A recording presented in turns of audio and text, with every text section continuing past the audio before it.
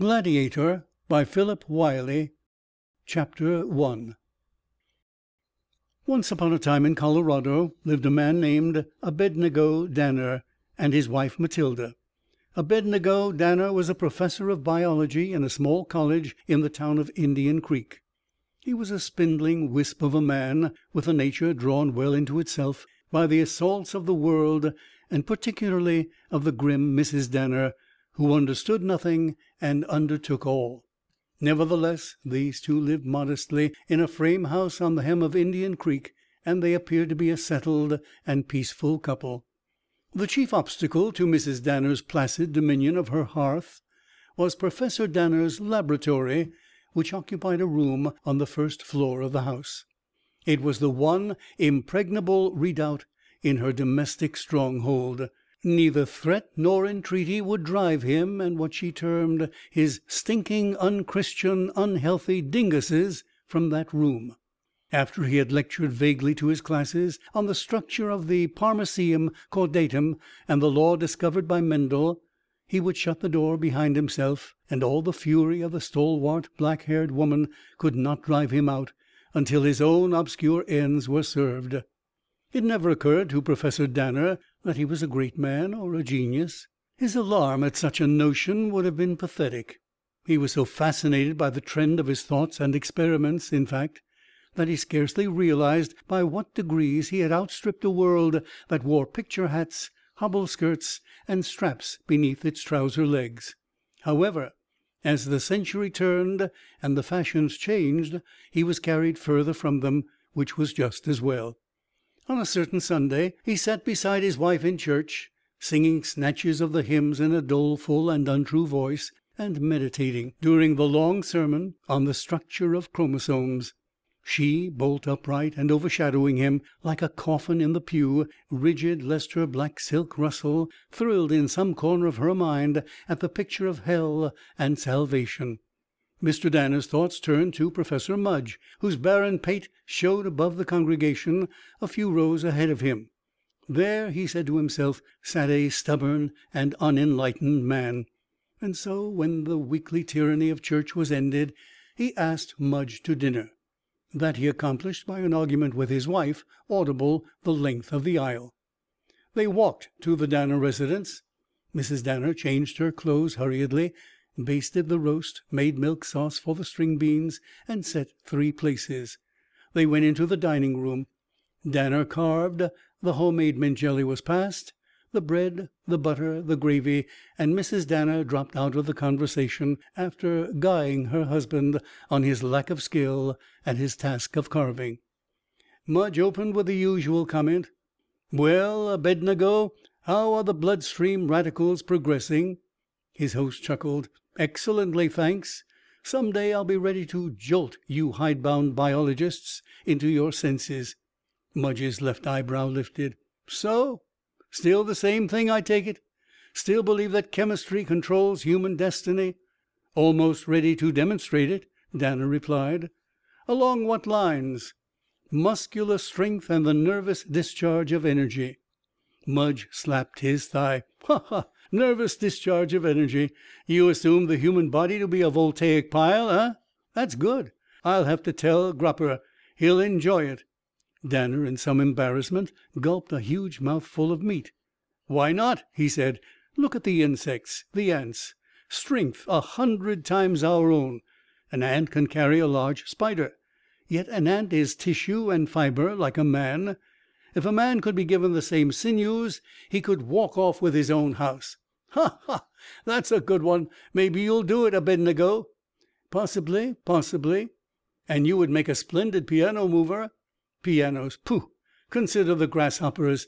Make a man as strong as a grasshopper and he'll be able to leap over a church. I tell you, there is something that determines the quality of every muscle and nerve. Find it, transplant it, and you have the solution." Mirth overtook Professor Mudge in a series of paroxysms from which he emerged rubicund and witty. "Probably your grasshopper man will look like a grasshopper more insect than man. At least, Danner, you have imagination."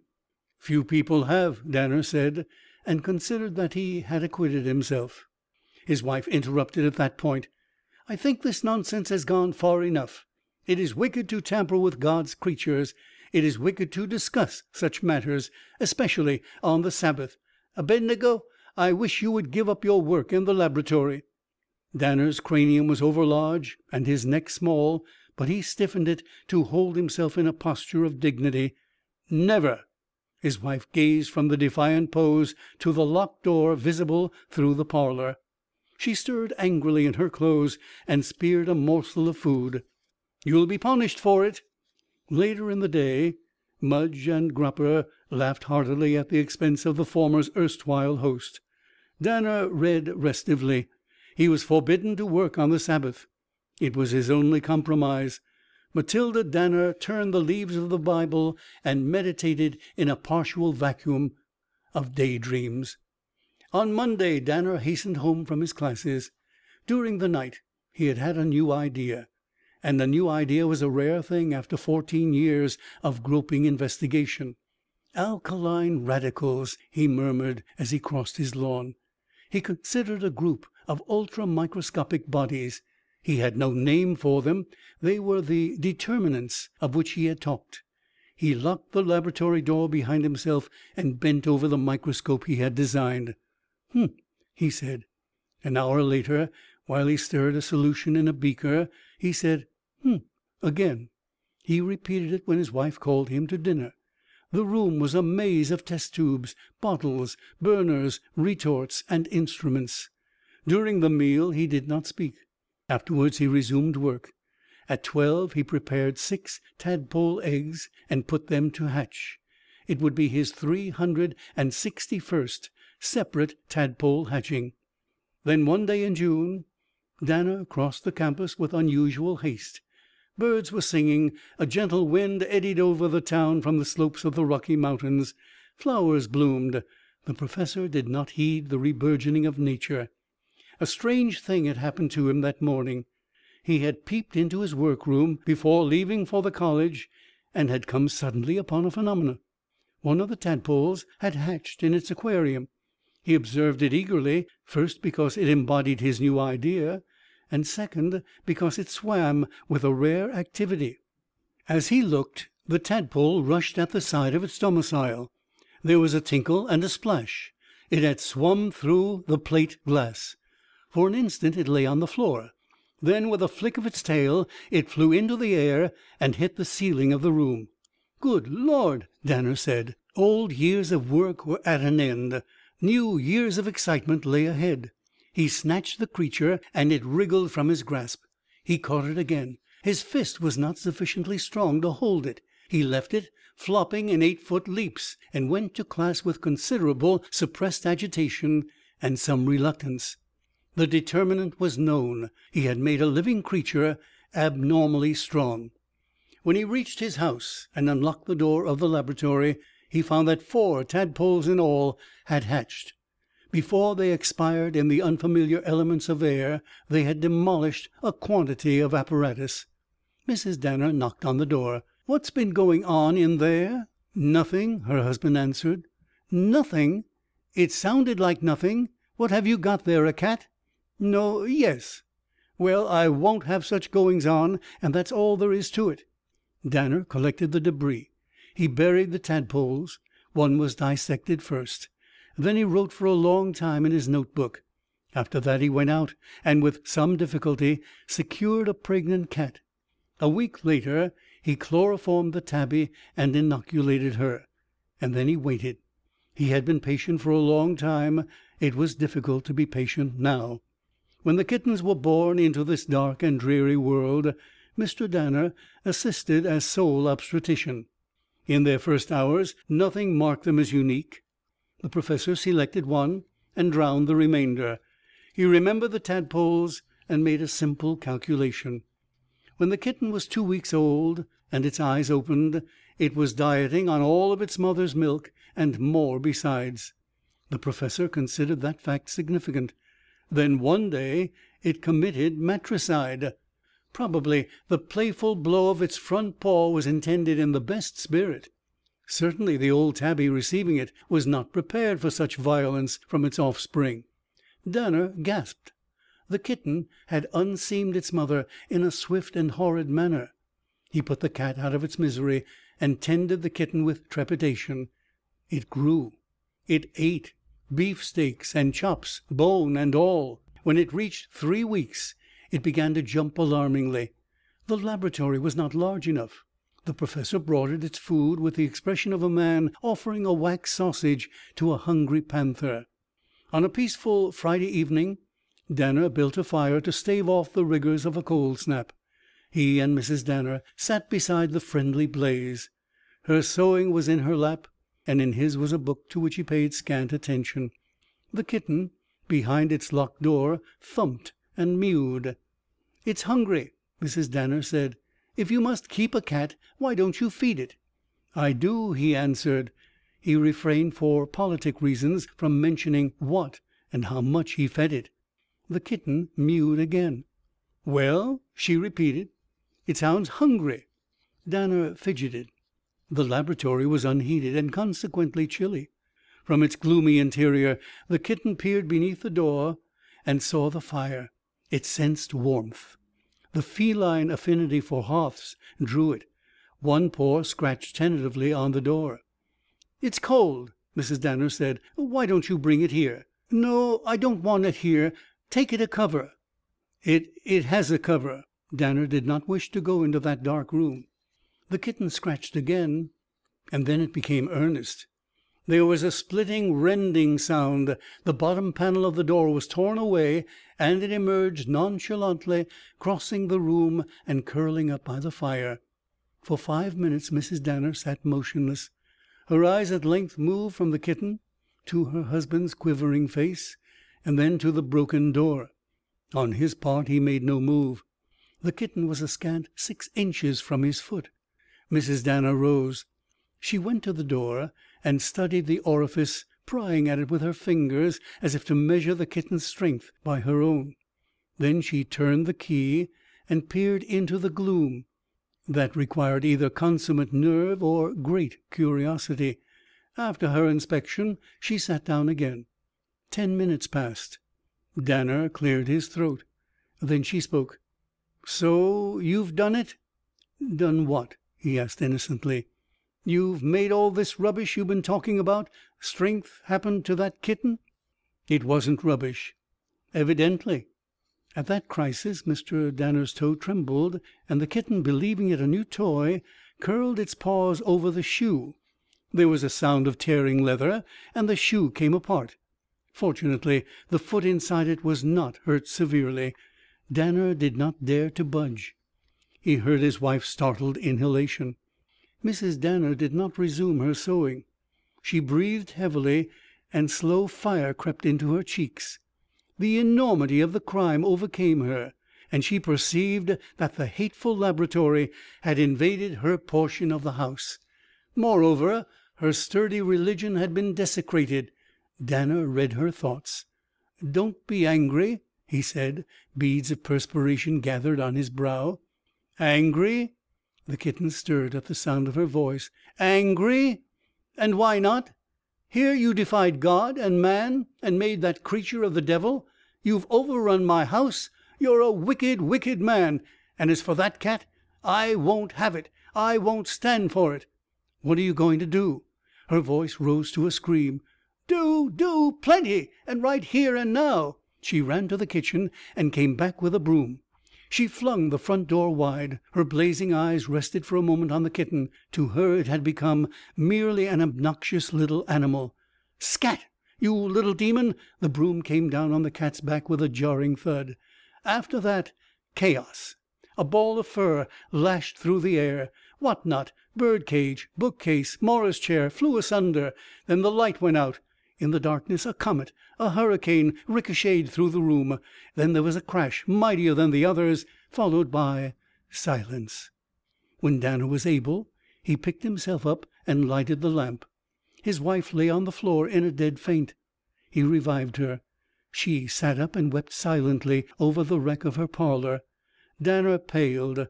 A round hole a hole that could have been made by nothing but a solid cannon shot showed where the kitten had left the room through the wall. Mrs. Danner's eyes were red rimmed.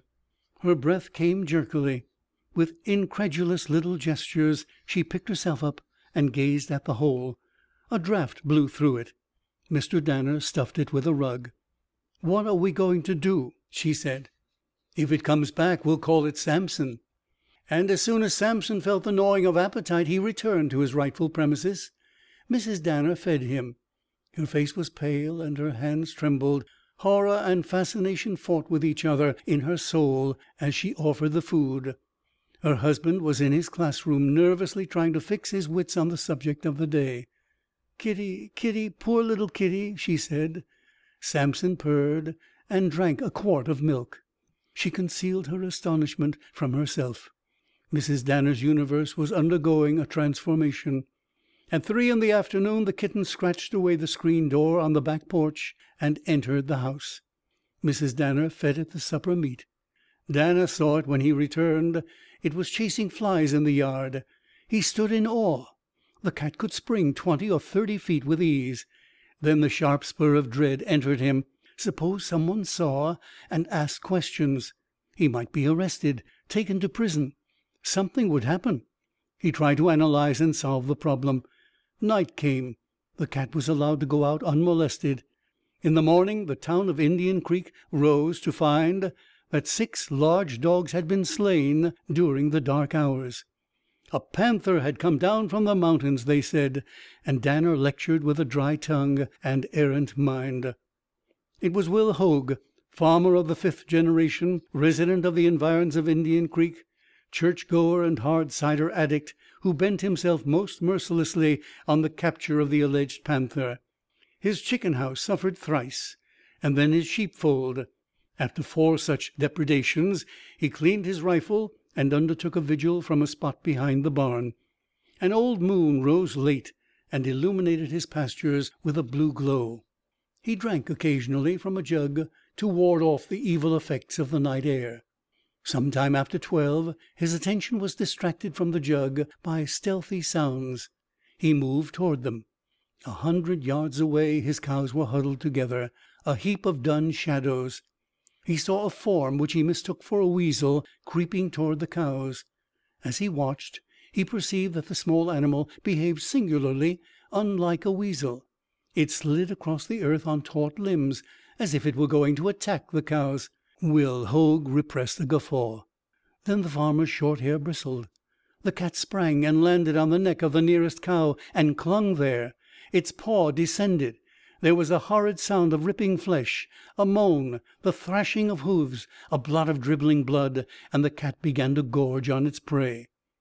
Hoag believed that he was intoxicated, that delirium tremens had overtaken him. He stood rooted to the spot. The marauder ignored him. Slowly, unbelievingly, he raised his rifle and fired. The bullet knocked the cat from its perch. Mr. Hoag went forward and picked it up. "God Almighty!" he whispered. The bullet had not penetrated the cat's skin. And suddenly it wriggled in his hand. He dropped it. A flash of fur in the moonlight, and he was alone with the corpse of his Holstein. He contemplated profanity. He considered kneeling in prayer. His joints turned to water. He called faintly for his family, and then he fell unconscious. When Danner heard of that exploit, it was relayed by jeering tongues, who said the farmer was drunk and a panther had killed the cow. His lips set in a line of resolve. Samson was taking too great liberties. It might attack a person, in which case he, Danner, would be guilty of murder. That day he did not attend his classes. Instead, he prepared a relentless poison in his laboratory and fed it to the kitten in a brace of meaty chops. The dying agonies of Samson, aged seven weeks, were Homeric. After that, Danner did nothing for some days. He wondered if his formula and the processes should be given to the world. But being primarily a man of vast imagination, he foresaw hundreds of rash experiments. Suppose, he thought, that his discovery was tried on a lion or an elephant. Such a creature would be invincible. The tadpoles were dead. The kitten had been buried. He sighed wearily and turned his life into its usual courses. End of chapter one. CHAPTER II Before the summer was ended, however, a new twist of his life and affairs started the mechanism of the professor's imagination again. It was announced to him when he returned from summer school on a hot afternoon.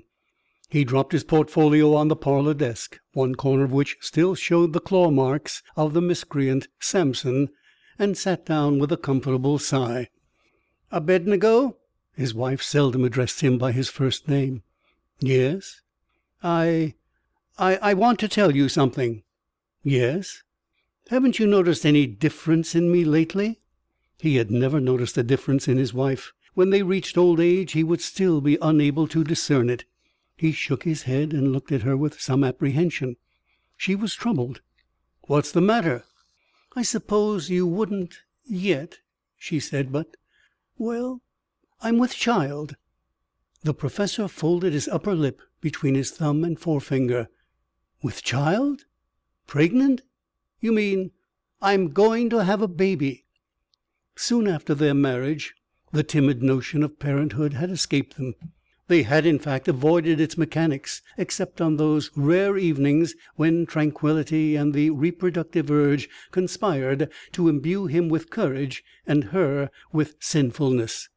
Nothing came of that infrequent union. They never expected anything. And now they were faced with it. He murmured, "A baby." Faint annoyance moved her. "Yes, that's what one has. What are we going to do?" "I don't know, Matilda, but I'm glad." She softened. "So am I, Abednego." Then a hissing, spattering sound issued from the kitchen. "The beans!" Mrs. Danner said. The second idyl of their lives was finished. Alone in his bed, tossing on the hot, humid muslin sheets, Danner struggled within himself. The hour that was at hand would be short.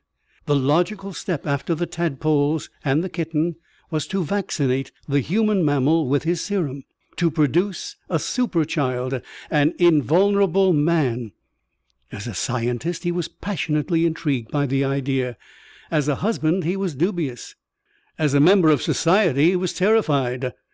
That his wife would submit to the plan or to the step it necessitated was beyond belief. She would never allow a sticky tube of foreign animal matter to be poured into her veins. She would not permit the will of God to be altered or her offspring to be the subject of experiment. Another man would have laughed at the notion of persuading her. Mr. Danner never laughed at matters that involved his wife. There was another danger. If the child was female and became a woman like his wife, then the effect of such strength would be awful indeed. He envisioned a militant reformer, an iron bound Calvinist, remodelling the world single handed, a Scotch Lilith, a matronly Gabriel, a she Hercules. He shuddered. A hundred times he denied his science. A hundred and one times it begged him to be served. Each decision to drop the idea was followed by an effort to discover means to inoculate her without her knowledge. To his wakeful ears came the reverberation of her snores. He rose and paced the floor. A scheme came to him. After that he was lost. Mrs. Danner was surprised when her husband brought a bottle of blackberry cordial to her. It was his first gift to her in more than a year. She was fond of cordial. He was not. She took a glass after supper, and then a second, which she drank for him. He smiled nervously and urged her to drink it. His hands clenched and unclenched. When she finished the second glass he watched her constantly. "I feel sleepy," she said. "You're tired." He tried to dissemble the eagerness in his voice. "Why don't you lie down?" "Strange," she said a moment later. "I'm not usually so so misty." He nodded. The opiate in the cordial was working. She lay on the couch. She slept. The professor hastened to his laboratory. An hour later he emerged with a hypodermic syringe in his hand. His wife lay limply, one hand touching the floor. Her stern, dark face was relaxed. He sat beside her. His conscience raged. He hated the duplicity his task required. His eyes lingered on the swollen abdomen. It was cryptic, enigmatic, filled with portent. He jabbed the needle. She did not stir. After that he substituted a partly empty bottle of cordial for the drugged liquor. It was perhaps the most practical thing he had ever done in his life. Mrs. Danner could not explain herself on the following morning. She belabored him. "Why didn't you wake me and make me go to bed? Sleeping in my clothes! I never did such a thing in my life." "I couldn't wake you. I tried." "Rubbish! You were sleeping so hard you refused to move. Sometimes, old as you are, I'd like to thrash you." Danner went to the college. There was nothing more to do, nothing more to require his concentration. He could wait as he had waited before. He trembled occasionally with the hope that his child would be a boy, a sane, healthy boy. Then, in the end, his work might bear fruit. "The Euglena viridis," he said in flat tones, "will be the subject of to morrow's study. I want you gentlemen to diagram the structure of the Euglena viridis and write five hundred words on its vital principles and processes. It is particularly interesting because it shares properties that are animal with properties that are vegetable." September, October, November. Chilly winds from the high mountains, the day by day freezing over of ponds and brooks, smoke at the tops of chimneys, snow, Thanksgiving and always Mrs. Danner growing with the burden of her offspring. Mr. Danner sitting silent, watching, wondering, waiting. It would soon be time. On Christmas morning there entered into Mrs. Danner's vitals a pain that was indefinable and at the same time certain. It thrust all thought from her mind. Then it diminished and she summoned her husband. "Get the doctor. It's coming." Danner tottered into the street and executed his errand. The doctor smiled cheerfully. "Just beginning? I'll be over this afternoon." "But good Lord! You can't leave her like " "Nonsense." He came home and found his wife dusting. He shook his head. "Get Mrs. Nolan," she said. Then she threw herself on the bed again. Mrs. Nolan, the nearest neighbor, wife of Professor Nolan and mother of four children, was delighted. This particular Christmas was going to be a day of some excitement. She prepared hot water and bustled with unessential occupation. Danner sat prostrate in the parlour. He had done it. He had done more. And that would be known later. Perhaps it would fail. He hoped it would fail.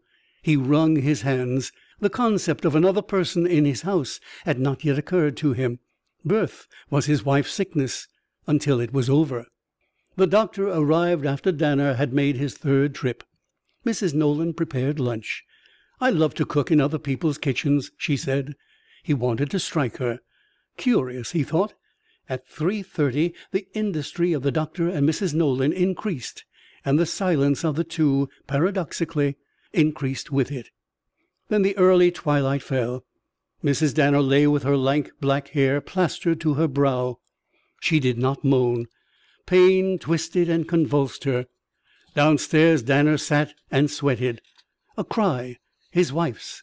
Another, unfamiliar. Scurrying feet on the bare parts of the floor. He looked up. Mrs. Nolan leaned over the stair well. "It's a boy, Mr. Danner. A beautiful boy and husky. You never saw such a husky baby." "It ought to be," he said.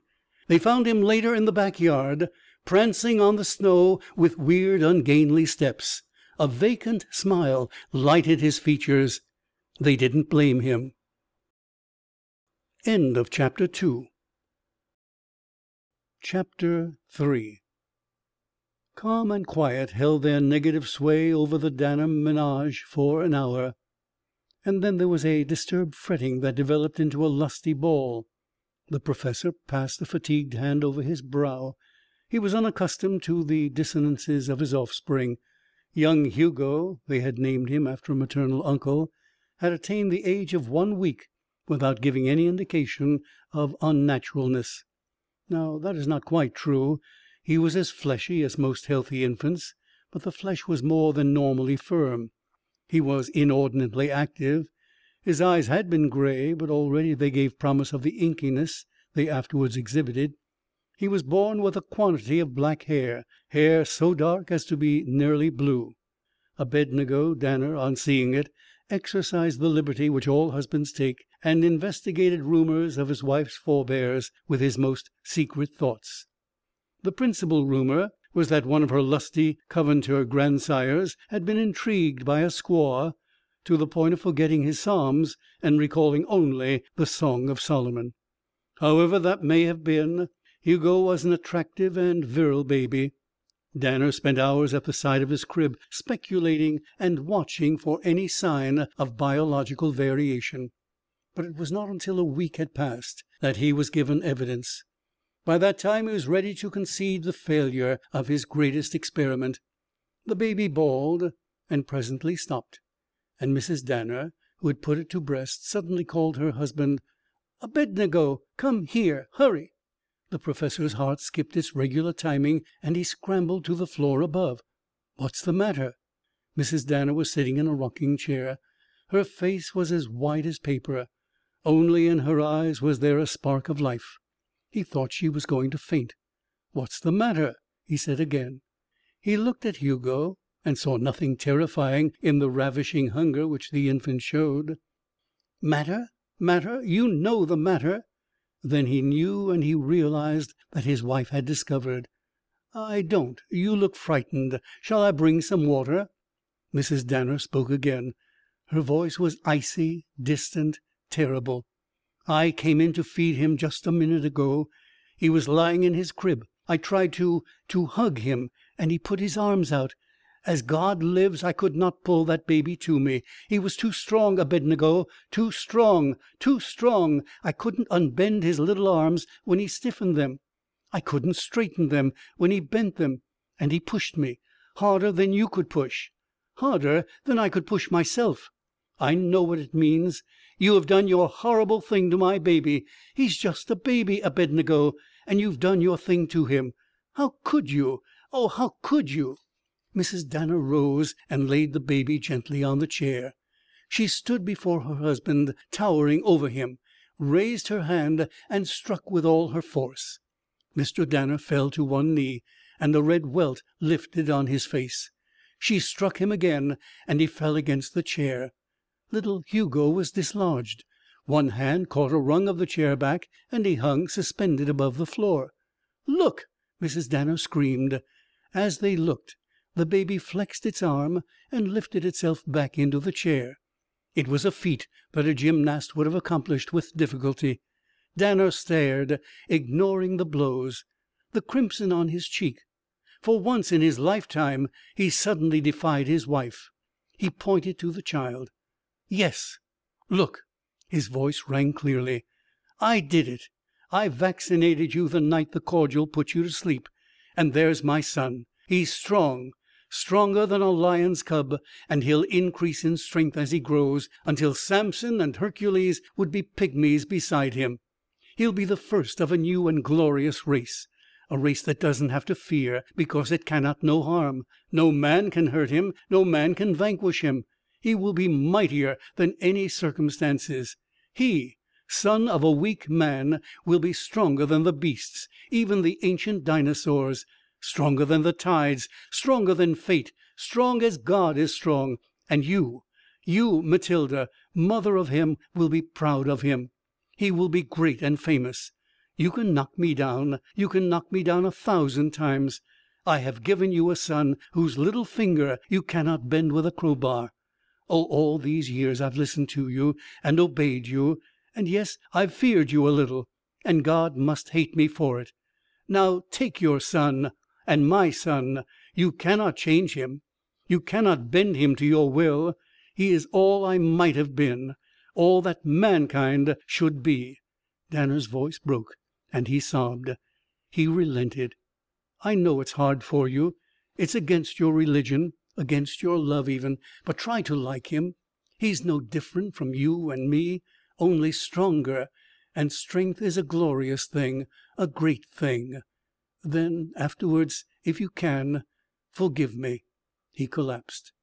Blood pounded in her ears. She stared at the huddled body of her husband. He had stood like a prophet and spoken words of fire. She was shaken from her pettiness. For one moment she had loved Danner. In that same instant she had glimpsed the superhuman energy that had driven him through the long years of discouragement to triumph. She had seen his soul. She fell at his feet, and when Danner opened his eyes he found her there weeping. He took her in his arms timidly, clumsily. "Don't cry, Mattie. It'll be all right. You love him, don't you?" She stared at the babe. "Of course I love him. Wash your face, Abednego." After that there was peace in the house, and with it the child grew. During the next months they ignored his peculiarities. When they found him hanging outside his crib, they put him back gently. When he smashed the crib, they discussed a better place for him to repose. No hysteria, no conflict. When, in the early spring, young Hugo began to recognize them and to assert his feelings, they rejoiced as all parents rejoice. When he managed to vault the sill of the second story window by some antic contortion of his limbs, they dismissed the episode. Mrs. Danner had been baking. She heard the child's voice, and it seemed to come from the yard. Startled, incredulous, she rushed upstairs. Hugo was not in his room. His wail drifted through the window. She looked out. He was lying in the yard, fifteen feet below. She rushed to his side. He had not been hurt. Danner made a pen of the iron heads and feet of two old beds. He wired them together. The baby was kept in the enclosure thus formed. Days warmed and lengthened. No one except the Danners knew of the prodigy harboured by their unostentatious house. But the secret was certain to leak out eventually. Mrs. Nolan, the next door neighbour, was first to learn it. She had called on Mrs. Danner to borrow a cup of sugar. The call naturally included a discussion of various domestic matters and a visit to the baby. She voiced a question that had occupied her mind for some time. "Why do you keep the child in that iron thing? Aren't you afraid it will hurt itself?" "Oh, no." Mrs. Nolan viewed young Hugo. He was lying on a large pillow. Presently he rolled off its surface. "Active youngster, isn't he?" "Very," Mrs. Danner said nervously. Hugo, as if he understood and desired to demonstrate, seized a corner of the pillow and flung it from him. It traversed a long arc and landed on the floor. Mrs. Nolan was startled. "Goodness! I never saw a child his age that could do that. No, let's go downstairs. I want to show you some tidies I'm making." Mrs. Nolan paid no attention. She put the pillow back in the pen and watched while Hugo tossed it out. "There's something funny about that. It isn't normal. Have you seen a doctor?" Mrs. Danner fidgeted. "Oh, yes. Little Hugo's healthy." Little Hugo grasped the iron wall of his miniature prison. He pulled himself toward it. His skirt caught in the floor. He pulled harder. The pen moved toward him. A high soprano came from Mrs. Nolan. "He's moved it. I don't think I could move it myself. I tell you, I'm going to ask the doctor to examine him. You shouldn't let a child be like that." Mrs. Danner, filled with consternation, sought refuge in prevarication. "Nonsense," she said as calmly as she could. All we Douglases are like that strong children. I had a grandfather who could lift a cider keg when he was five two hundred pounds and more. Hugo just takes after him, that's all." Mrs. Nolan was annoyed, partly because she was jealous of Hugo's prowess. Her own children had been feeble and dull. Partly because she was frightened. No matter how strong a person became, a baby had no right to be so powerful partly because she sensed that Mrs. Danner was not telling the whole truth. She suspected that the Danners had found a new way to raise children. "Well," she said, "all I have to say is that it'll damage him. It'll strain his little heart. It'll do him a lot of harm. If I had a child like that, I'd tie him up most of the time for the first few years." "Kate," Mrs. Danner said unpleasantly, "I believe you would." Mrs. Nolan shrugged. "Well, I'm glad none of my children are freaks, anyhow. I'll get your sugar." In the afternoon the minister called. He talked of the church and the town until he felt his preamble adequate. "I was wondering why you didn't bring your child to be baptized, Mrs. Danner, and why you couldn't come to church now that it's old enough." "Well," she replied carefully, "the child is rather irritable, and we thought we'd prefer to have it baptized at home." "It's irregular." "We'd prefer it." "Very well. I'm afraid," he smiled, "that you're a little er unfamiliar with the upbringing of children. Natural, in the case of the first born, quite natural. But uh, I met Mrs. Nolan to day, quite by accident, and she said that you kept the child uh, in an iron pen. It seemed unnecessarily cruel to me." "Did it?" Mrs. Danner's jaw set squarely. But the minister was not to be turned aside lightly. "I'm afraid, if it's true, that we, the church, will have to do something about it. You can't let the little fellow grow up surrounded by iron walls. It will surely point him toward the prison. Little minds are tender and er impressionable." "We've had a crib and two pens of wood," Mrs. Danner answered tartly. "He smashed them all." "Ah? So?" Lifted eyebrows. "Temper, eh? He should be punished. Punishment is the only mold for unruly children." "You'd punish a six months old baby?" "Why, certainly. I've reared seven by the rod." "Well!"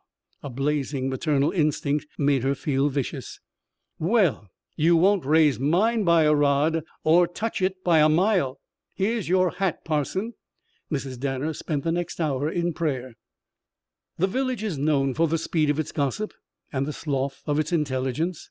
Those two factors explain the conditions which preluded and surrounded the dawn of consciousness in young Hugo. Mrs. Danner's extemporaneous fabrication of a sturdy ancestral line kept the more supernatural elements of the baby's prowess from the public eye. It became rapidly and generally understood that the Danner infant was abnormal, and that the treatment to which it was submitted was not usual. At the same time, neither the gossips of Indian Creek nor the slightly more sage professors of the college exercised the wit necessary to realize that, however strong young Hugo might become, it was neither right nor just that his cradle days be augurs of that eventual estate. On the face of it, the argument seemed logical. If Mrs. Danner's forebears had been men of peculiar might, her child might well be able to chin itself at three weeks, and it might easily be necessary to confine it in a metal pen, however inhumane the process appeared. Hugo was sheltered, and his early antics, peculiar and startling as they were to his parents, escaped public attention. The little current of talk about him was kept alive only because there was so small an array of topics for the local burghers. But it was not extraordinarily malicious. Months piled up. A year passed, and then another. Hugo was a good natured, usually sober, and very sensitive child. Abednego Danner's fear that his process might have created muscular strength at the expense of reason diminished and then vanished as Hugo learned to walk and to talk. And as he grasped the rudiments of human behavior, his high little voice was heard in the house and about its lawns. They began to condition him. Throughout his later life there lingered in his mind a memory of the barriers erected by his family. He was told not to throw his pillow, when words meant nothing to him. Soon after that he was told not to throw anything. When he could walk, he was forbidden to jump. His jumps were shocking to see, even at the age of two and a half. He was carefully instructed on his behavior out of doors. No move of his was to indicate his difference from the ordinary child. He was taught kindness and respect for people and property. His every destructive impulse was carefully curbed. That training was possible only because he was sensitive and naturally susceptible to advice. Punishment had no physical terror for him because he could not feel it. But disfavor, anger, vexation, or disappointment in another person reflected itself in him at once. When he was four and a half, his mother sent him to Sunday school. He was enrolled in a class that sat near her own, so she was able to keep a careful eye on him. But Hugo did not misbehave. It was his first contact with a group of children, his first view of the larger cosmos. He sat quietly with his hands folded, as he had been told to sit. He listened to the teacher's stories of Jesus with excited interest. On his third Sunday he heard one of the children whisper, "Here comes the strong boy." He turned quickly, his cheeks red. "I'm not. I'm not." "Yes, you are. Mother said so." Hugo struggled with the two hymn books on the table. "I can't even lift these books." He lied. The other child was impressed and tried to explain the situation later, taking the cause of Hugo's weakness against the charge of strength. But the accusation rankled in Hugo's young mind. He hated to be different, and he was beginning to realize that he was different. From his earliest day that longing occupied him. He sought to hide his strength. He hated to think that other people were talking about him. The distinction he enjoyed was odious to him because it aroused unpleasant emotions in other people.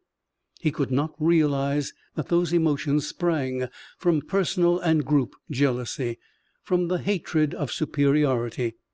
His mother, ever zealous to direct her son in the path of righteousness, talked to him often about his strength, and how great it would become, and what great and good deeds he could do with it.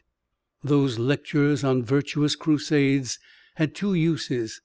They helped check any impulses in her son which she felt would be harmful to her, and they helped her to become used to the abnormality in little Hugo. In her mind it was like telling a hunchback that his hump was a blessing disguised. Hugo was always aware of the fact that her words connoted some latent evil in his nature. The motif grew in Mrs. Danner's thoughts until she sought a definite outlet for it. One day she led her child to a keg filled with sand. "All of us," she said to her son, "have to carry a burden through life. One of your burdens will be your strength, but that might can make right. See that little keg? Hm? That keg is temptation. Can you say it? Tem Every day in your life you must bear temptation and throw it from you. Can you bear it? Hm? Can you pick up that keg, Hugo?" He lifted it in his chubby arms. "Now take it to the barn and back," his mother directed.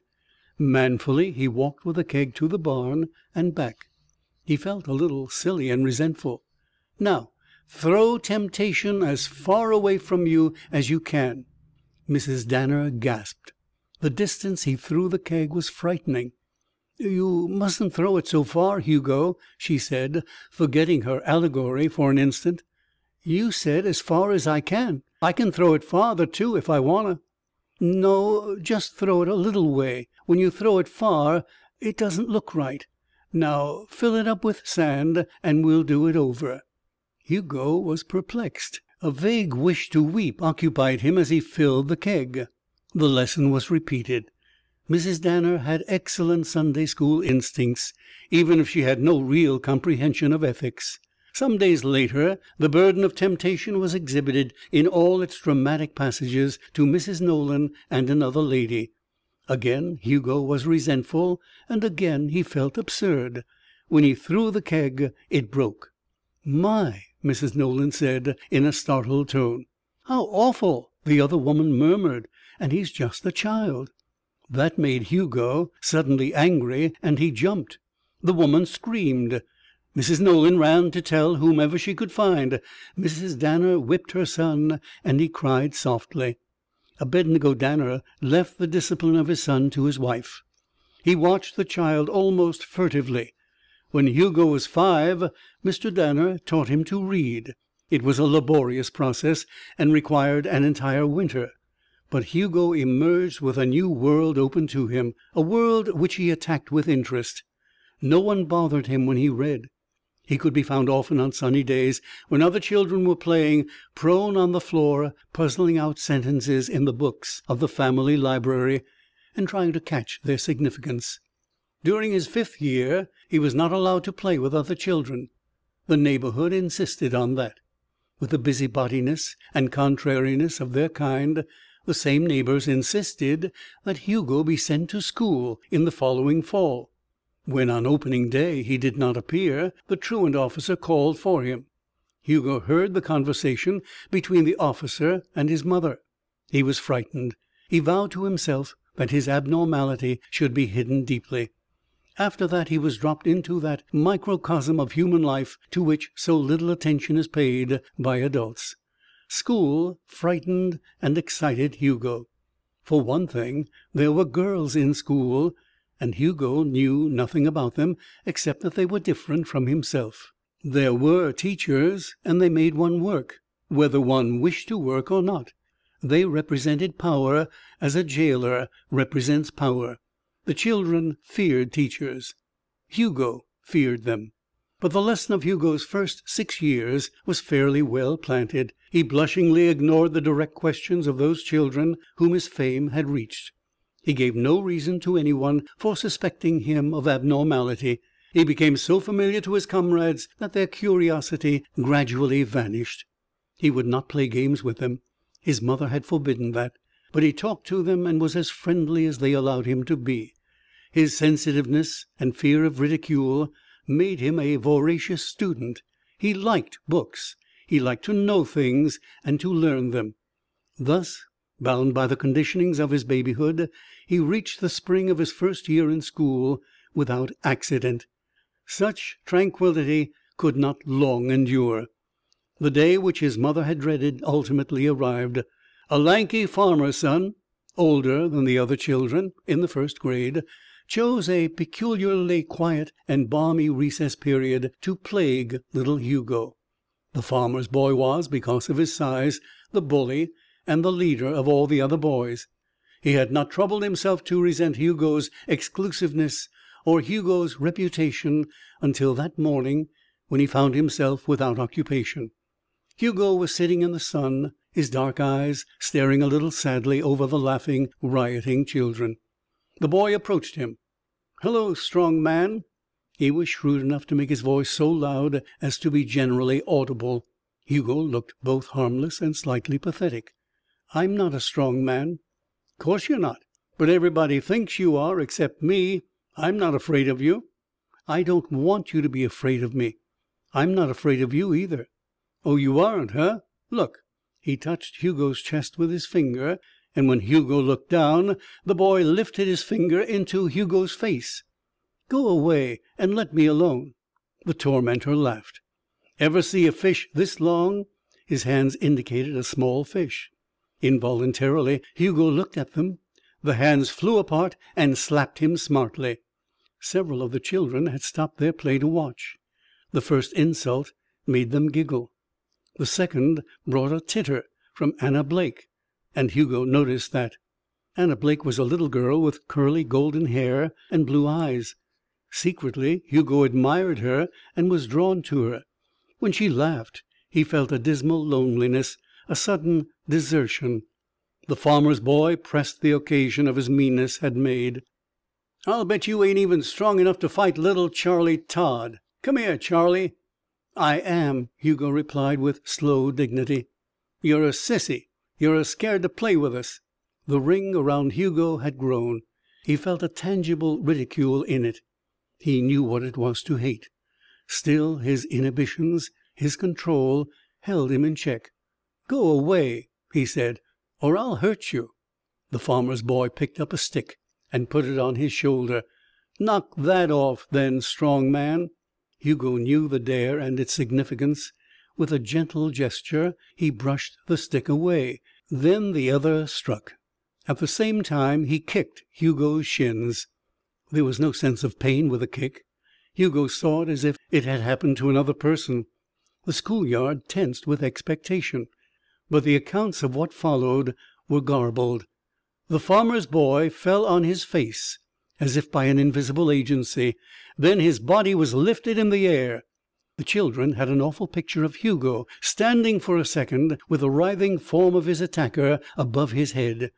Then he flung it aside over the circle that surrounded him, and the body fell with a thud. It lay without moving. Hugo began to whimper pitifully. That was Hugo's first fight. He had defended himself, and it made him ashamed. He thought he had killed the other boy. Sickening dread filled him. He hurried to his side and shook him, calling his name. The other boy came to. His arm was broken and his sides were purpling where Hugo had seized him. There was terror in his eyes when he saw Hugo's face above him, and he screamed shrilly for help.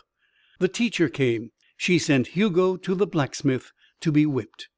That in itself was a stroke of genius.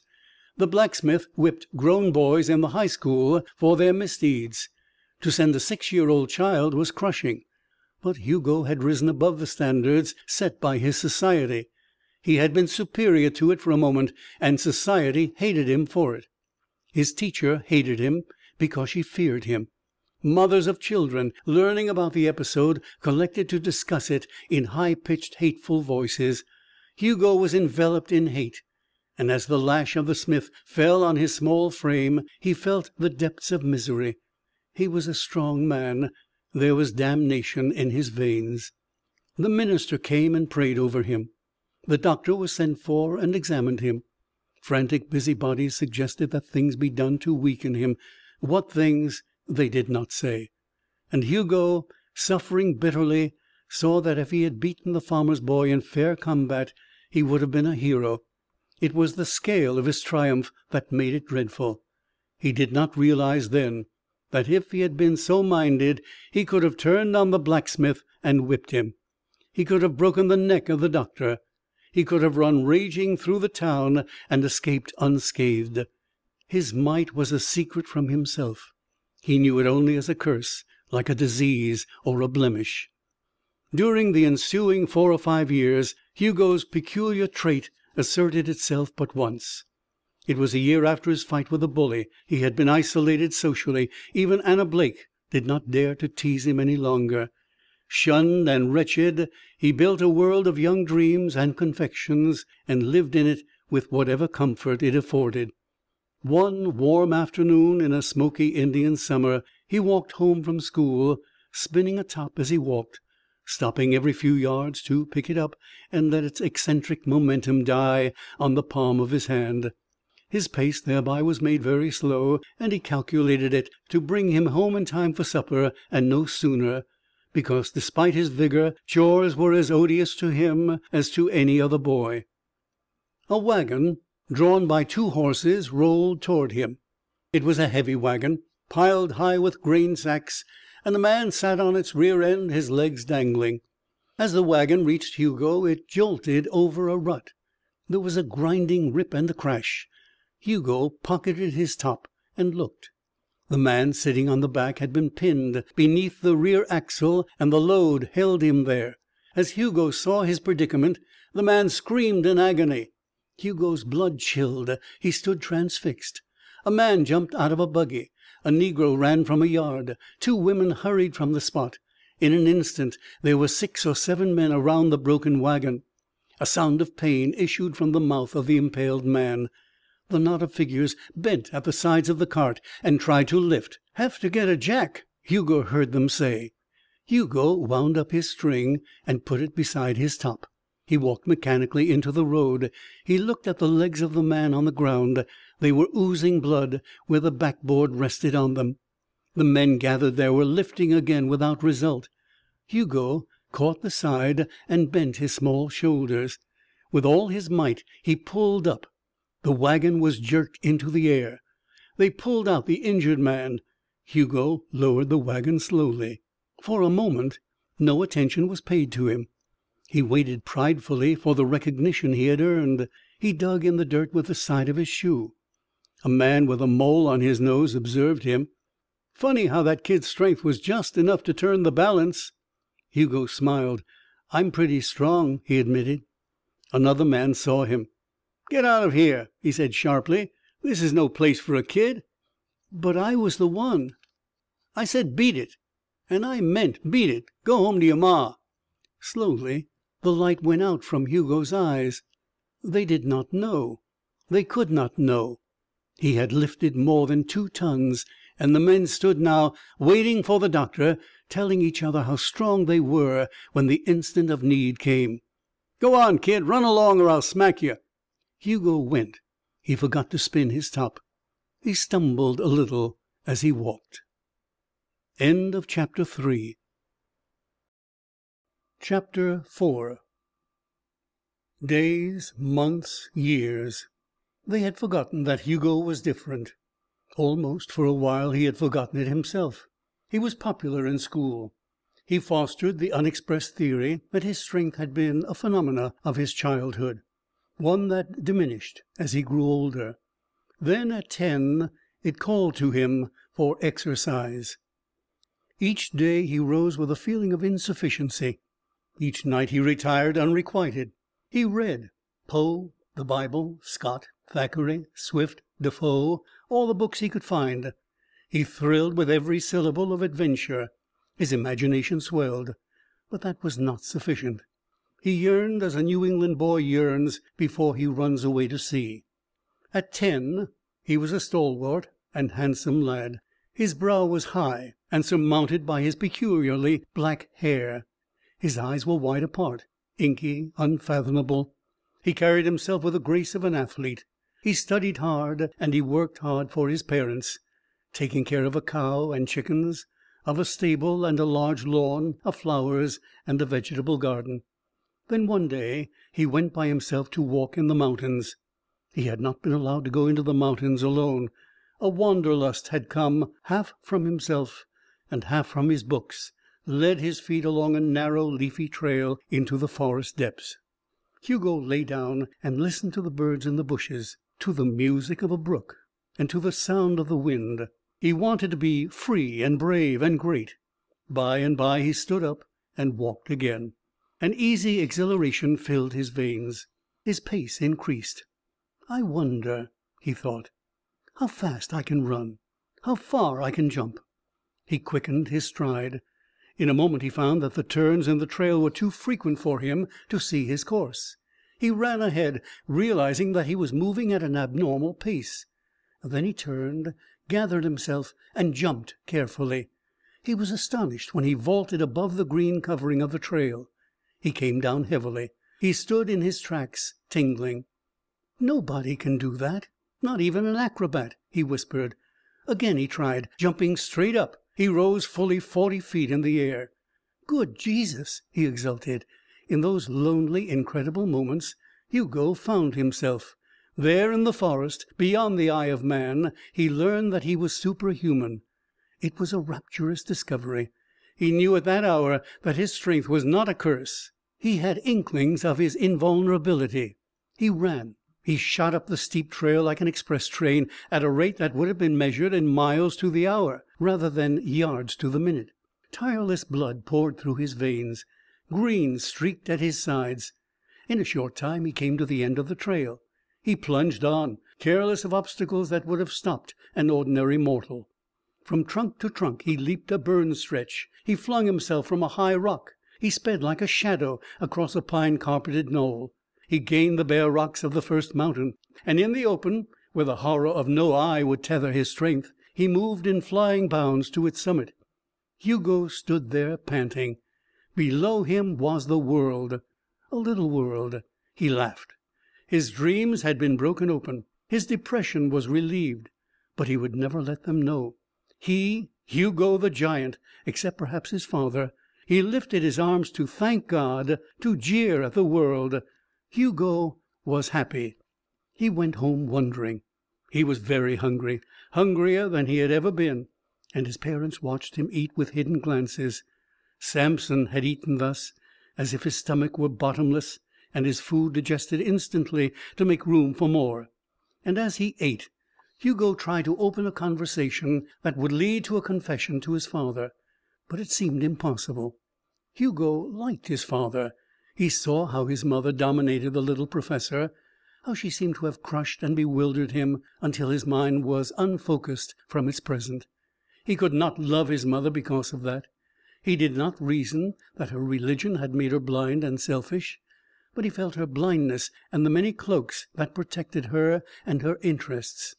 He held her in respect and he obeyed her, but often and wistfully he had tried to talk to his father, to make friends with him, to make himself felt as a person.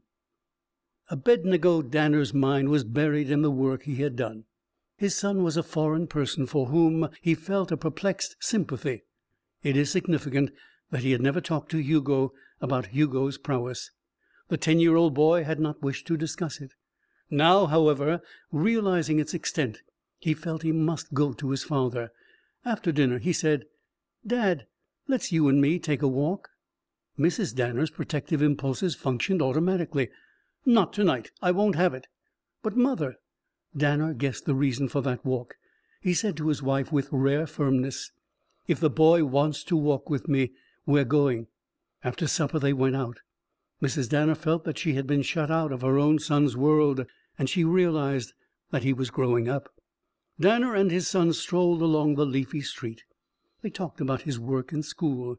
His father seemed to Hugo more human than he had ever been. He even ventured the first step toward other conversation. "Well, son, what is it?" Hugo caught his breath. "Well, I kind of thought I ought to tell you. You see, this afternoon well, you know I've always been a sort of strong kid." Danner trembled. "I know." "And you haven't said much about it to me, except to be gentle." "That's so. You must remember it." "Well, I don't have to be gentle with myself, do I? When I'm alone like in the woods, that is?" The older one pondered. "You mean you like to uh let yourself out when you're alone?" "That's what I mean." The usual constraint between them had receded. Hugo was grateful for his father's help. "You see, dad, I well, I went walking to day, and I I kind of tried myself out." Danner answered in breathless eagerness. "And?" "Well, I'm not just a strong kid, dad. I don't know what's the matter with me. It seems I'm not like other kids at all.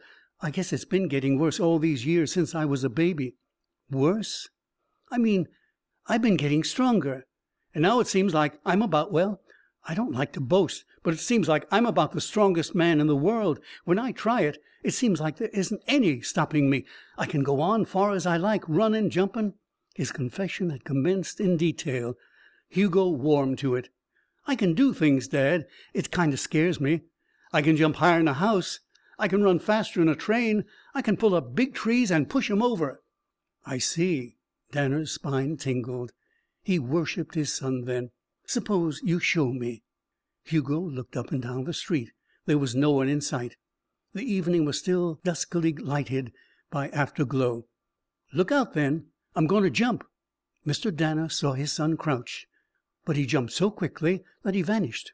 Four seconds elapsed. He landed where he had stood. "See, dad?" "Do it again." On the second trial the professor's eyes followed the soaring form, and he realized the magnitude of the thing he had wrought. "Did you see me?" Danner nodded. "I saw you, son." "Kind of funny, isn't it?" "Let's talk some more." There was a pause. "Do you realize, son, that no one else on earth can do what you just did?"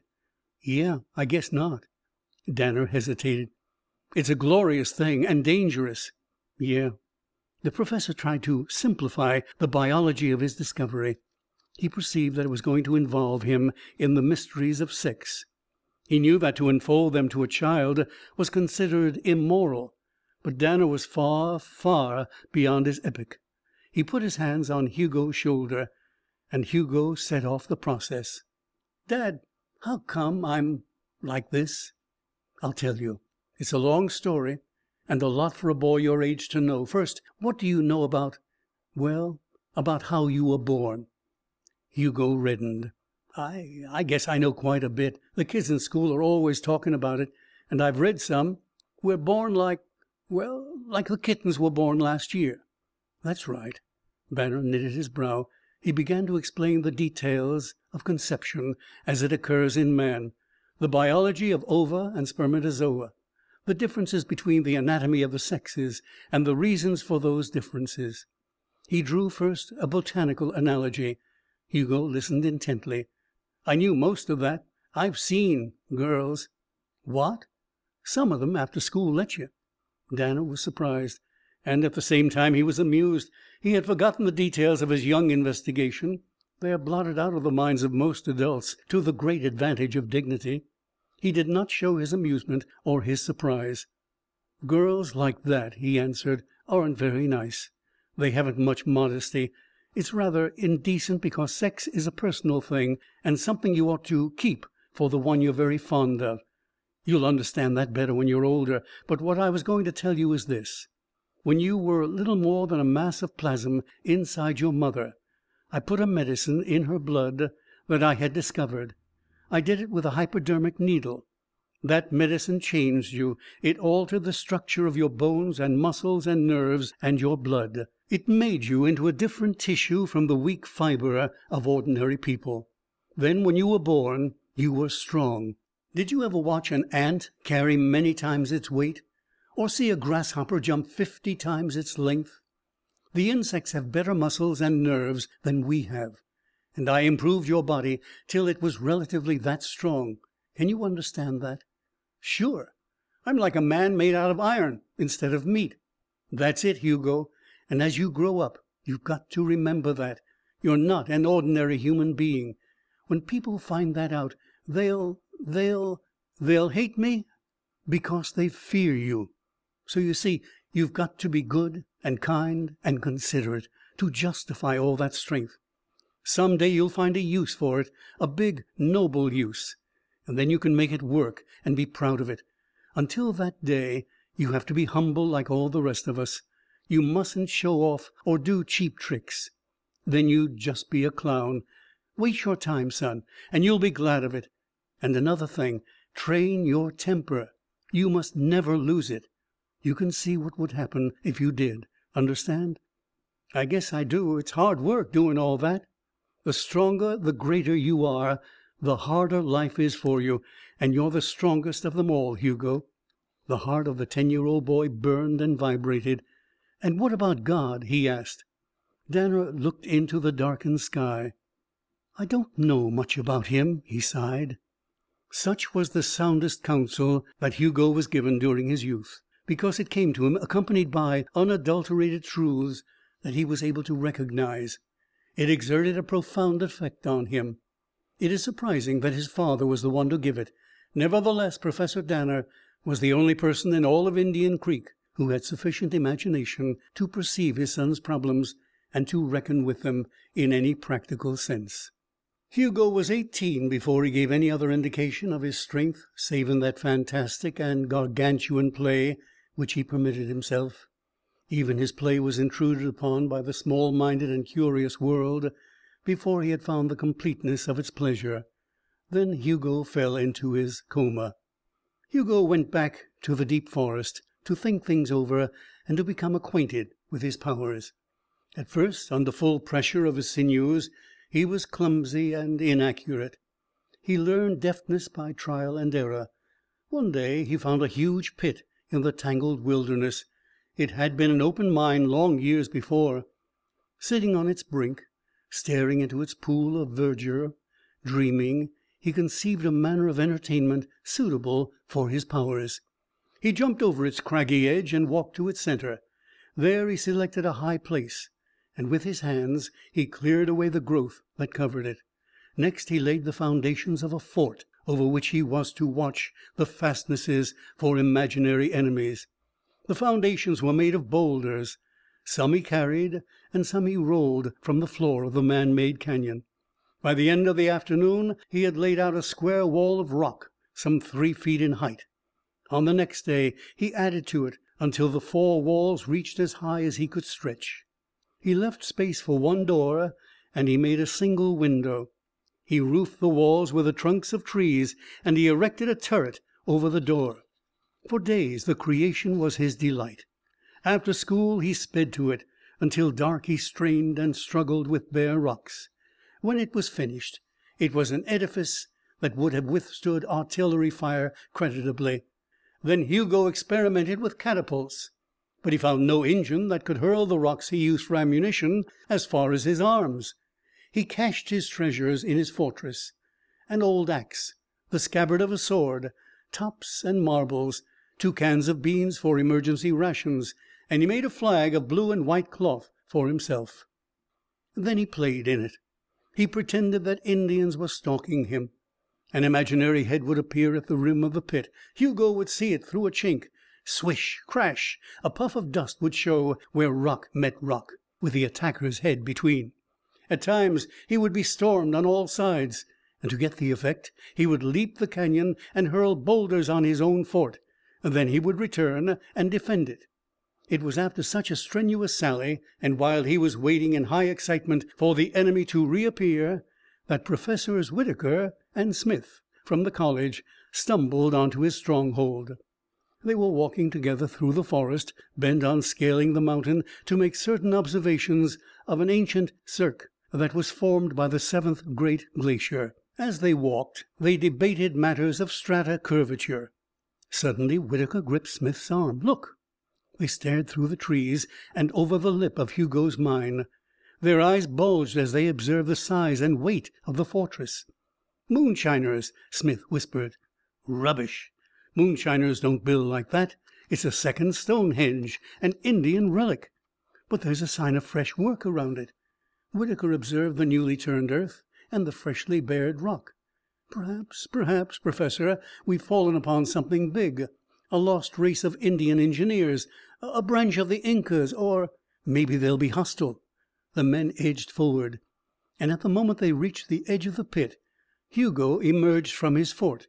He saw the men with sudden fear. He tried to hide. "Hey!" they said.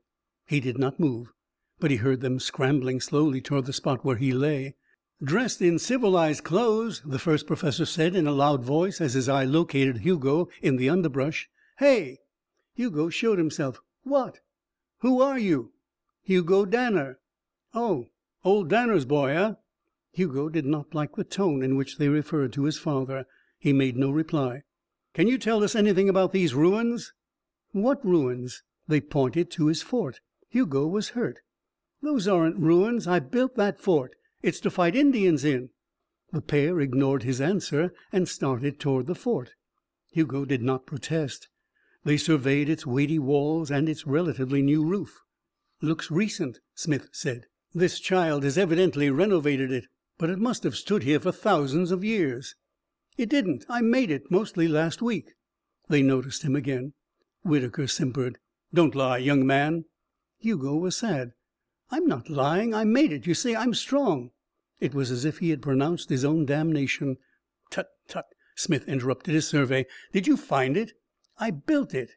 "I said" the professor spoke with increasing annoyance I said not to tell me stories any longer. It's important, young man, that we know just how you found this dolmen and in what condition. It isn't a dolly, whatever you said. It's a fort, and I built it, and I'm not lying." The professor, in the interests of science, made a grave mistake. He seized Hugo by the arms and shook him. "Now, see here, young man, I'll have no more of your impertinent lip.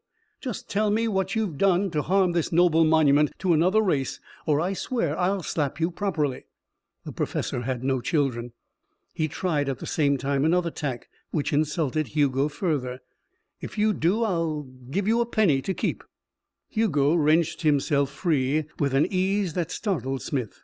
His face was dark, almost black. He spoke slowly, as if he was trying to piece words into sense. "You both of you you go away from here and leave me, or I'll break your two rotten old necks." Whitaker moved toward him, and Smith interceded. "We better leave him and come back later." He was still frightened by the strength in Hugo's arms. "The child is mad. He may have hydrophobia. He might bite." The men moved away hastily. Hugo watched them climb the wall. When they reached the top he called gently. They wheeled. And Hugo, sobbing, tears streaming from his face, leaped into his fort. Rocks vomited themselves from it, huge rocks that no man could budge. Walls toppled and crashed. The men began to move. Hugo looked up. He chose a stone that weighed more than a hundred pounds. "Hey!" he said. "I'm not a liar." The rock arched through the air, and Professors Whitaker and Smith escaped death by a scant margin. Hugo lay in the wreck of the first thing his hands had built and wept. After a little while he sprang to his feet and chased the retreating professors. When he suddenly appeared in front of them they were stricken dumb. "Don't tell anyone about that or about me," he said. "If you do I'll break down your house just like I broke mine. Don't even tell my family. They know it anyhow." He leaped toward them, over them. The forest hid him. Whitaker wiped clammy perspiration from his brow. "What was it, Smith?" "A demon. We can't mention it," he repeated, thinking of the warning. "We can't speak of it, anyway. They'll never believe us." End of chapter V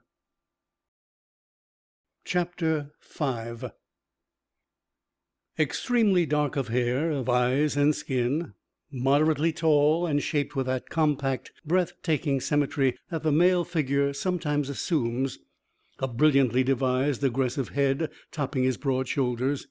Graceful. A man vehemently alive. a man with the promise of a young god. Hugo at eighteen. His emotions ran through his eyes like hot steel in a dark mold. People avoided those eyes. They contained a statement from which ordinary souls shrank. His skin glowed and sweated into a shiny red brown. His voice was deep and alluring. During twelve long and fierce years he had fought to know and control himself. Indian Creek had forgotten the terrible child. Hugo's life at that time revolved less about himself than it had during his first years, and that was both natural and fortunate. If his classmates in school and the older people of the town had not discounted his early physical precocity, even his splendid vitality might not have been sufficient to prevent him from becoming moody and melancholy. But when with the passage of time he tossed no more bullies, carried no more barrels of temptation, built no more fortresses, and grew so handsome that the matrons of Indian Creek as well as the adolescent girls in high school, followed him with wayward glances; when the men found him a gay and comprehending companion for any sport or adventure; when his teachers observed that his intelligence was often embarrassingly acute; when he played on three teams and was elected an officer in his classes each year, then that half of Hugo which was purely mundane and human dominated him and made him happy. His adolescence, his emotions, were no different from those of any young man of his age and character. If his ultimate ambitions followed another trajectory, he postponed the evidence of it. Hugo was in love with Anna Blake, the girl who had attracted him when he was six.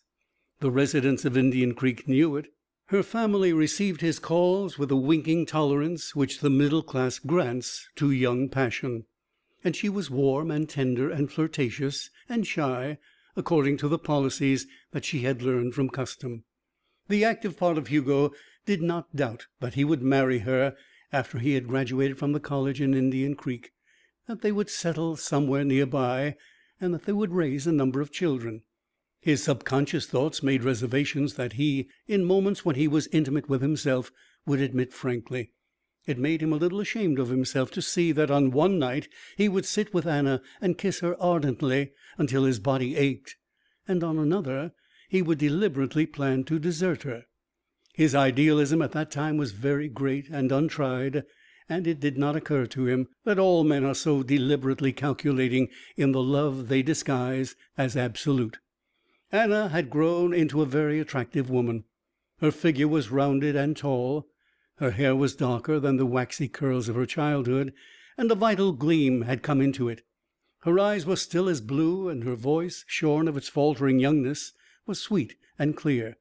She was undoubtedly the prettiest girl in high school and the logical sweetheart for Hugo Danner, a flower ready to be plucked at eighteen. When Hugo reached his senior year, that readiness became almost an impatience. Girls married at an early age in Indian Creek. She looked down the corridor of time during which he would be in college.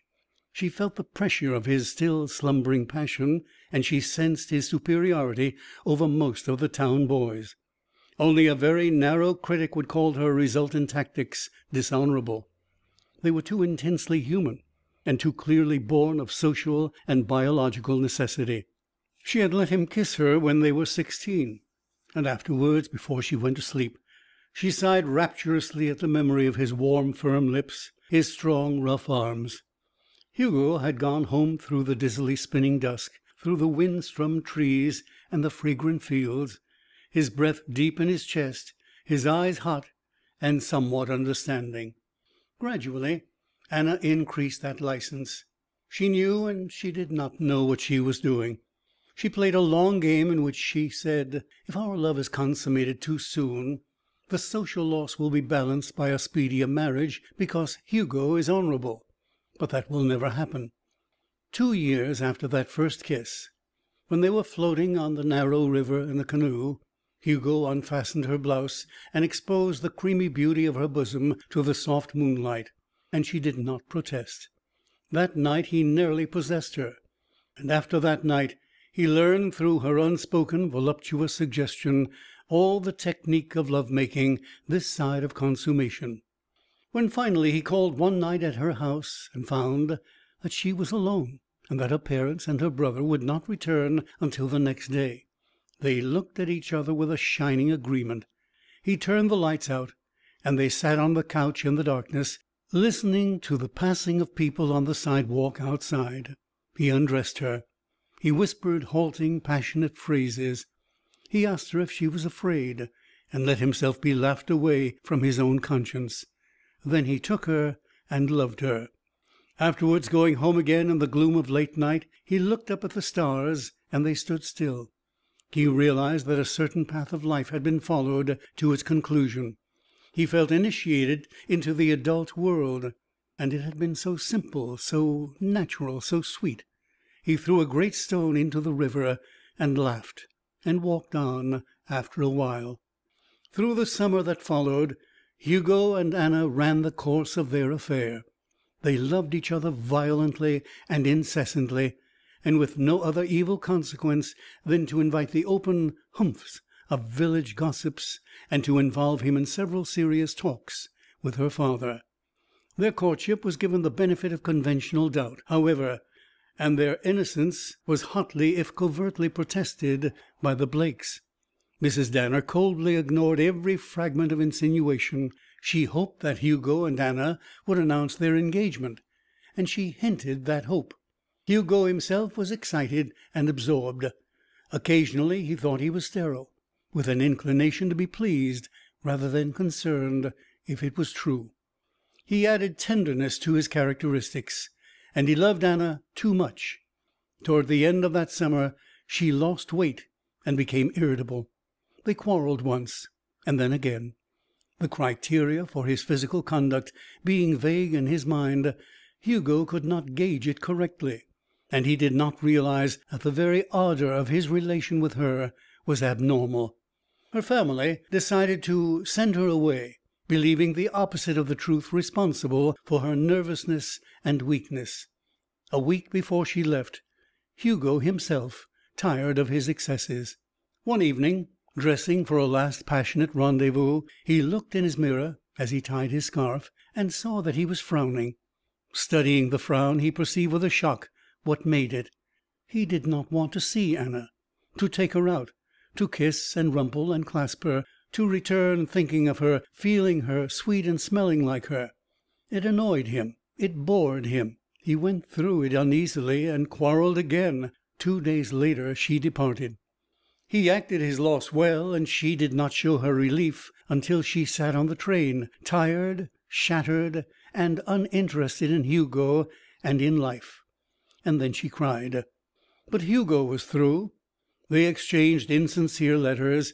He looked forward to college in the fall, and then he received a letter from Anna saying that she was going to marry a man she had met and known for three weeks. It was a broken, gasping, apologetic letter. Everyone was outraged at Anna and astounded that Hugo bore the shock so courageously. The upshot of that summer was to fill his mind with fetid memories, which abated slowly, to make him disgusted with himself and tired of Indian Creek. He decided to go to a different college, one far away from the scene of his painful youth and his disillusioned maturity.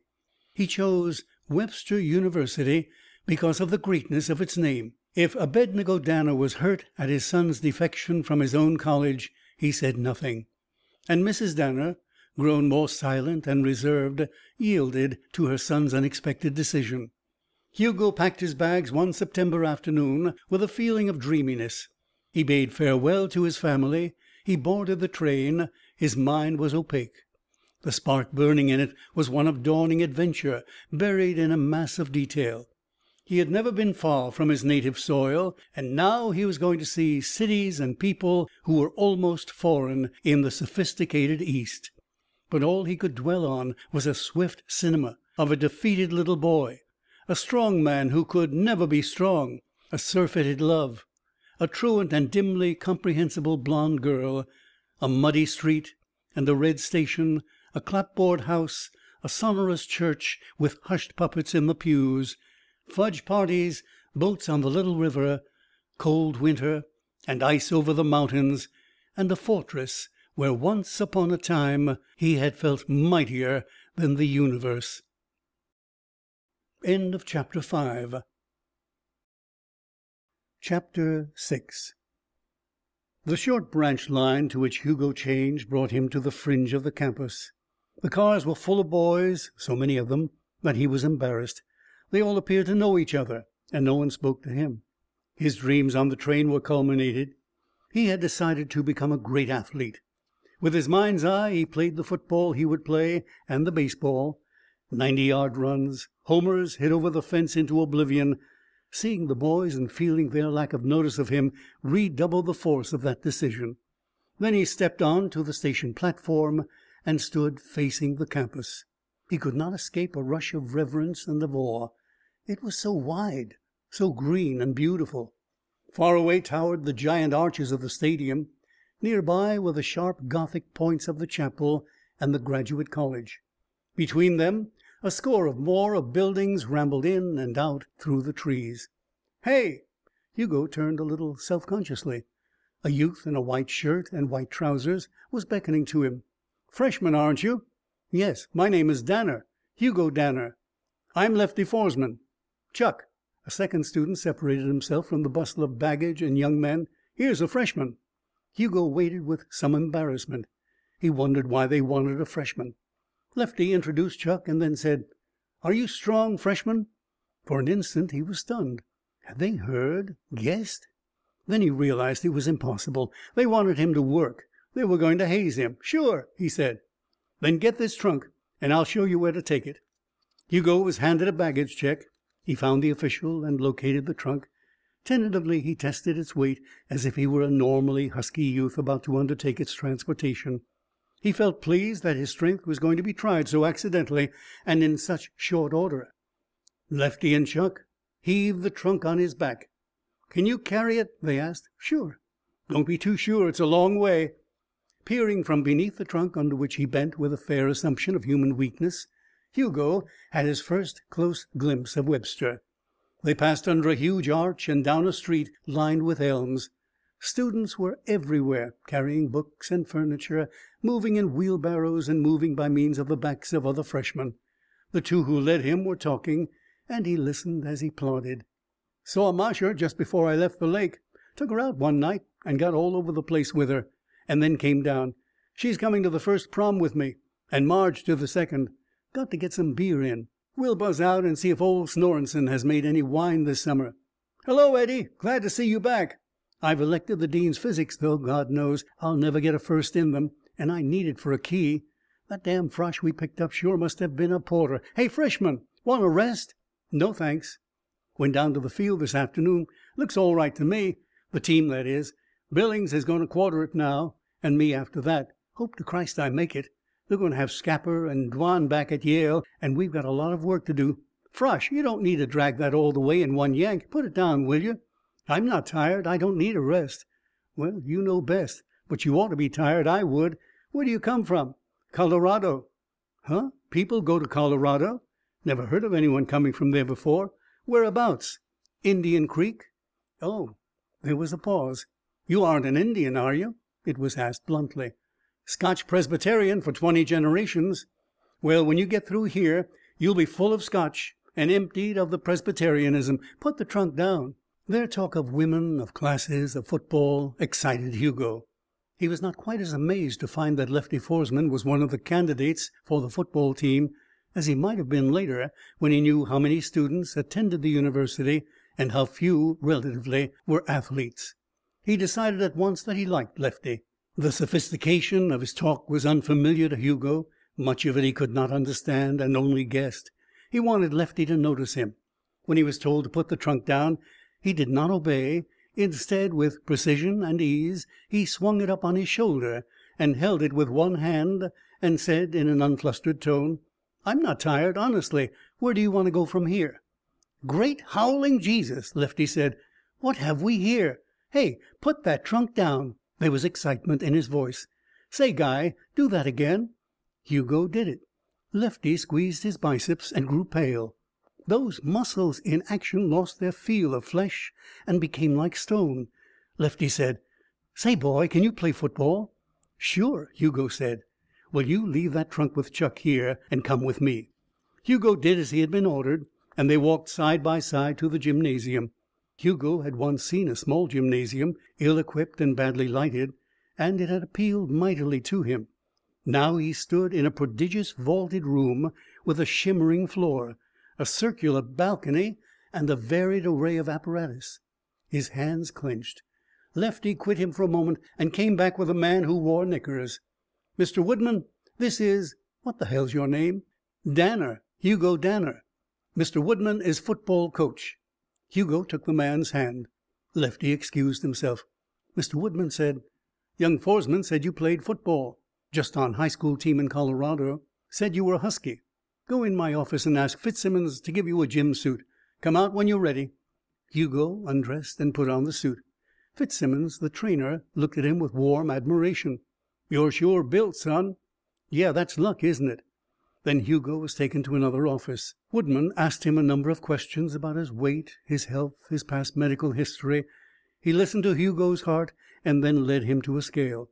Hugo had lied about his weight. "I thought you said one hundred and sixty, Mr. Danner."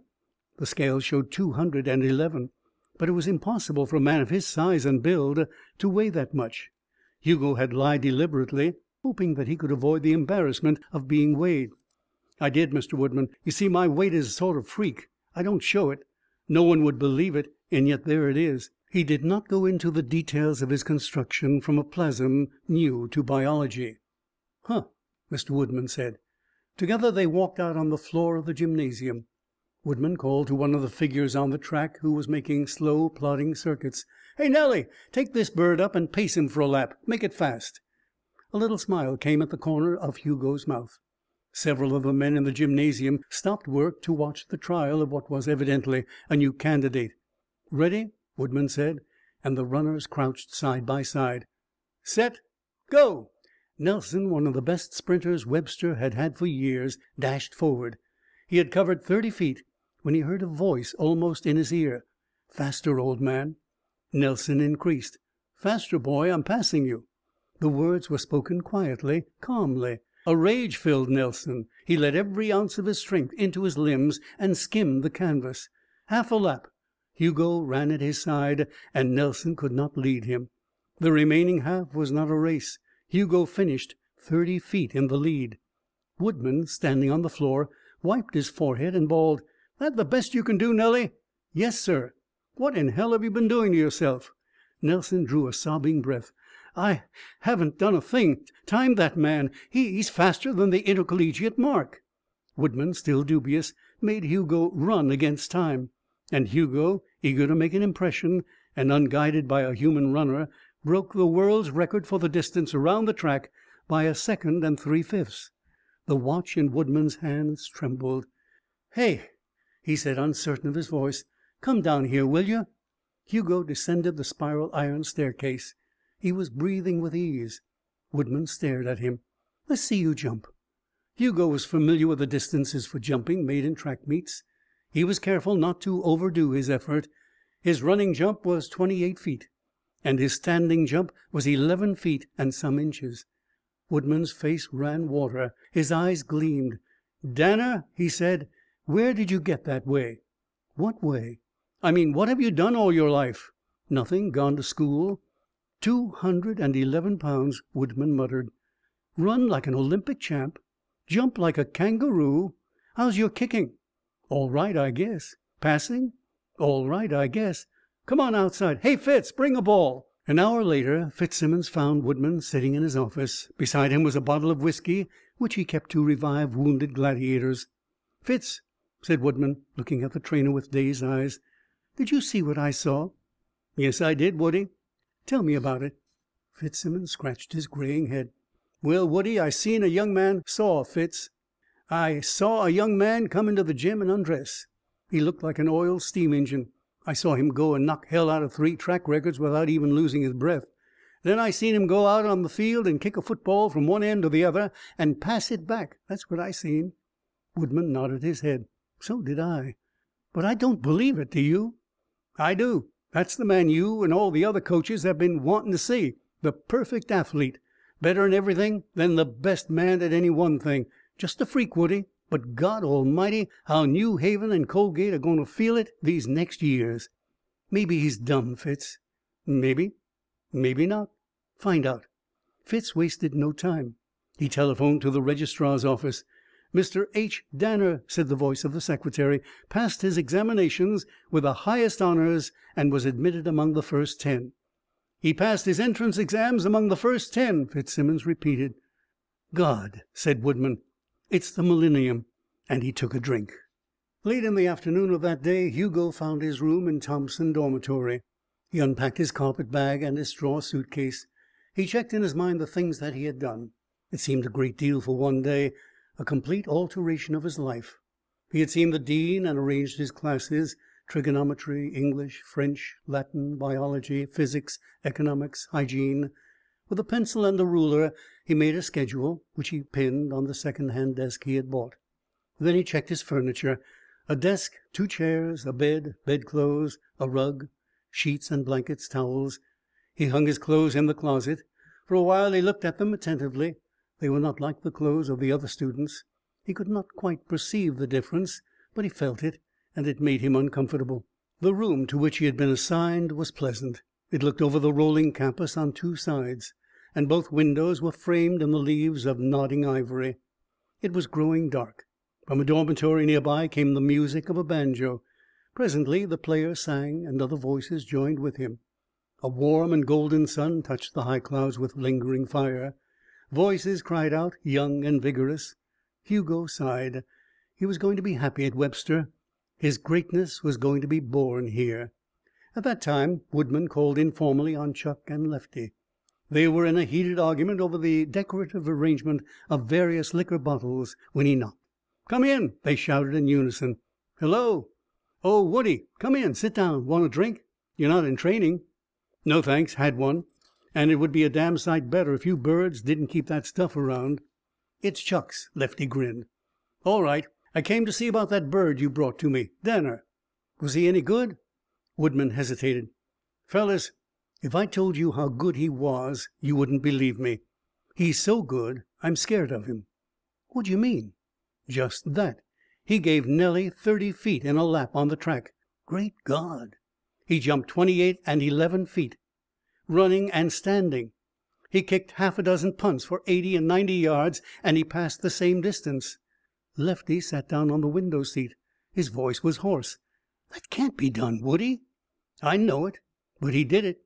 But that isn't what makes me frightened. How much do you think he weighs?" "Oh, one fifty five or thereabouts."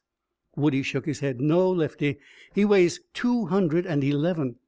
"Two eleven! He can't, Woodie. There's something wrong with your scales." "Not a thing." The two students stared at each other and then at the coach. They were able to grasp the facts intellectually, but they could not penetrate the reactions of their emotions.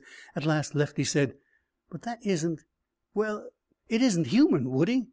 "That's why I'm scared. Something has happened to this bird. He has a disease of some kind that has toughened him like Pott's disease that turns you to stone. But you wouldn't think it. There's not a trace of anything on the surface. I'm having a blood test made soon. Wait till to morrow when you see him in action. It'll terrify you, because you'll have the same damned weird feeling I have that he isn't doing one tenth of what he can do. That he's really just playing with us all. By God, if I was a bit superstitious I'd throw up my job and get as much distance between me and that bird as I could. I'm telling you simply to prepare you. There's something mighty funny about him, and the sooner we find out the better." Mr. Woodman left the dormitory.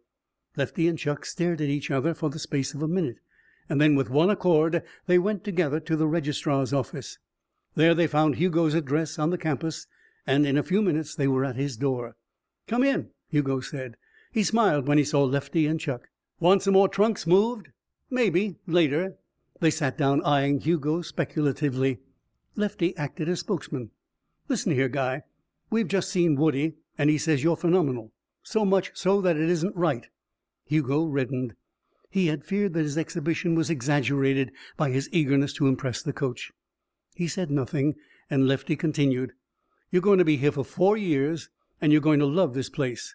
You're going to be willing to die for it. All the rest of your life the fact that you went to old Webster is going to make a difference. But there's one thing that Webster insists on, and that's fair play and honesty and courage. You've come from a little town in the West, and you're a stranger here. Understand, this is all in a spirit of friendship. So far we like you. We want you to be one of us, to belong. You have a lot to learn and a long way to go. I'm being frank because I want to like you. For instance, Chuck here is a millionaire. My old man is no dead stick in the blue book.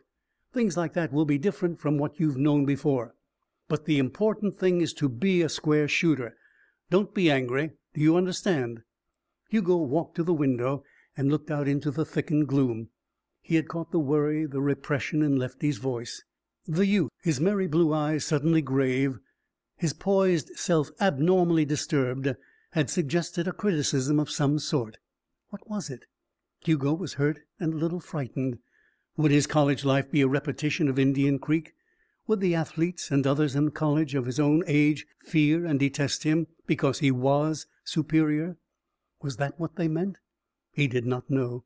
He was loath to offend Lefty and Chuck, but there seemed to be no alternative to the risk. No one had talked to him in that way for a long time.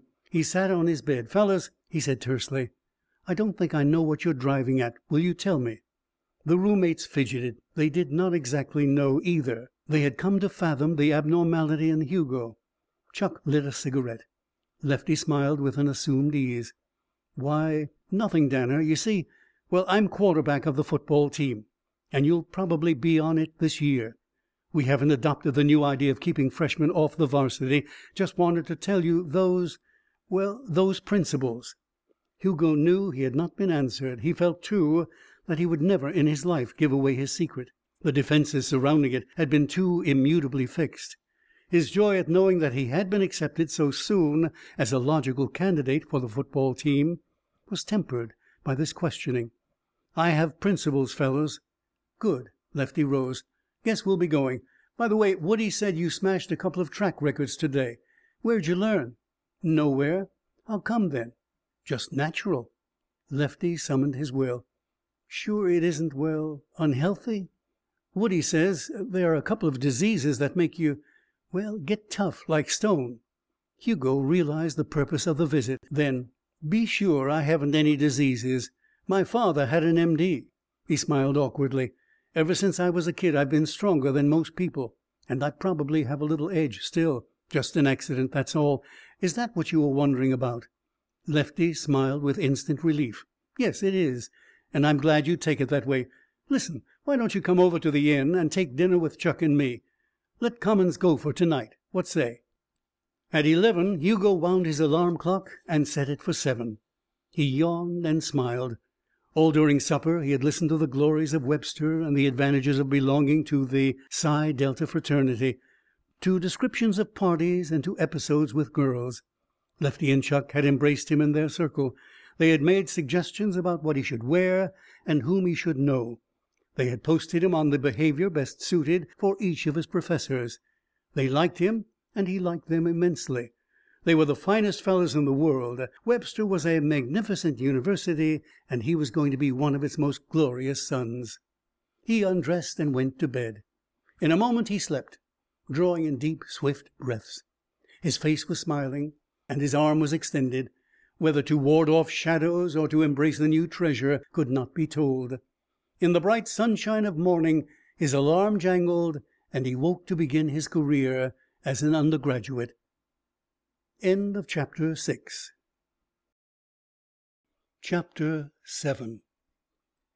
From the day of his arrival Webster University felt the presence of Hugo Danner.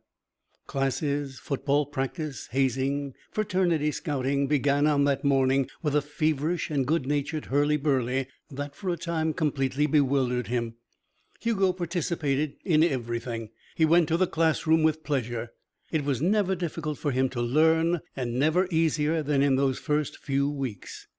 The professors he had known and he reluctantly included his own father were dry as dust individuals who had none of the humanities.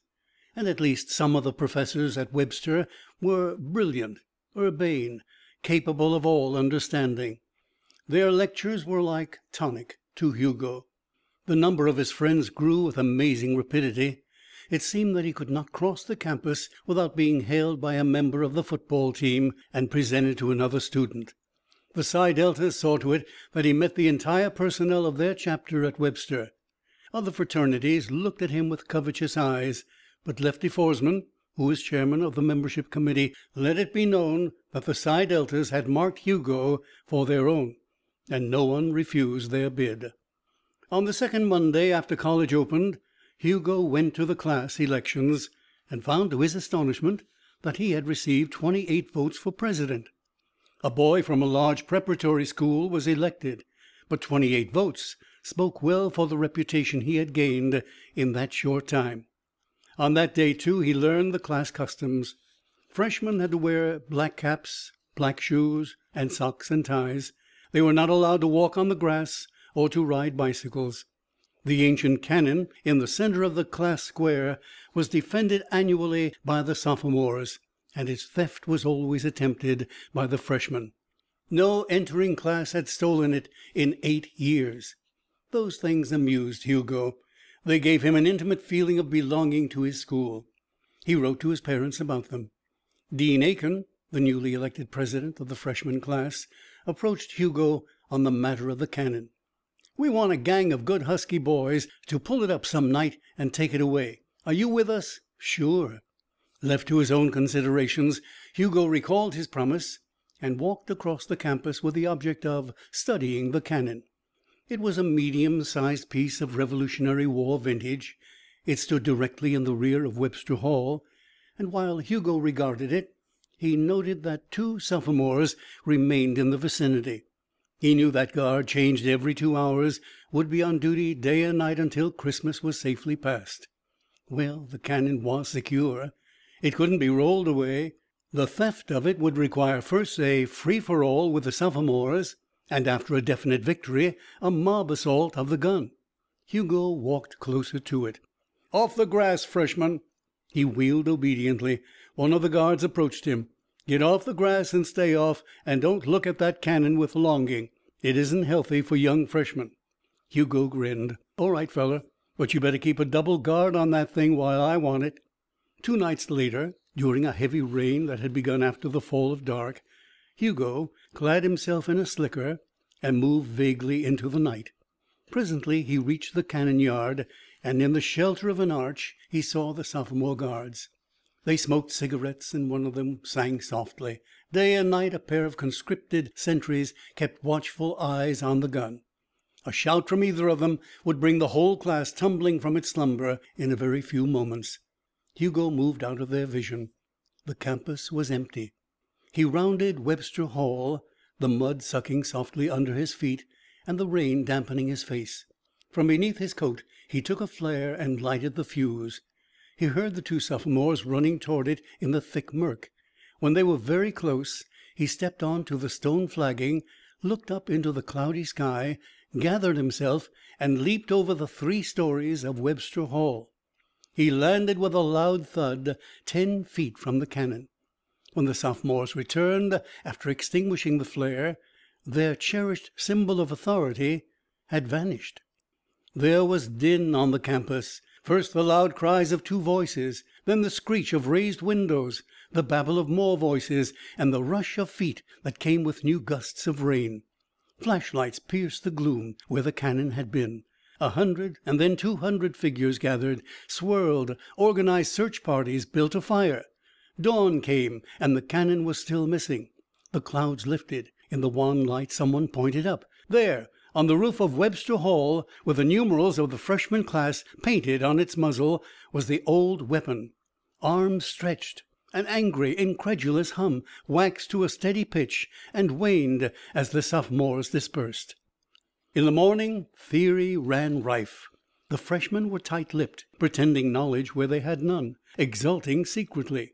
Dean Aiken was kidnapped at noon and given a third degree which extorted no information the theft of the cannon and its elevation to the roof of the hall entered the annals of Webster legend. And Hugo, watching the laborious task of its removal from the roof, seemed merely as pleased and as mystified as the other freshmen. So the autumn commenced. The first football game was played, and Hugo made a touchdown. He made another in the second game. They took him to New York in November for the dinner that was to celebrate the entrance of a new chapter to Psi Delta. His fraternity had hired a private car. As soon as the college towers vanished, the entertainment committee took over the party. Glasses were filled with whisky and passed by a negro porter. Hugo took his with a feeling of nervousness and of excited anticipation. The coach had given him permission to break training advised it, in fact. And Hugo had never tasted liquor. He watched the others, holding his glass gingerly. They swallowed their drinks, took more. The effect did not seem to be great. He smelled the whisky, and the smell revolted him. "Drink up, Danner." "Never used the stuff. I'm afraid it'll throw me." "Not you. Come on, bottoms up." It ran into his throat hot and steaming. He swallowed a thousand needles and knew the warmth of it in his stomach. They gave another glass to him, and then a third. Some of the brothers were playing cards. Hugo watched them. He perceived that his feet were loose on their ankles and that his shoulders lurched. It would not do to lose control of himself, he thought. For another man it might be safe, but not for him. He repeated the thought inanely. Someone took his arm. "Nice work in that game last week. Pretty." "Thanks." "Woodie says you're the best man on the team. Glad you went Psi Delt. Best house on the campus. Great school, Webster. You'll love it." "Sure," Hugo said. The railroad coach was twisting and writhing peculiarly. Hugo suddenly wanted to be in the air. He hastened to the platform of the car and stood on it, squinting his eyes at the countryside. When they reached the Grand Central Terminal he was cured of his faintness. They rode to the theatre in an omnibus and saw the matinee of a musical show. Hugo had never realized that so many pretty girls could be gathered together in one place. Their scant, glittering costumes flashed in his face. He wanted them. Between the acts the fraternity repaired in a body to the lavatory and drank whisky from bottles. Hugo began to feel that he was living at last. He was among men, sophisticated men, and learning to be like them. Nothing like the camaraderie, the show, the liquor in Indian Creek. He was wearing the suit that Lefty Foresman had chosen for him. He felt well dressed, cool, capable. He was intensely well disposed towards his companions and when the show was over he stood in the bright lights, momentarily depressed by the disappearance of the long file of girls. Then he shouldered among his companions and went out of the theatre riotously. Two long tables were drawn up at the Raven, a restaurant famous for its roast meats, its beer, and its lack of scruples about the behavior of its guests. The Psi Deltas took their places at the tables. The dining room they occupied was private. Hugo saw it as if in a dream the long rows of silverware, the dishes of celery and olives, and the ranks of shining glasses. They sat. Waiters wound their way among them. There was a song. The toastmaster, a New York executive who had graduated from Webster twenty years before, understood the temper of his charge. He was witty, ribald, genial. He made a speech, but not too long a speech. He called on the president of a bank, who rose totteringly and undid the toastmaster's good offices by making too long a speech. It reiterated dear old Websters were finally lost in the ring and tinkle of glassware and cutlery. At the end of the long meal Hugo realized that his being had undergone change. Objects approached and receded before his vision. The voice of the man sitting beside him came to his ears as though through water. His mind continually turned upon itself in a sort of infatuated examination. His attention could not be held even on his own words. He decided that he was feverish. Then some one said, "Well, Danner, how do you like being drunk?" "Drunk? Sure. You aren't going to tell me you're sober, are you?" When the speaker had gone, Hugo realized that it was Chuck. There had been no feeling of recognition. "I'm drunk," he said. Someone give Danner a drink. He has illusions. Drunk? Why, this man isn't drunk. It's monstrous. He has a weakened spine, that's all. I'm drunk, Hugo repeated. He knew then what it was to be drunk. The toastmaster was rising again.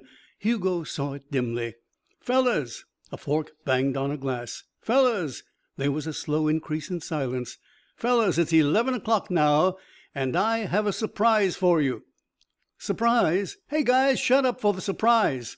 "Fellows, what I was going to say is this: the girls from the show we saw this afternoon are coming over here all thirty of them. We're going up to my house for a real party, and the lid'll be off anything goes only anybody that fights gets thrown out straight off without an argument. Are you on?" The announcement was greeted by a stunned quiet, which grew into a bellow of approval.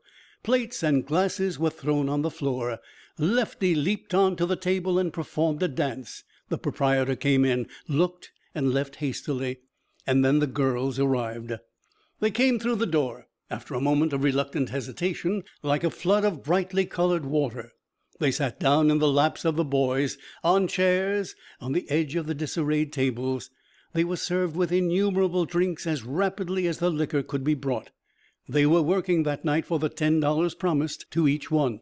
But they were working with college boys, which was a rest from the stream of affluent and paunchy males who made their usual escort. Their gaiety was better than assumed. Hugo had never seen such a party or dreamed of one. His vision was cleared instantly of its cobwebs. He saw three boys seize one girl and turn her heels over head. A piano was moved in. She jumped up and started dancing on the table. Then there was a voice at his side. "Hello, good looking. I could use that drink if you can spare it." Hugo looked at the girl. She had brown hair that had been curled. Her lips and cheeks were heavily rouged and the corners of her mouth turned down in a sort of petulance or fatigue. But she was pretty and her body, showing whitely above her evening dress, was creamy and warm. He gave the drink to her. She sat in his lap. "Gosh!" he whispered. She laughed. "I saw her first," someone said, pulling at the girl's arm. Go "Go 'way!" Hugo shouted. He pushed the other from them. "What's your name?" "Bessie. What's yours?" "Hugo."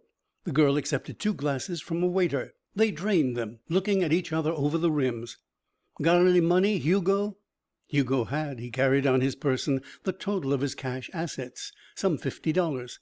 "Sure. I have fifty dollars," he answered. He felt her red lips against his ear. "Let's you and me duck this party and have a little one of our own. I've got an apartment not far from here." He could hear the pounding of his heart. "Let's." They moved unostentatiously from the room. Outside in the hall she took his hand. They ran to the front door. There was the echo of Bedlam in his whirling mind when they walked through the almost deserted street. She called to a taxi and they were driven for several blocks. At a cheap dance hall they took a table and drank more liquor.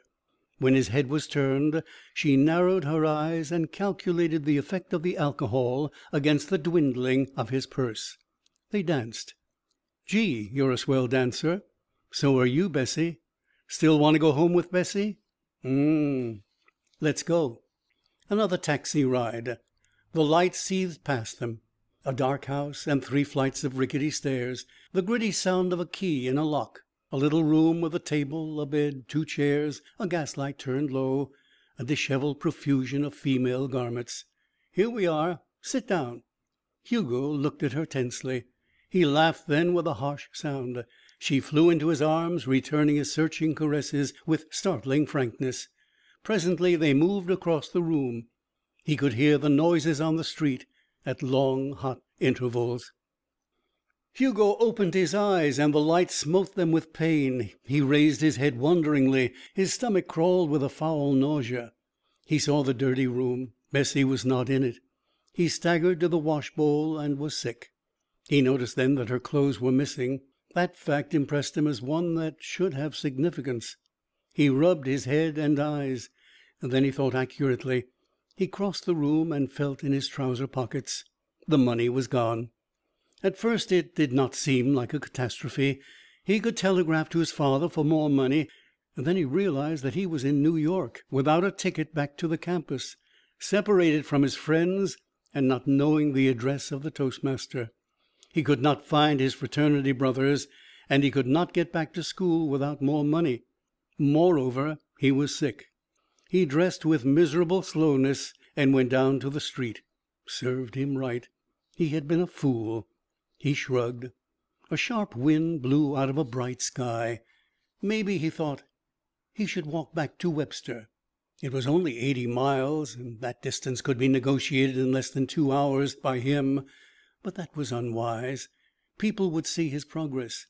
He sat down in Madison Square Park and looked at the Flatiron Building with a leisurely eye. A fire engine surged up the street. A man came to collect the trash in a green can. A tramp lay down and was ousted by a policeman. By and by he realized that he was hungry. A little man with darting eyes took a seat beside him. He regarded Hugo at short intervals.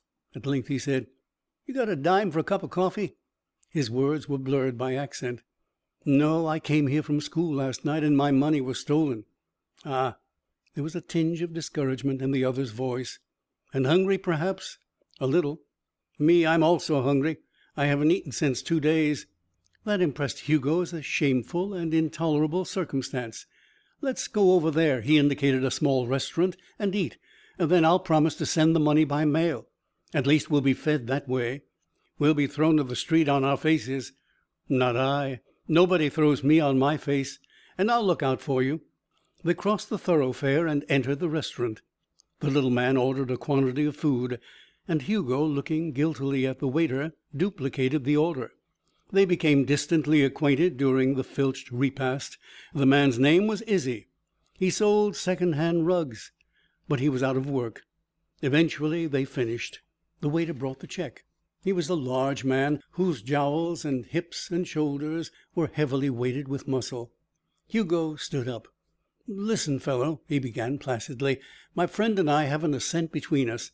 I'm Hugo Danner from Webster University and I'll mail you the price of this feed to morrow.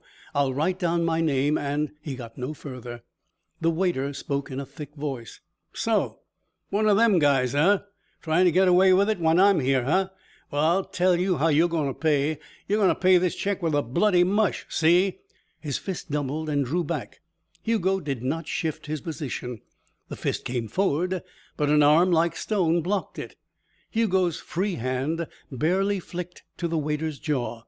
He rolled under the table. "Come on," he said, but Izzi had already vanished through the door. Hugo walked hurriedly up the street and turned a corner. A hand tugged at his coat. He turned and was confronted by Izzi. "I seen you through the window. Jeest, guy, you can box. Say, I know where you can clean up if you got the nerve." "Clean up? Where?" "Come on. We better get out of here, anyhow." They made their way toward the river. The city changed character on the other side of the elevated railroad, and presently they were walking through a dirty, evil smelling, congested neighborhood. "Where are we going, Izzi?" "Wait a minute, Mr. Danner." "What's the idea?" "You wait." Another series of dirty blocks, then they came to a bulky building that spread a canopy over the sidewalk. "Here," Izzi said, and pointed. His finger indicated a sign, which Hugo read twice. It said: "Battling Ole Swenson will meet all comers in this gymnasium at three this afternoon and eight to night. Fifty dollars will be given to any man, black or white, who can stay three rounds with him, and one hundred dollars, cash money, to the man who knocks out Battling Ole Swenson, the terror of the docks."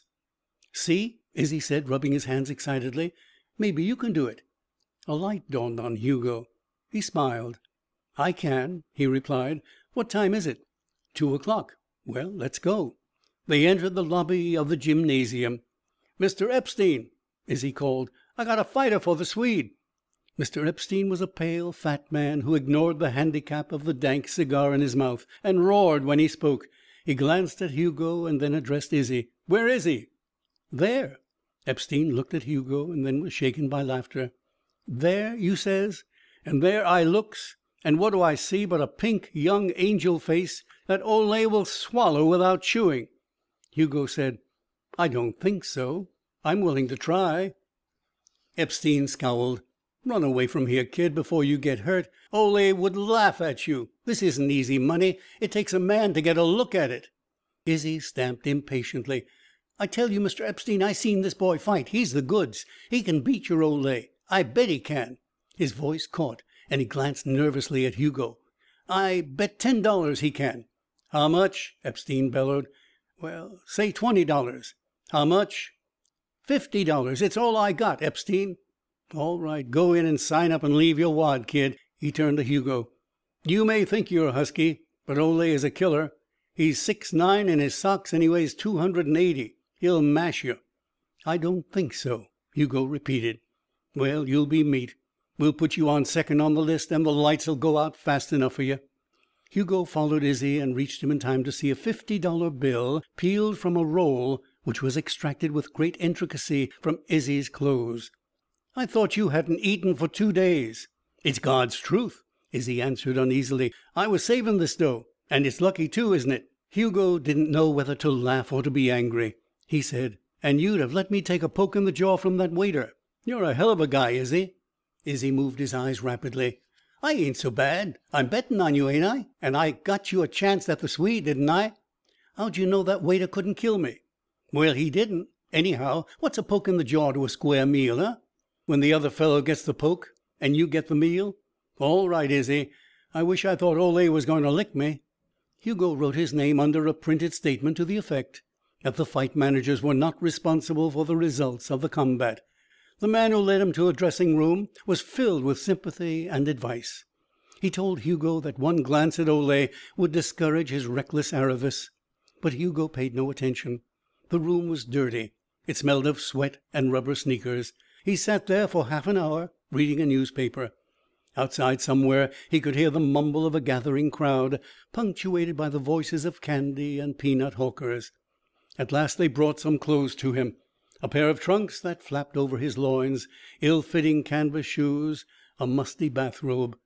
When the door of his room opened, the noise of the crowd was louder. Finally it was hushed. He heard the announcer. It was like the voice of a minister coming through the stained windows of a church. It rose and fell, and then the distant note of the gong.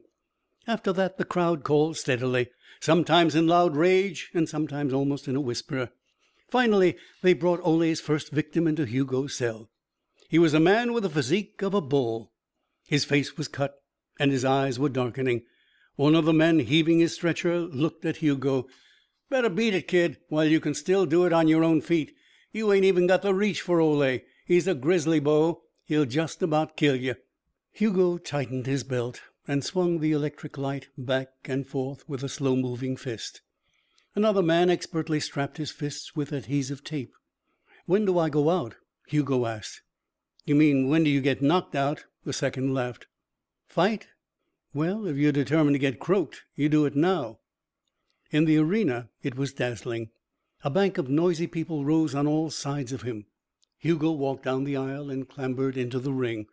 Ole was one of the largest men he had ever seen in his life. There was no doubt of his six feet nine inches and his two hundred and eighty pounds. Hugo imagined that the man was not a scientific fighter a bruiser. Well, he knew nothing of fighting either. A man in his shirt sleeves stood up in the ring and bellowed: "The next contestant for the reward of fifty dollars to stay three rounds with battling Ole and one hundred dollars to knock him out is Mr. H. Smith." They cheered. It was a nasty sound, filled with a lust for blood. Hugo realized that he was excited. His knees wobbled when he rose, and his hand trembled as he took the monstrous paw of the Swede and saw his unpleasant smile. Hugo's heart was pounding. For one instant he felt weak and human before battling Ole. He whispered to himself: "Quit it, you fool! You know better. You can't even be hurt." It did not make him any more quiet. Then they were sitting face to face. A bell rang. The hall became silent as the mountainous Swede lumbered from his corner. He towered over Hugo, who stood up and went out to meet him like David approaching Goliath. To the crowd the spectacle was laughable. There was jeering before they met. "Where's your mamma?" "Got your bottle, baby?" "Put the poor little bastard back in his carriage." "What's this, a fight or a freak show?" Laughter. It was like cold water to Hugo. His face set. He looked at Ole. The Swede's fist moved back like the piston of a great engine into which steam had been let slowly. And then it came forward. Hugo, trained to see and act in keeping with his gigantic strength, dodged easily. "Atta boy! One for Johnny, dear." The fist went back and came again and again, as if that piston, gathering speed, had broken loose and was flailing through the screaming air.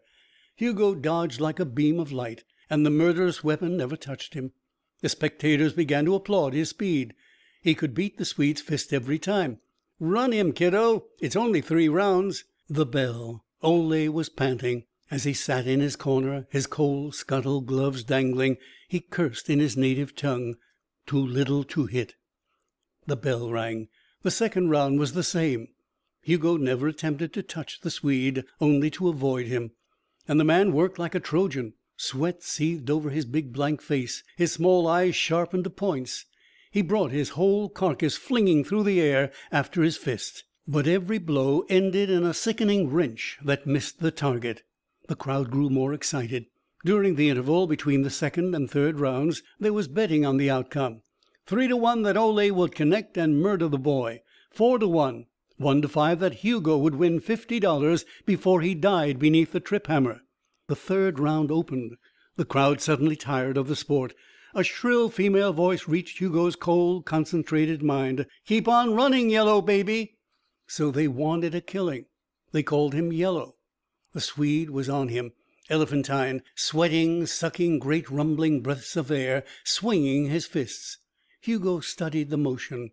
That fist to that side, up, down. Now, like hail they began to land upon the Swede, bewilderingly, everywhere.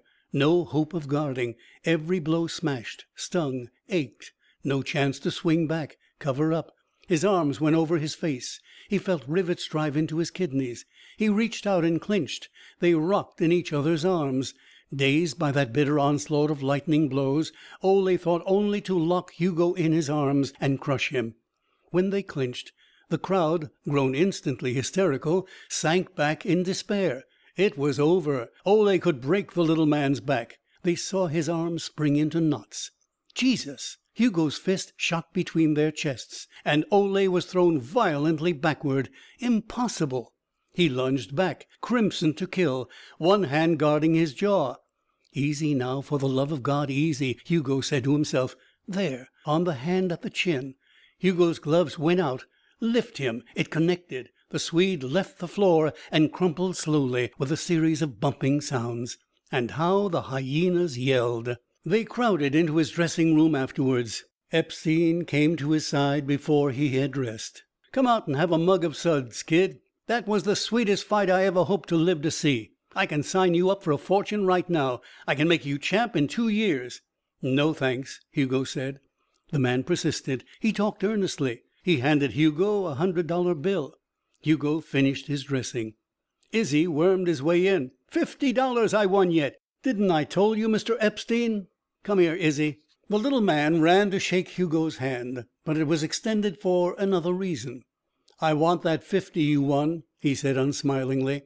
"When a bird tracks along for a free feed and lets another guy fight for him, and has a roll big enough to stop up a rain spout, he owes money. That lunch will set you back just exactly what you won on me." There was laughter in the room. Izzie whimpered. Ain't you got a hundred already that I got for you? Ain't it enough that you got it? Ain't I got a wife with kids yet?" "No, it ain't yet." Hugo snapped the fingers of his extended hand.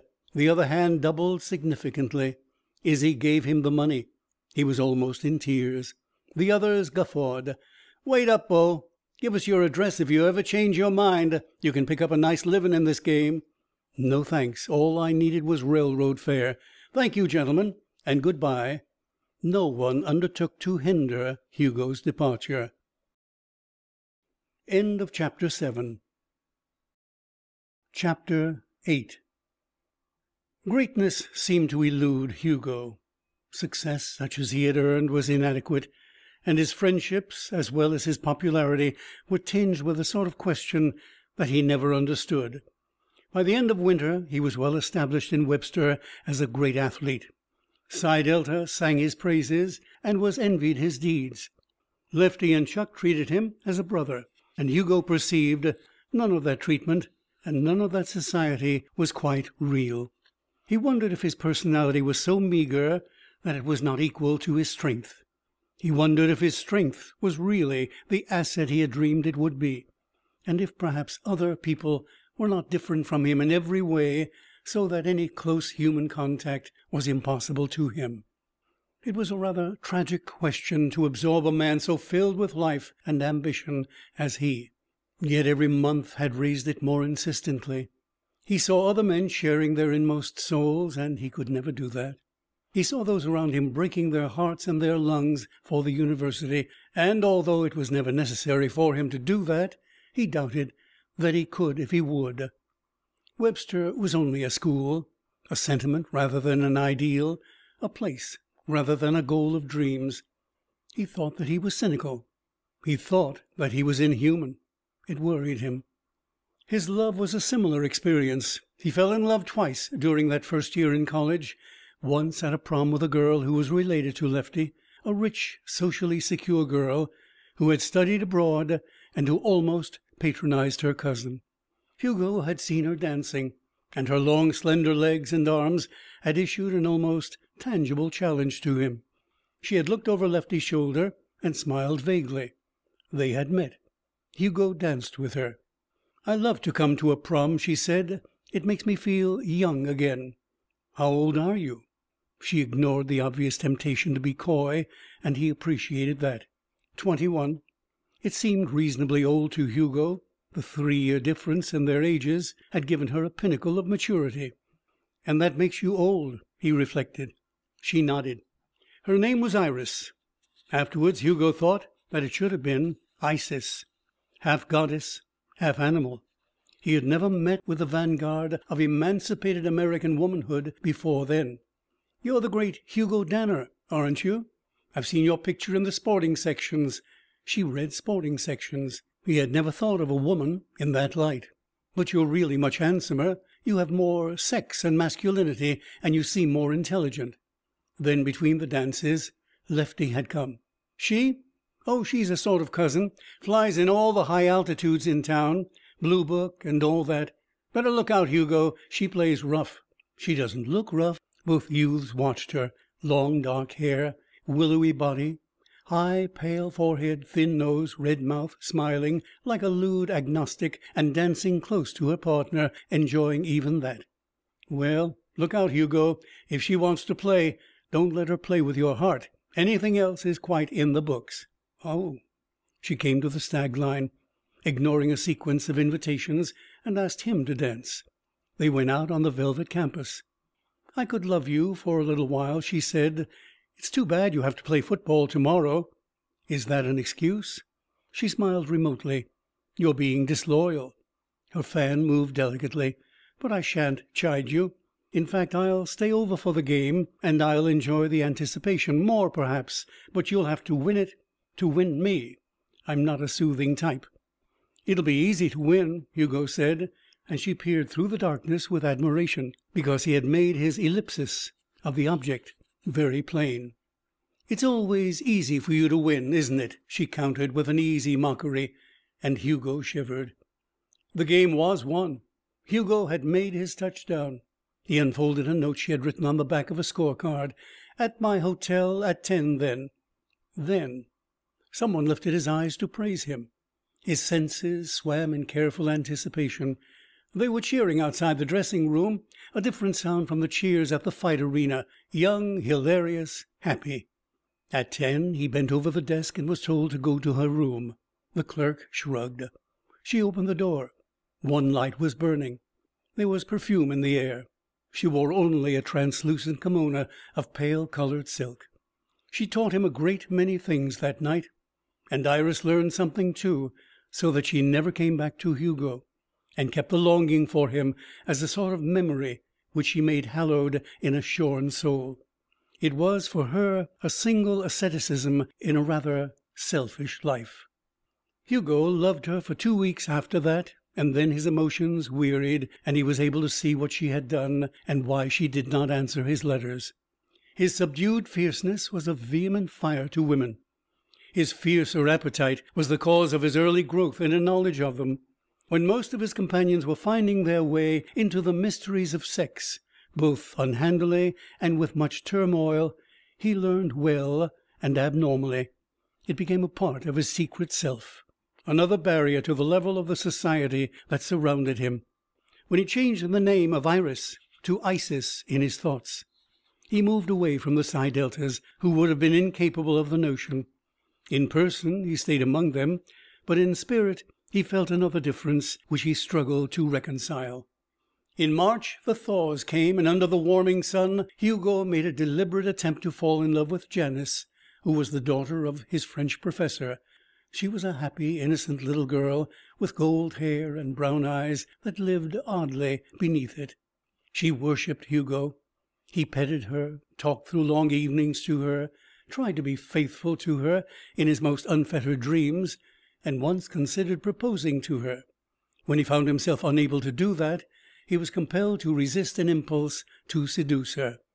Ashamed, believing himself unfit for a nice girl, he untangled that romance as painlessly as he could, separating himself from Janice little by little and denying every accusation of waning interest. Then for a month he believed that he could never be satisfied by any woman, that he was superior to women.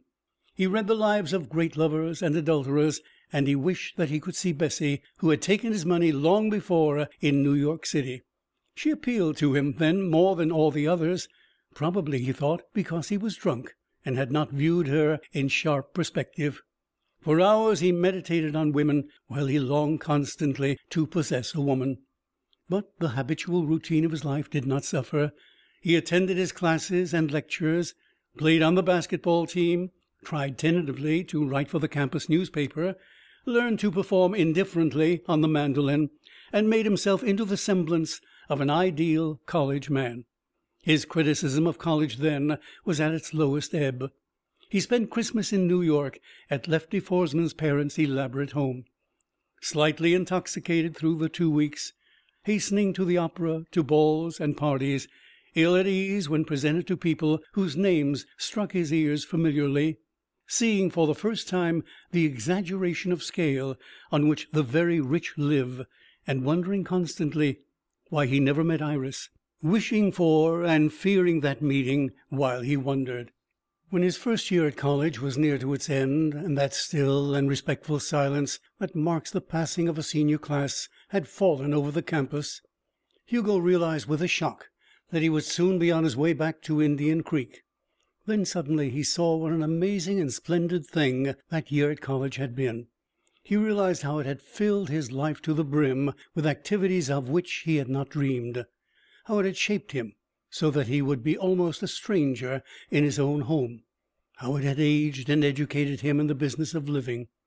When the time of parting with his new friends drew near, he understood that they were valuable to him, in spite of his questioning, and they made it clear that he would be missed by them. At last he shared a feeling with his classmates, a fond sadness, an illimitable poignancy that was young and unadulterated by motive. He was perversely happy when he became aware of it. He felt somewhat justified for being himself and living his life. A day or two before college closed he received a letter from his father. It was the third that he had received during the year. It said: Dear son, Your mother and I have decided to break the news to you before you leave for home because there may be better opportunities for you in the East than here at Indian Creek. When you went away to Webster University, I agreed to take care of all your expenses. It was the least I could do, I felt, for my only son. The two thousand dollars your mother and I had saved seemed ample for your four years, but the bills we have received, as well as your own demands, have been staggering. In March, when a scant six hundred dollars of the original fund remained, I invested the money in a mine stock which, the salesman said, would easily net the six thousand dollars you appeared to need. I now find to my chagrin that the stock is worthless. I am unable to get back my purchase money. It will be impossible during the coming year for me to let you have more than five hundred dollars. Perhaps with what you can earn this summer, and with the exercise of economy, you can get along. I trust so. But anxious as we are to see you again, we felt that in the light of such information you might prefer to remain in the East to earn what you can. We are both despondent over the situation, and we wish that we could do more than tender our regrets.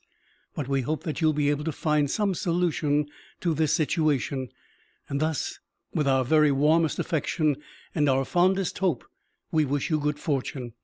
Your loving father, Abednego Danner. Hugo read the letter down to the last period, after the rather tremulous signature. His emotions were confused. Touched by the earnest and pathetically futile efforts of his father, and by the attempt of that lonely little man to express what was, perhaps, a great affection, Hugo was nevertheless aghast at a prospect that he had not considered. He was going to be thrown into the world on his own resources. And resting his frame in his worn chair a frame capable of smashing into banks and taking the needed money without fear of punishment Hugo began to wonder dismally if he was able even to support himself. No trade, no occupation, suggested itself. He had already experienced some of the merciless coldness of the world. The boys would all leave soon, and then he would be alone, unprovided for, helpless. Hugo was frightened. He read the letter again, his wistful thoughts of his parents diminishing before the reality of his predicament.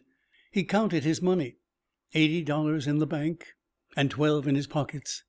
He was glad that he had started an account after his experience with Bessie. He was glad that he had husbanded more than enough to pay his fare to Indian Creek ninety two dollars. He could live on that for a long time perhaps for the summer. And he would be able to get some sort of job. He was strong, anyway. That comforted him. He looked out of his window and tried to enumerate the things that he could do. All sorts of farm work. He could drive a team in the city. He could work on the docks. He considered nothing but manual labor. It would offer more. Gradually his fear that he would starve if left to his own devices ebbed from him and was replaced by grief that he could not return to Webster. Fourteen hundred dollars that was the cost of his freshman year. He made a list of things he could do without, of the work he could do to help himself through college. Perhaps he could return. The fear slowly diminished. He would be a working student in the years to come. He hated the idea. His fraternity had taken no members from that class of humble young men who rose at dawn and scrubbed floors and waited on tables to win the priceless gem of education. Lefty and Chuck would be chilly toward such a step. They would even offer him money to avoid it. It was a sad circumstance at best. When that period of tribulation passed, Hugo became a man. But he suffered keenly from his unwonted fears for some time. The calm and suave youth who had made love to Iris was buried beneath his frightened and imaginative adolescence. It wore out the last of his childishness. Immediately afterwards he learned about money and how it is earned. He sat there in the dormitory, almost trembling with uncertainty, and used mighty efforts to do the things he felt he must do. He wrote a letter to his father which began, Dear Dad, why in Sam Hill didn't you tell me you were being reamed so badly by your nitwitted son, and I'd have shovelled out and dug up some money for myself long ago. On rereading that letter he realized that its tone was false. He wrote another, in which he apologized with simple sincerity for the condition he had unknowingly created, and in which he expressed every confidence that he could take care of himself in the future. He bore that braver front through the last days of school. He shook Lefty's hand warmly and looked fairly into his eyes. "Well, so long, old sock. Be good. Be good, Hugo, and don't weaken. We need all your beef next year. Decided what you're going to do yet?" "No. Have you?" Lefty shrugged. "I suppose I've got to go abroad with the family as usual. They wrote a dirty letter about the allowance I'd not have next year if I didn't. Why don't you come with us? Iris'll be there." Hugo grinned. "No, sir. Iris once is very nice, but no man's equal to Iris twice." His grin became a chuckle. "And that's a poem which you can say to Iris if you see her, and tell her I hope it makes her mad." Lefty's blue eyes sparkled with appreciation. Danner was a wonderful boy, full of wit and not so dumb like most of his kind. Getting smooth, too. Be a great man. Too bad to leave him, even for the summer. Well, so long, old man. Hugo watched Lefty lift his bags into a cab and roll away in the warm June dusk. Then Chuck. Well, bye bye, Hugo. See you next September. Yeah, take care of yourself. No chance of you going abroad, is there? because we could sure paint the old Avenue de l'Opera red if you did. Not this year, Chuck. Well, don't take any wooden money. Don't do anything you wouldn't eat. Hugo felt a lump in his throat. He could not say any more farewells. The campus was almost deserted. No meals would be served after the next day. He stared at the vacant dormitories and listened to the waning sound of departures. A train puffed and fumed at the station. It was filled with boys going away. He went to his room and packed. He'd leave, too.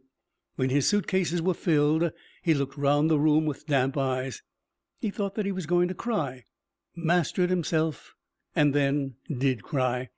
Some time later he remembered Iris and stopped crying. He walked to the station, recalling his first journey in the other direction, his pinchback green suit, the trunk he had carried. Grand old place, Webster. Suddenly gone dead all over. There would be a train for New York in half an hour. He took it.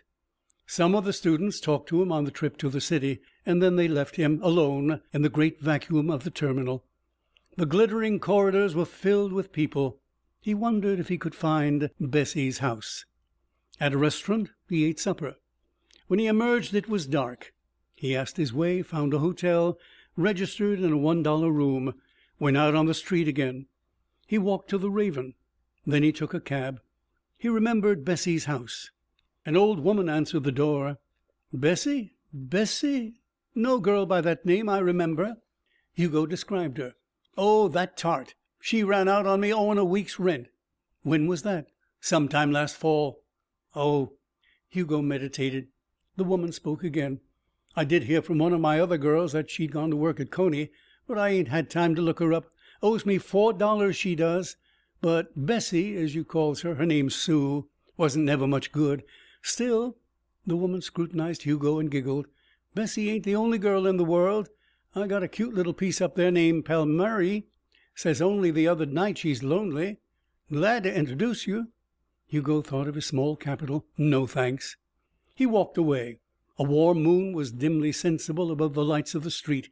He decided to go to Coney Island and look for the lost Bessie. It would only cost him a dime, and she owed him money. He smiled a little savagely and thought that he would collect its equivalent. Then he boarded the subway, cursing himself for a fool and cursing his appetite for the fool's master. Why did he chase that particular little harlot on an evening when his mind should be bent toward more serious purposes? Certainly not because he had any intention of getting back his money. Because he wished to surprise her?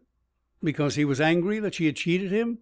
Or perhaps she was the only woman in New York whom he knew. He decided it was the last reason. Finally the train reached Coney Island, and Hugo descended into the fantastic hurly burly on the street below. He realized the ridiculousness of his quest as he saw the miles of thronging people in the loud streets.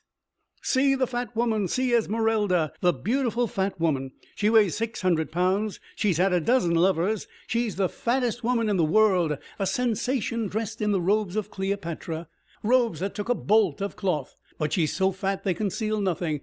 Ladies and gentlemen, see the beautiful fat woman!" A roller coaster circled through the skies with a noise that was audible above the crowd's staccato voice, and dashed itself at the earth below. A merry-go-round whirled goldenly, and a band struck up a strident march. Hugo smelled stale beer and frying food. He heard the clang of a bell as a weight was driven up to it by the shoulders of a young gentleman in a pink shirt.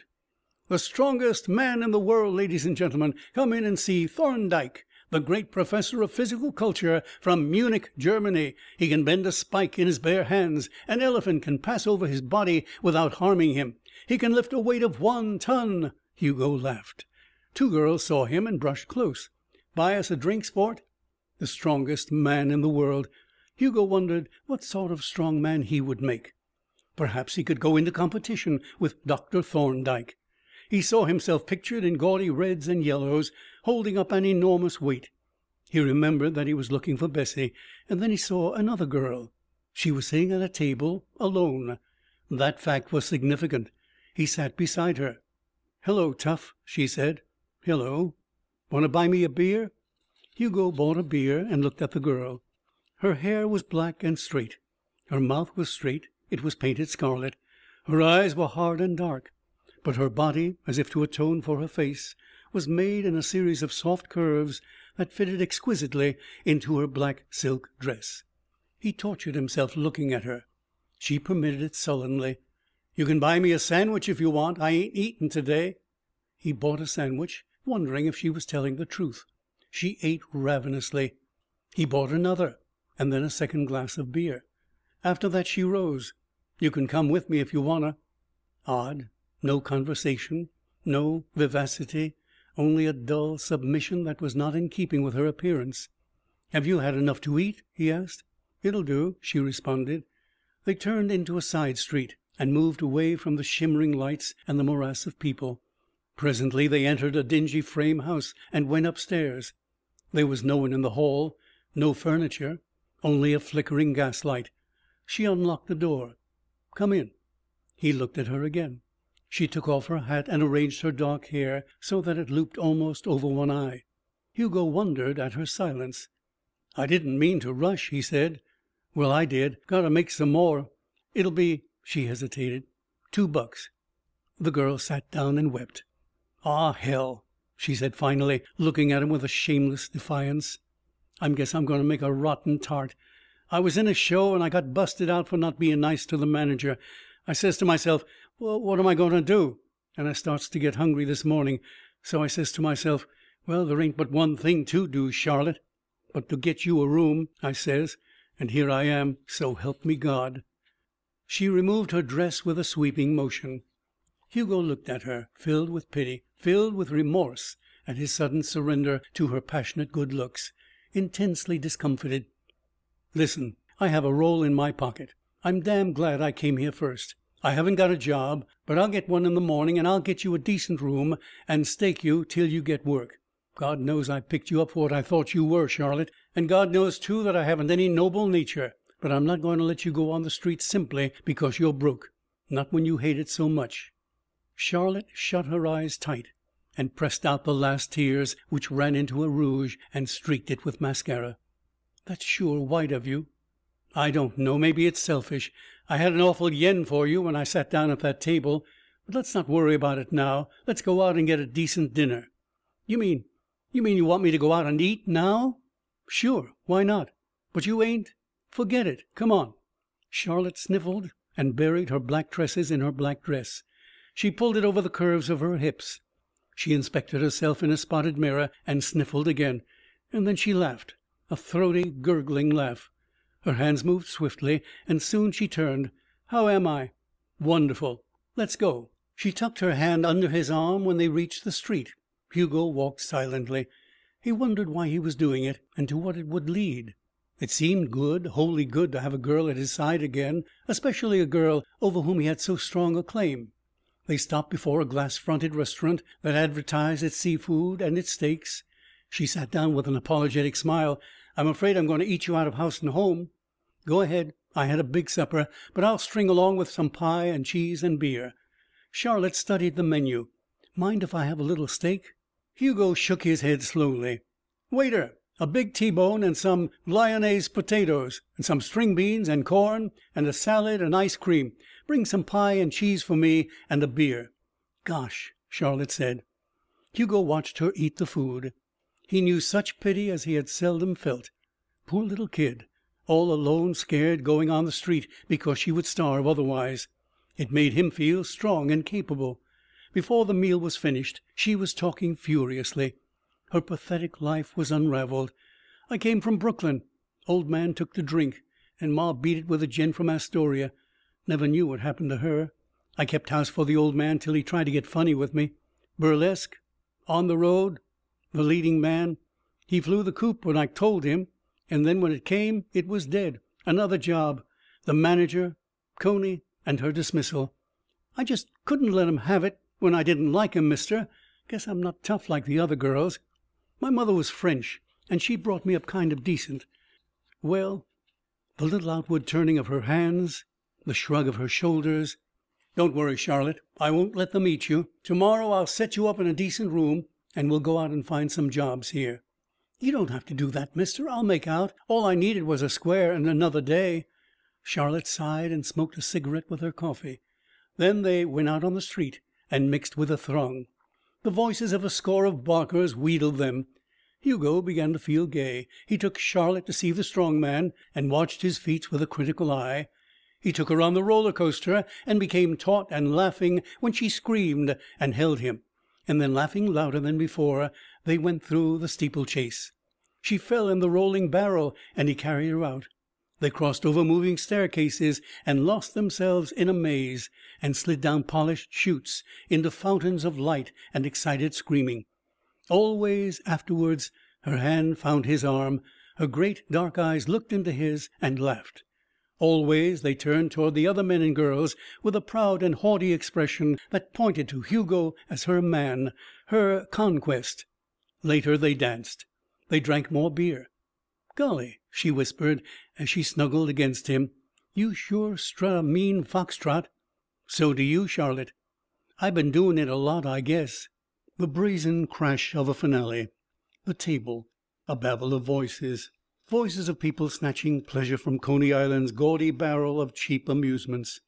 Hugo liked it then. He liked the smell and touch of the multitude and the incessant hysteria of its presence. After midnight the music became more aggravating, muted, insinuating. Several of the dancers were drunk. One of them tried to cut in. Hugo shook his head. "Gee!" Charlotte said. "I was sure hoping you wouldn't let him." "Why, I never thought of it." "Most fellows would. He's a tough." It was an introduction to an unfamiliar world. The tough came to their table and asked for a dance in thick accents. Charlotte paled and accepted. Hugo refused. "Say, Bo, I'm asking for a dance. I got concessions here. You can't refuse me, see? I guess you got me wrong."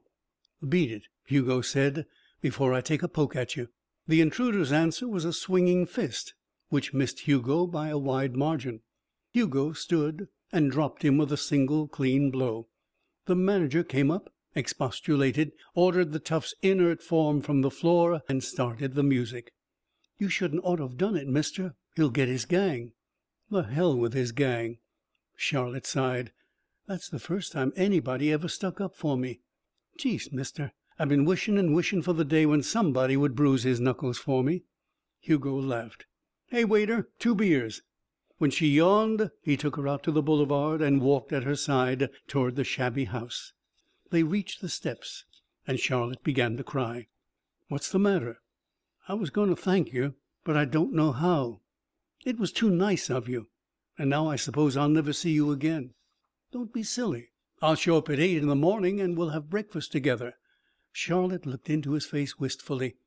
"Say, kid, be a good guy and take me to your hotel, will you? I'm scared I'll lose you." He held her hands. "You won't lose me. And I haven't got a hotel yet." "Then come up and stay with me. Honest, I'm all right. I can prove it to you. It'll be doing me a favor." "I ought not to, Charlotte." She threw her arms around him and kissed him. He felt her breath on his lips and the warmth of her body. "You got it, kid. You're all I ever had. Please, please." Hugo walked up the stairs thoughtfully. In her small room he watched her disrobe. So willingly now, so eagerly. She turned back the covers of the bed. "It ain't much of a dump, baby, but I'll make you like it." Much later, in the abyss of darkness, he heard her voice, sleepy and still husky.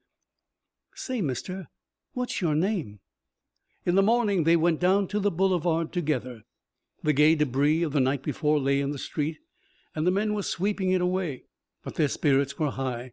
They had breakfast together in a quiet enchantment. Once she kissed him. "Would you like to keep house for me?" he asked. "Do you mean it?" She seemed to doubt every instant that good fortune had descended permanently upon her. She was like a dreamer who anticipated a somber awakening even while he clung to the bliss of his dream.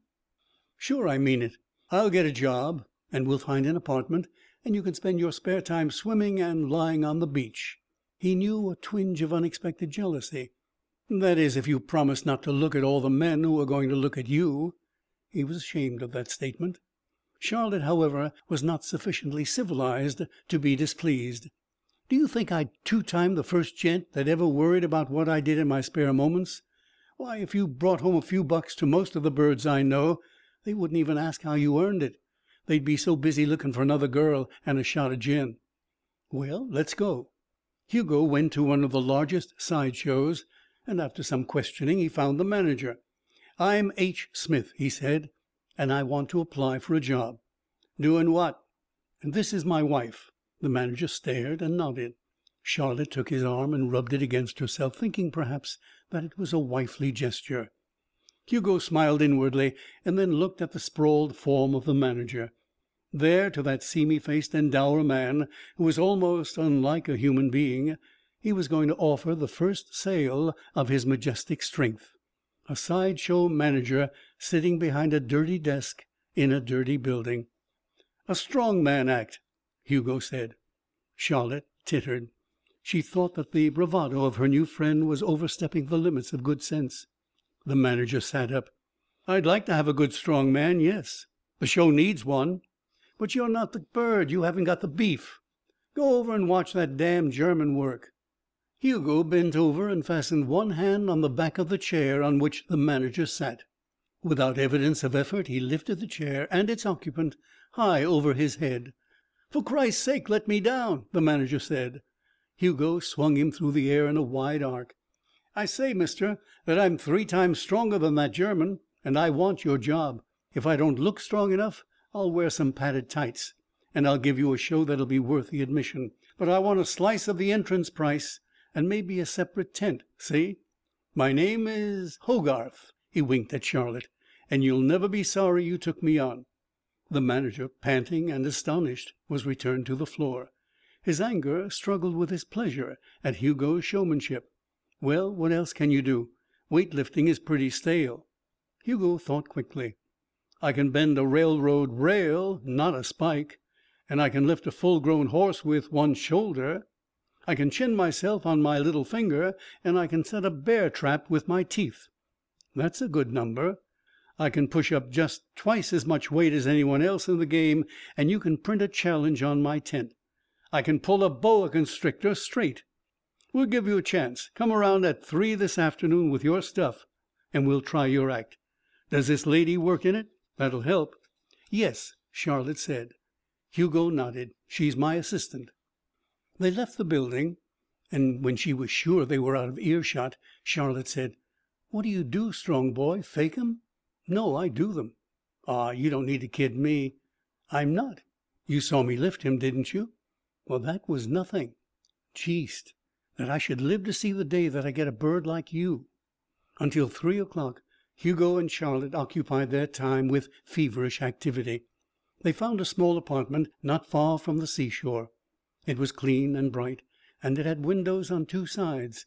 Its furniture was nearly new, and Charlotte, with tears in her eyes, sat in all the chairs, lay on the bed, took the egg beater from the drawer in the kitchen table, and spun it in an empty bowl. They went out together and bought a quantity and a variety of food. They ate an early luncheon, and Hugo set out to gather the properties for his demonstration. At three o'clock before a dozen men he gave an exhibition of strength the like of which had never been seen in any museum of human abnormalities. When he went back to his apartment, Charlotte, in a gingham dress which she had bought with part of the money he had given her, was preparing dinner. He took her on his lap. "Did you get the job?" "Sure I did. Fifty a week and ten per cent of the gate receipts." "Gee, that's a lot of money." Hugo nodded and kissed her. He was very happy, happier in a certain way than he had ever been or ever would be again. His livelihood was assured. He was going to live with a woman, to have one always near to love and to share his life. It was that concept of companionship above all other things which made him glad. Two days later, as Hugo worked to prepare the vehicles of his exhibition, he heard an altercation outside the tent that had been erected for him. A voice said: "What you trying to do there, anyhow?" "Why, I was making this strong man as I saw him a man with the expression of strength in his face." "But you got a bat robe on him. What we want is muscles muscles, bo. Bigger and better than any picture of any strong man ever made. Put one here and one here." "But that isn't correct anatomy." "To hell with that stuff. Put one there, I says." "But he'll be out of drawing awkward absurd." "Say Listen, do you want ten bucks for painting this sign, or shall I give it to someone else?" "Very well, I'll do as you say. Only it isn't right." Hugo walked out of the tent. A young man was bending over a huge sheet made of many lengths of oilcloth sewn together. He was a small person, with pale eyes and a white skin. Beside him stood the manager, eyeing critically the strokes applied to the cloth. In a semi finished state was the young man's picture of the imaginary Hogarth. "That's pretty good," Hugo said. The young man smiled apologetically. "It isn't quite right. You can see for yourself you have no muscles there and there. I suppose you're Hogarth?" "Yes." "Well, I tried to explain the anatomy of it, but Mr. Smoots says anatomy doesn't matter. So here we go." He made a broad orange streak. Hugo smiled. "Smoots is not an anatomical critic of any renown. I say, Smoots, let him paint it as he sees best. God knows the other posters are atrocious enough." The youth looked up from his work. "Good God, don't tell me you're really Hogarth." "Sure. Why not?"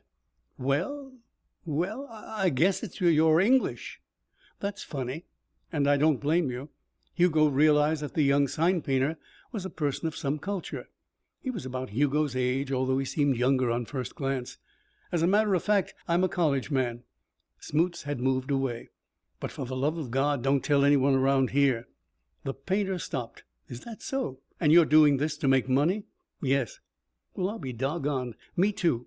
I study at the School of Design in the winter, and in the summer I come out here to do signs and lightning portraits and whatever else I can do to make money for it. Sometimes," he added, "I pick up more than a thousand bucks in a season. This is my fourth year at it." There was in the young artist's eye a hint of amusement a suggestion that they were in league. Hugo liked him. He sat down on a box. "Live here?" "Yes, three blocks away." "Me, too. Why not come up and have supper with my wife and me?" "Are you married?" The artist commenced work again. Hugo hesitated. "Yeah." "Sure, I'll come up. My name's Valentine Mitchel. I can't shake hands just now. It's been a long time since I've talked to anyone who doesn't say dees and does." When, later in the day, they walked toward Hugo's home, he was at a loss to explain Charlotte. The young painter would not understand why he, a college man, chose so ignorant a mate. On the other hand, he owed it to Charlotte to keep their secret, and he was not obliged to make any explanation. Valentine Mitchel was, however, a young man of some sensitivity. If he winced at Charlotte's "Pleased to meetcha," he did not show it. Later, after an excellent and hilarious meal, he must have guessed the situation. He went home reluctantly, and Hugo was delighted with him. He had been urbane and filled with anecdotes of Greenwich Village and art school life, of Paris, whither his struggling footsteps had taken him for a hallowed year. And with his acceptance of Hugo came an equally warm pleasure in Charlotte's company. "He's a good little kid," Charlotte said. "Yes, I'm glad I picked him up." The gala opening of Hogarth's Studio of Strength took place a few nights afterwards. It proved even more successful than Smoots had hoped. The flamboyant advertising posters attracted crowds to see the man who could set a bear trap with his teeth, who could pull an angry boa constrictor into a straight line. Before ranks of gaping faces that were supplanted by new ranks every hour, Hugo performed. Charlotte, resplendent in a black dress that left her knees bare, and a red sash that all but obliterated the dress, helped Hugo with his ponderous props, setting off his strength by contrast, and sold the pamphlets Hugo had written at Smoot's suggestion. Pamphlets that purported to give away the secret of Hogarth's phenomenal muscle power. Valentine Mitchel watched the entire performance. When it was over, he said to Hugo, "Now you better beat it back and get a hot bath. You're probably all in." "Yes," Charlotte said. Come, I myself will bathe you." Hugo grinned. "Hell, no! Now we're all going on a bender to celebrate. We'll eat at Villepigue's and we'll take a moonlight sail." They went together, marveling at his vitality. Gay, young, and living in a world that they managed to forget did not exist. The night was warm. The days that followed were warmer. The crowds came and the brassy music hooted and coughed over them night and day. There are in the lives of almost every man and woman certain brief episodes that, enduring for a long or a short time, leave in the memory a sense of completeness.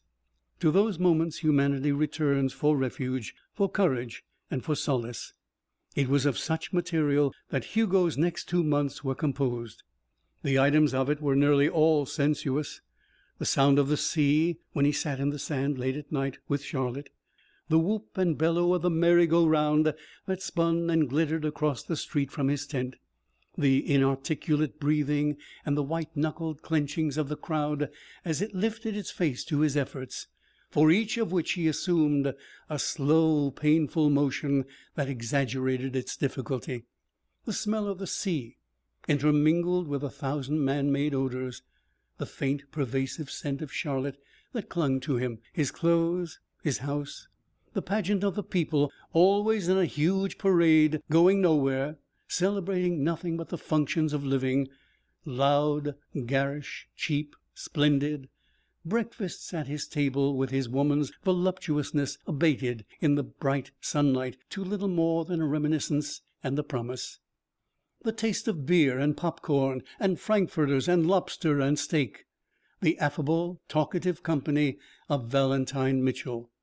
Only once, that he could recall afterwards, did he allow his intellect to act in any critical direction, and that was in a conversation with the young artist. They were sitting together in the sand, and Charlotte, browned by weeks of bathing, lay near by. "Here I am," Mitchel said with an unusual thoughtfulness, "with a talent that should be recognized, wanting to be an illustrator, able to be one, and yet forced to dawdle with this horrible business to make my living." Hugo nodded. "You'll come through, some winter and you won't ever return to Coney Island." "I know it, unless I do it for sentimental reasons some day in a limousine." "It's myself," Hugo said then, "and not you, who is doomed to well, to this sort of thing. You have a talent that at least is understandable and" he was going to say mediocre. He checked himself. "Applicable in the world of human affairs. My talent, if it is a talent, has no place no application, no audience." Mitchel stared at Hugo, wondering first what that talent might be, and then recognizing that Hugo meant his strength. "Nonsense! Any male in his right senses would give all his wits to be as strong as you are." It was a polite, friendly thing to say. Hugo could not refrain from comparing himself to Valentine Mitchel.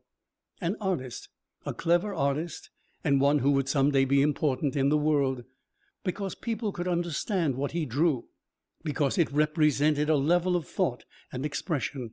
He was, like Hugo, in the doldrums of progress. But Mitchel would emerge, succeed, be happy, or at least satisfied with himself, while Hugo was bound to silence, was compelled never to allow himself full expression. Humanity would never accept and understand him. They were not similar people. But their case was, at that instant, ironically parallel. "It isn't only being strong," he answered meditatively, "but it's knowing what to do with your strength." "Why, there are a thousand things to do." "Such as?" Mitchel raised himself on his elbows and turned his water colored eyes on the populous beach. "Well well, let's see. You could, of course, be a strong man and amuse people, which you're doing. You could Oh, there are a lot of things you could do." Hugo smiled. "I've been thinking about them for years and I can't discover any that are worth the effort." "Bosh!" Charlotte moved close to him. "There's one thing you can do, honey, and that's enough for me." "I wonder," Hugo said with a seriousness the other two did not perceive. The increased heat of August suggested by its very intensity a shortness of duration, an end of summer. Hugo began to wonder what he would do with Charlotte when he went back to Webster. He worried about her a good deal, and she, guessing the subject of his frequent fits of silence, made a resolve in her tough and worldly mind. She had learned more about certain facets of Hugo than he knew himself. She realized that he was superior to her, and that in almost any other place than Coney Island she would be a liability to him. The thought that he would have to desert her made Hugo very miserable. He knew that he would miss Charlotte, and he knew that the blow to her might spell disaster. After all, he thought, he had not improved her morals or raised her vision. He did not realize that he had made both almost sublime by the mere act of being considerate. White, Charlotte called it. Nevertheless, she was not without an intense sense of self protection. Despite her condition on the night he had found her, She knew that womankind lived at the expense of mankind. She saw the emotional respect in which Valentine Mitchel unwittingly held Hugo. He had scarcely spoken ten serious words to her. She realized that the artist saw her as a property of his friend. That, in a way, made her valuable. It was a subtle advantage, which she pressed with all the skill it required. One night, when Hugo was at work and the chill of autumn had breathed on the hot shore, she told Valentine that he was a very nice boy and that she liked him very much. He went away distraught, which was what she had intended, and he carried with him a new and as yet inarticulate idea, which was what she had foreseen. He believed that he loved her. He told himself that Hugo was going to desert her, and that she would be forsaken and alone. At that point she recited to him the story of her life and the tale of her rescue by Hugo, and said at the end that she would be very lonely when Hugo was gone. Because Hugo had loved her, Mitchel thought she contained depths and values which did not appear. That she contained such depths neither man really knew then. Both of them learned it much later. Mitchel found himself in that very artistic dilemma of being in love with his friend's mistress. It terrified his romantic soul and it involved him inextricably. When she felt that the situation had ripened to the point of action, she waited for the precise moment. It came swiftly and in a better guise than she had hoped. On a night in early September, when the crowds had thinned a little, Hugo was just buckling himself into the harness that lifted the horse. The spectators were waiting for the denouement with bickering patience. Charlotte was standing on the platform, watching him with expressionless eyes. She knew that soon she would not see Hugo any more. She knew that he was tired of his small show, that he was chafing to be gone. And she knew that his loyalty to her would never let him go unless it was made inevitable by her. The horse was ready. She watched the muscles start out beneath Hugo's tawny skin. She saw his lips set, his head thrust back.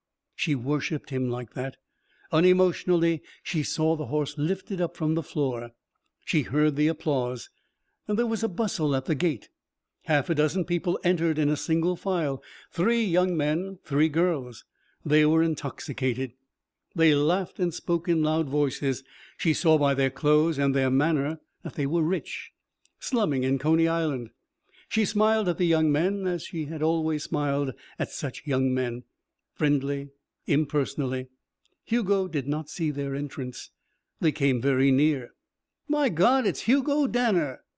Hugo heard Lefty's voice and recognized it. The horse was dropped to the floor. He turned. An expression of startled amazement crossed his features. Chuck, Lefty, Iris, and three people whom he did not know were staring at him. He saw the stupefied recognition on the faces of his friends. One despairing glance he cast at Charlotte, and then he went on with his act. They waited for him until it was over. They clasped him to their bosoms. They acknowledged Charlotte with critical glances. "Come on and join the party," they said. After that their silence was worse than any questions. They talked freely and merrily enough, but behind their words was a deep reserve. Lefty broke it when he had an opportunity to take Hugo aside. "What in hell is eating you? Aren't you coming back to Webster?" "Sure. That is, I think so. I had to do this to make some money. Just about the time school closed my family went broke." "But, good God, man, why didn't you tell us? My father is an alumnus and he'd put up five thousand a year if necessary to see you kept on the football team." Hugo laughed. "You don't think I'd take it, Lefty?" "Why not?" A pause. "No, I suppose you'd be just the goddam kind of a fool that wouldn't. Who's the girl?" Hugo did not falter. "She's a tart I've been living with. I never knew a better one girl, that is." "Have you gone crazy?"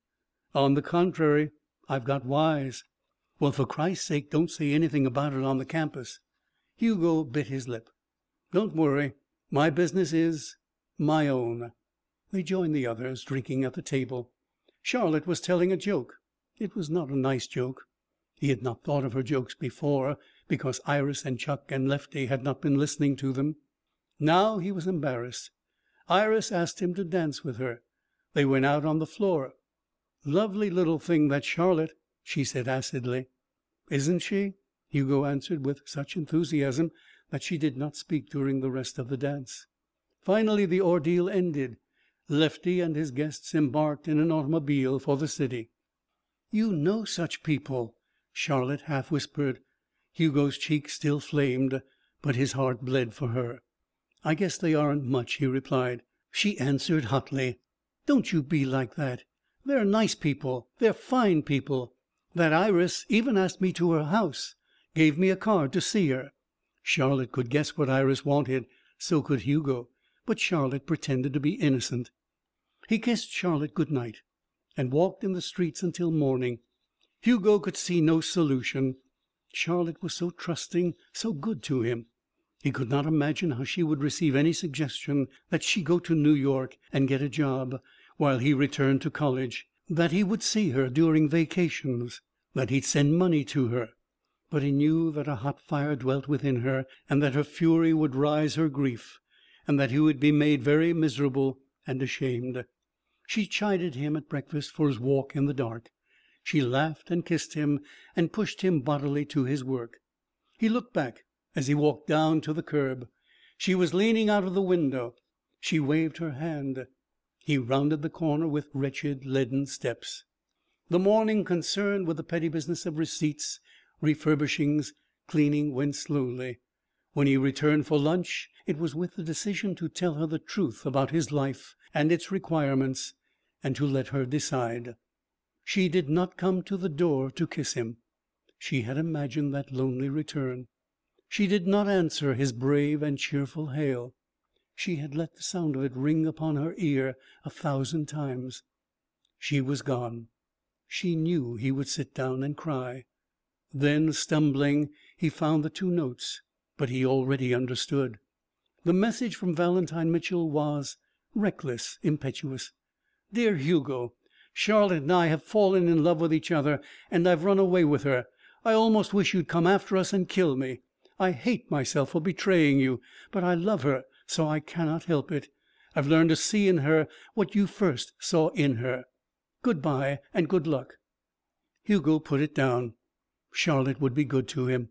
In a way he didn't deserve her, and when he was famous, some day, perhaps, she would leave him too.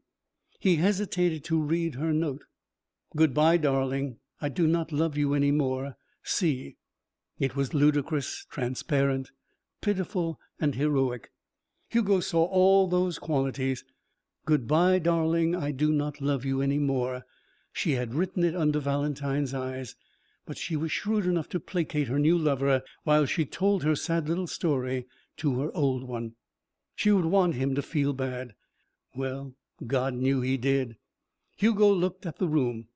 He sobbed. He bolted into the street, tears streaming down his cheeks.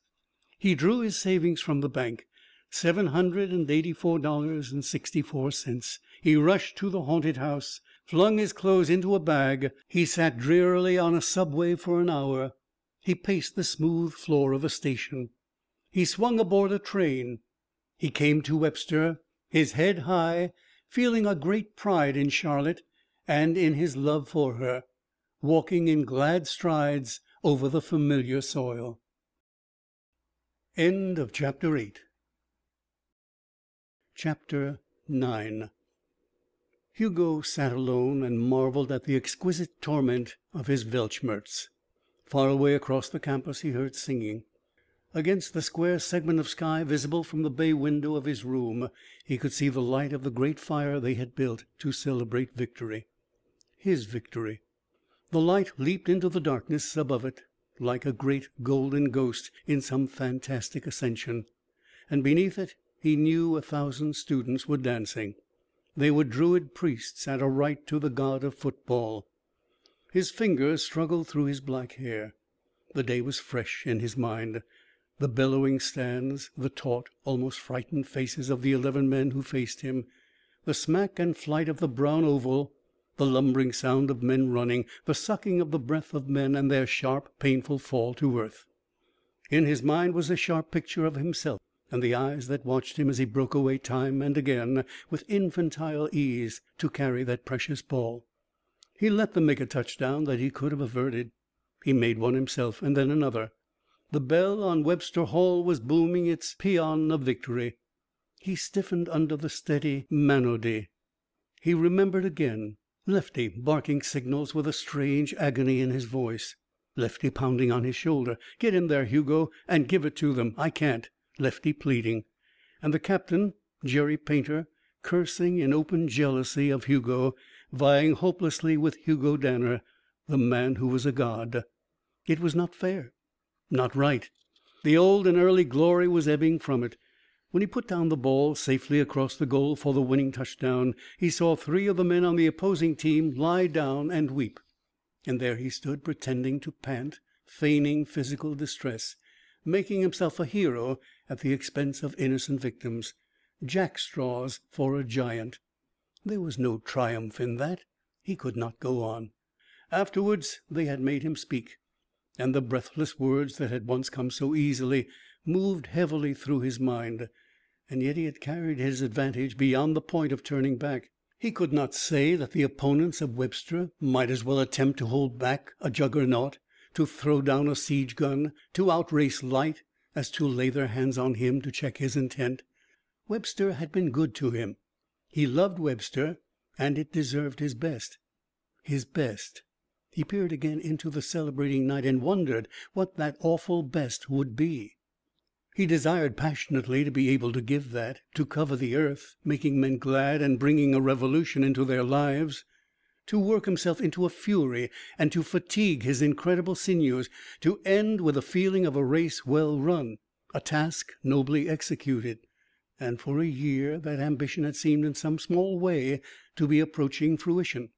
Now it was turned to ashes. It was not with the muscles of men that his goal was to be attained. They could not oppose him. As he sat gloomy and distressed he wondered for what reason there burned in him that wish to do great deeds. Humanity itself was too selfish and too ignorant to care.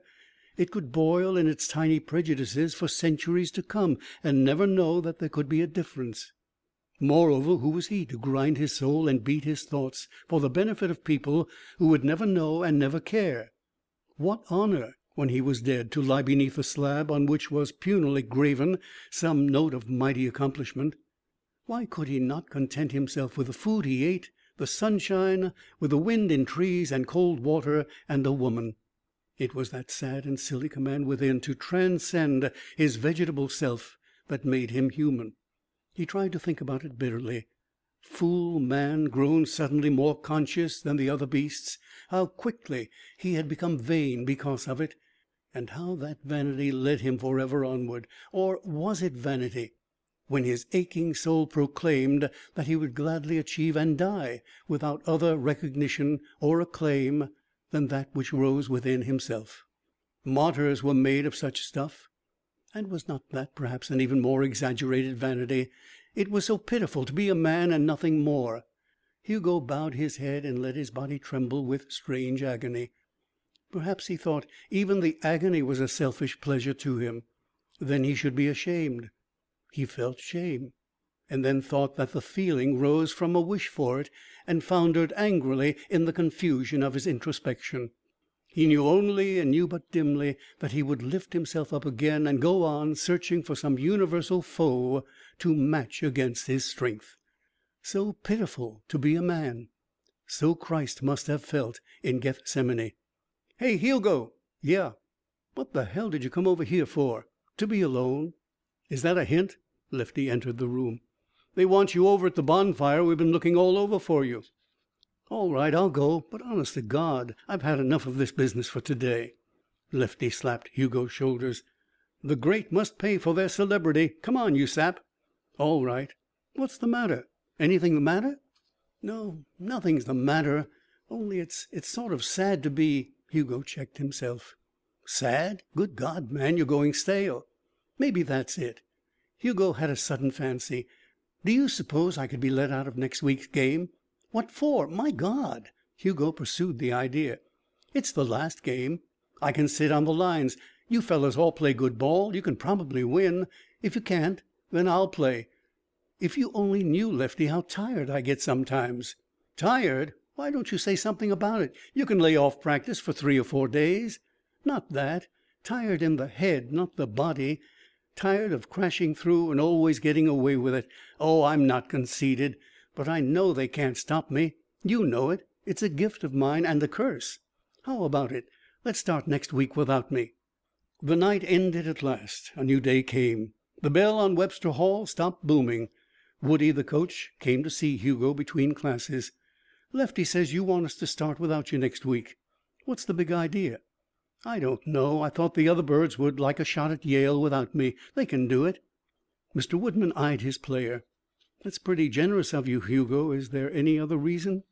"Not that I can explain." "I see." The coach offered Hugo a cigarette after he had helped himself. "Take it. It'll do you good." "Thanks." "Listen, Hugo. I want to ask you a question, but first I want you to promise You'll give me a plain answer." "I'll try." "That won't do." "Well, I can't promise." Woodman sighed. "I'll ask it anyway. You can answer or not, just as you wish." He was silent. He inhaled his cigarette and blew the smoke through his nostrils. His eyes rested on Hugo with an expression of intense interest, beneath which was a softer light of something not unlike sympathy. "I'll have to tell you something first, Hugo. When you went away last summer I took a trip to Colorado." Hugo started, and Woodman continued. "To Indian Creek. I met your father and your mother. I told them that I knew you. I did my best to gain their confidence. You see, Hugo, I've watched you with a more skillful eye than most people. I've seen you do things, a few little things, that weren't well, that weren't" Hugo's throat was dry "natural that's the best word, I guess. You were never like my other boys, in any case. So I thought I'd find out what I could. I must admit that my efforts with your father were a failure. Aside from the fact that he's an able biology teacher and that he had a number of queer theories years ago, I learned nothing. But I did find out what those theories were. Do you want me to stop?" A peculiar, almost hopeful expression was on Hugo's face. "No," he answered. "Well, they had to do with the biochemistry of cellular structure, didn't they, and with the production of energy in cells. And then I talked to lots of people, and I heard about Samson." "Samson?" Hugo echoed, as if the dead had spoken. "Samson, the cat." Hugo was as pale as chalk. His eyes burned darkly. He felt that his universe was slipping from beneath him. "You know, then?" he said. "I don't know, Hugo. I merely guessed. I was going to ask. Now I shall not. Perhaps I do know. But I had another question, son." "Yes?"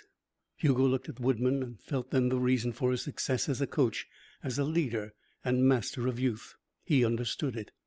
"Well, I wondered if you thought it was worth while to talk to your father and discover " "What he did?" Hugo suggested hoarsely. Woodman put his hand on Hugo's knee. "What he did, son. You ought to know by this time what it means. I've been watching you. I don't want your head to swell, but you're a great boy, Hugo. Not only in beef. You have a brain and an imagination and a sense of moral responsibility. You'll come out better than the rest. You would even without your your particular talent. And I thought you might think that the rest of humanity would profit." Hugo jumped to his feet. "No! A thousand times no! For the love of Christ, no! You don't know or understand you can't conceive, Woodie, what it means to have it. You don't have the faintest idea of its amount what it tempts you with. What they did to me and I did to myself to beat it if I have beaten it." He laughed. "Listen, Woodie. Anything I want is mine. Anything I desire I can take. No one can hinder me. And sometimes I sweat all night for fear some day I shall lose my temper. There's a desire in me to break and destroy and wreck that oh, hell!" Woodman waited. Then he spoke quietly. "You're sure, Hugo, that the desire to be the only one like that has nothing to do with it?" Hugo's sole response was to look into Woodman's eyes, a look so pregnant with meaning, so tortured, so humble, that the coach swore softly. Then he held out his hand. "Well, Hugo, that's all. You've been damn swell about it, the way I hoped you would be. And I think my answer is plain. One thing. As long as I live I promise, on my oath, I'll never give you away or support any rumor that hurts your secret." Even Hugo was stirred to a consciousness of the strength of the other man's grip. Saturday. A shrill whistle, the thump of leather against leather, the roar of the stadium. Hugo leaned forward. He watched his fellows from the bench. They rushed across the field. Lefty caught the ball. Eddie Carter interfered with the first man. Bimbo Gaines with the second. The third slammed Lefty against the earth. Three downs, eight yards, a kick. New Haven brought the ball to its 21 yard line. The men in helmets formed again. A coughing voice. Pandemonium. Again in line. The voice. The riot of figures suddenly still. Again a kick. Lefty with the ball, and Bimbo Gaines leading him, his big body a shield. Down. A break and a run for twenty eight yards. Must have been Chuck. Good old Chuck. He'd be playing the game of his life. Graduation next spring. Four, seven, eleven, thirty-two, fifty-five. Hugo anticipated the spreading of the players. He looked where the ball would be thrown. He watched Minton, the end, spring forward, saw him falter, saw the opposing quarterback run in, saw Lefty thrown, saw the ball received by the enemy and moved up, saw the opposing back spilled nastily. His heart beat faster. No score at the end of the first half. The third quarter witnessed the crossing of Webster's goal. Struggling grimly, gamely against a team that was their superior without Hugo. Against a team heartened by the knowledge that Hugo was not facing it. Webster's players were being beaten. The goal was not kicked. It made the score six to nothing against Webster. Hugo saw the captain rip off his headgear and throw it angrily on the ground. He understood all that was going on in the minds of his team in a clear although remote way. They went out to show that they could play the game without Hugo Danner, and they were not showing what they had hoped to show. A few minutes later their opponents made a second touchdown. Thirteen to nothing. Mr. Woodman moved beside Hugo. "They can't do it, and I don't altogether blame them. They've depended on you too much. It's too bad. We all have." Hugo nodded. "Shall I go in?" The coach watched the next play. "I guess you better."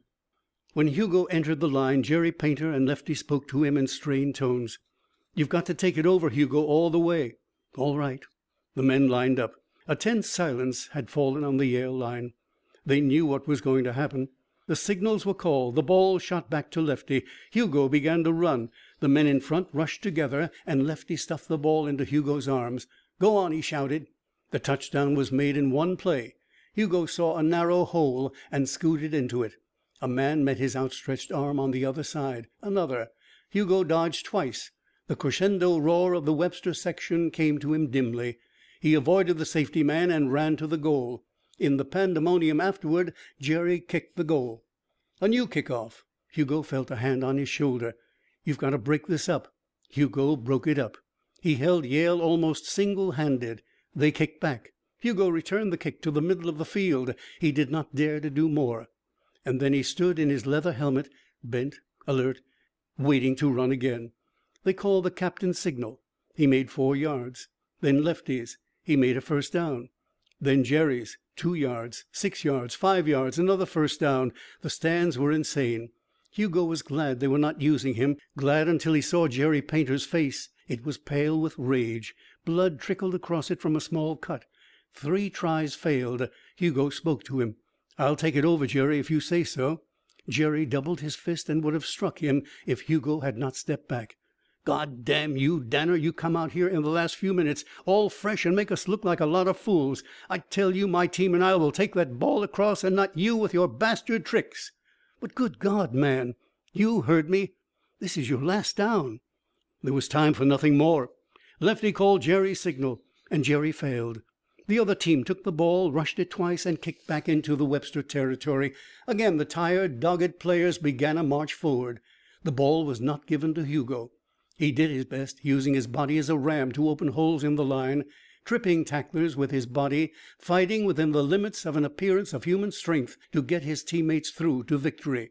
And Jerry, still pale and profane, drove the men like slaves. It was useless. If Hugo had dared more, they might have succeeded. But they lost the ball again. It was only in the last few seconds that an exhausted and victorious team relinquished the ball to Webster. Jerry ordered his own number again. Hugo, cold and somewhat furious at the vanity and injustice of the performance, gritted his teeth. "How about letting me try, Jerry? I can make it. It's for Webster, not for you." "You go to hell." Lefty said, "You're out of your head, Jerry." "I said I'd take it."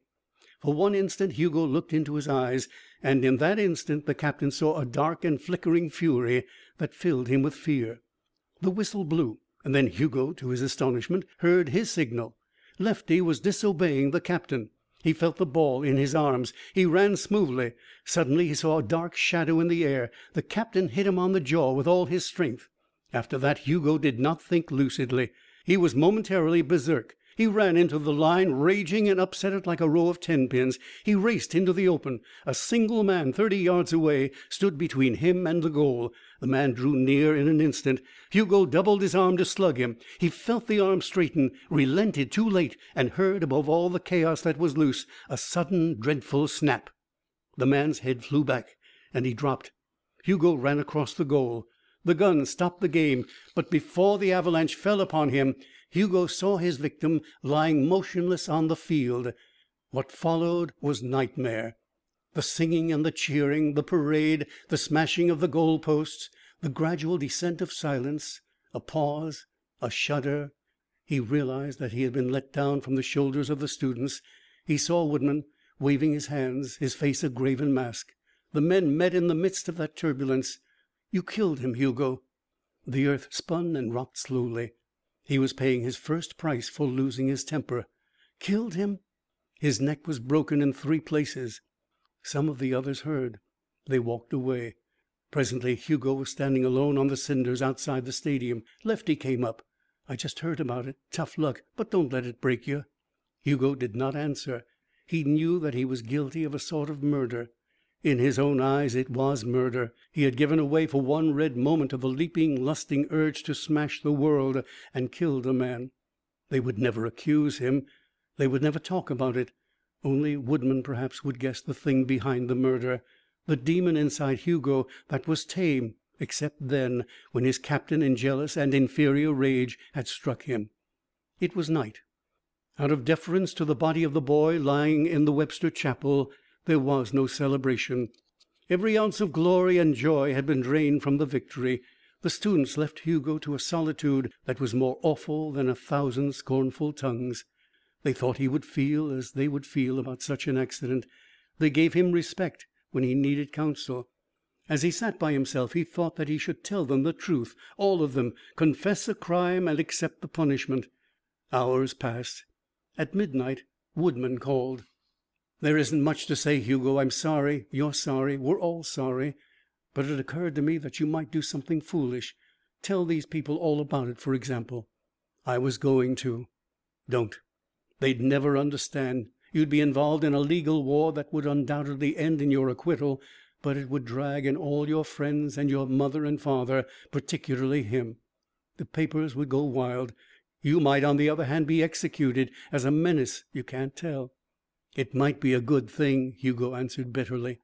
"Don't let me hear you say that, you fool. I tell you, Hugo, if you go into that business, I'll get up on the stand and say I knew it all the time and I let a man play on my team when I was pretty sure that sooner or later he'd kill some one. And then I'll go to jail, surely."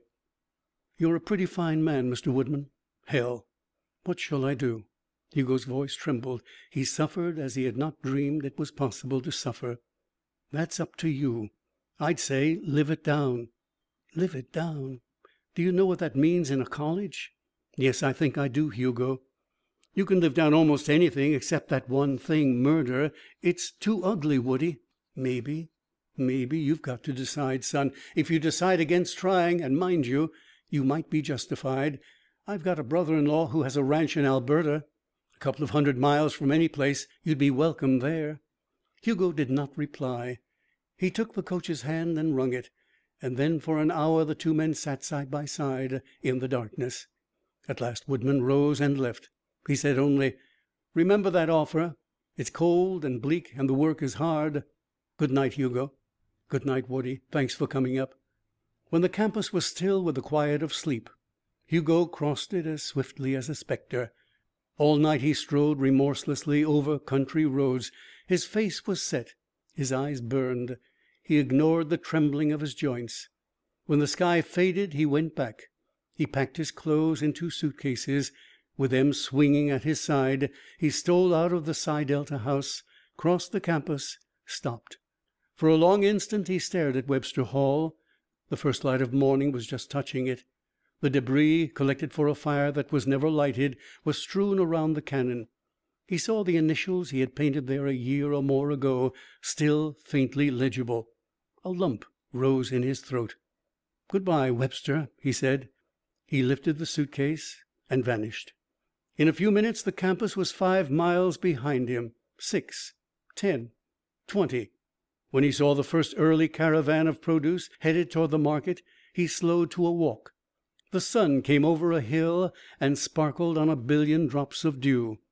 A bird flew singing from his path. Hugo Danner had fled beyond the gates of Webster.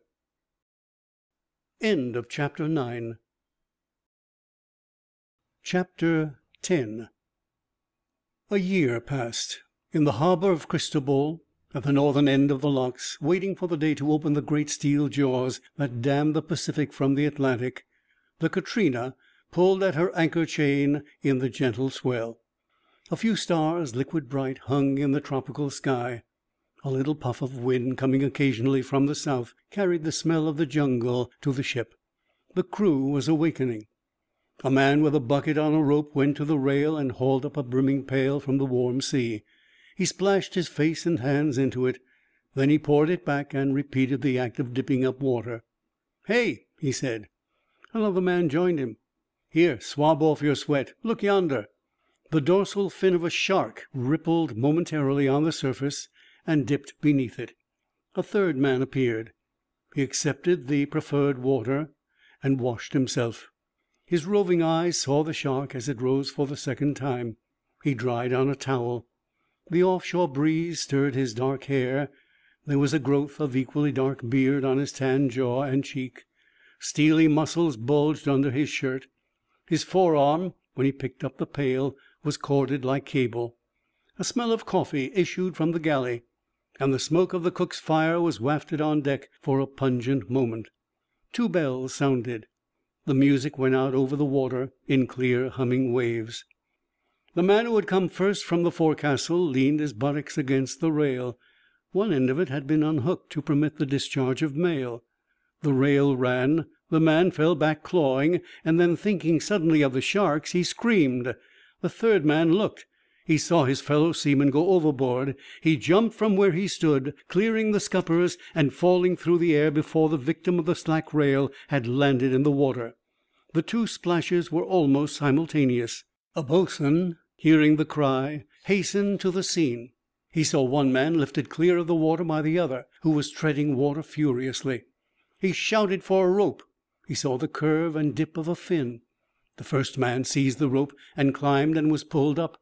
The second, his rescuer, dived under water as if aware of something there that required his attention.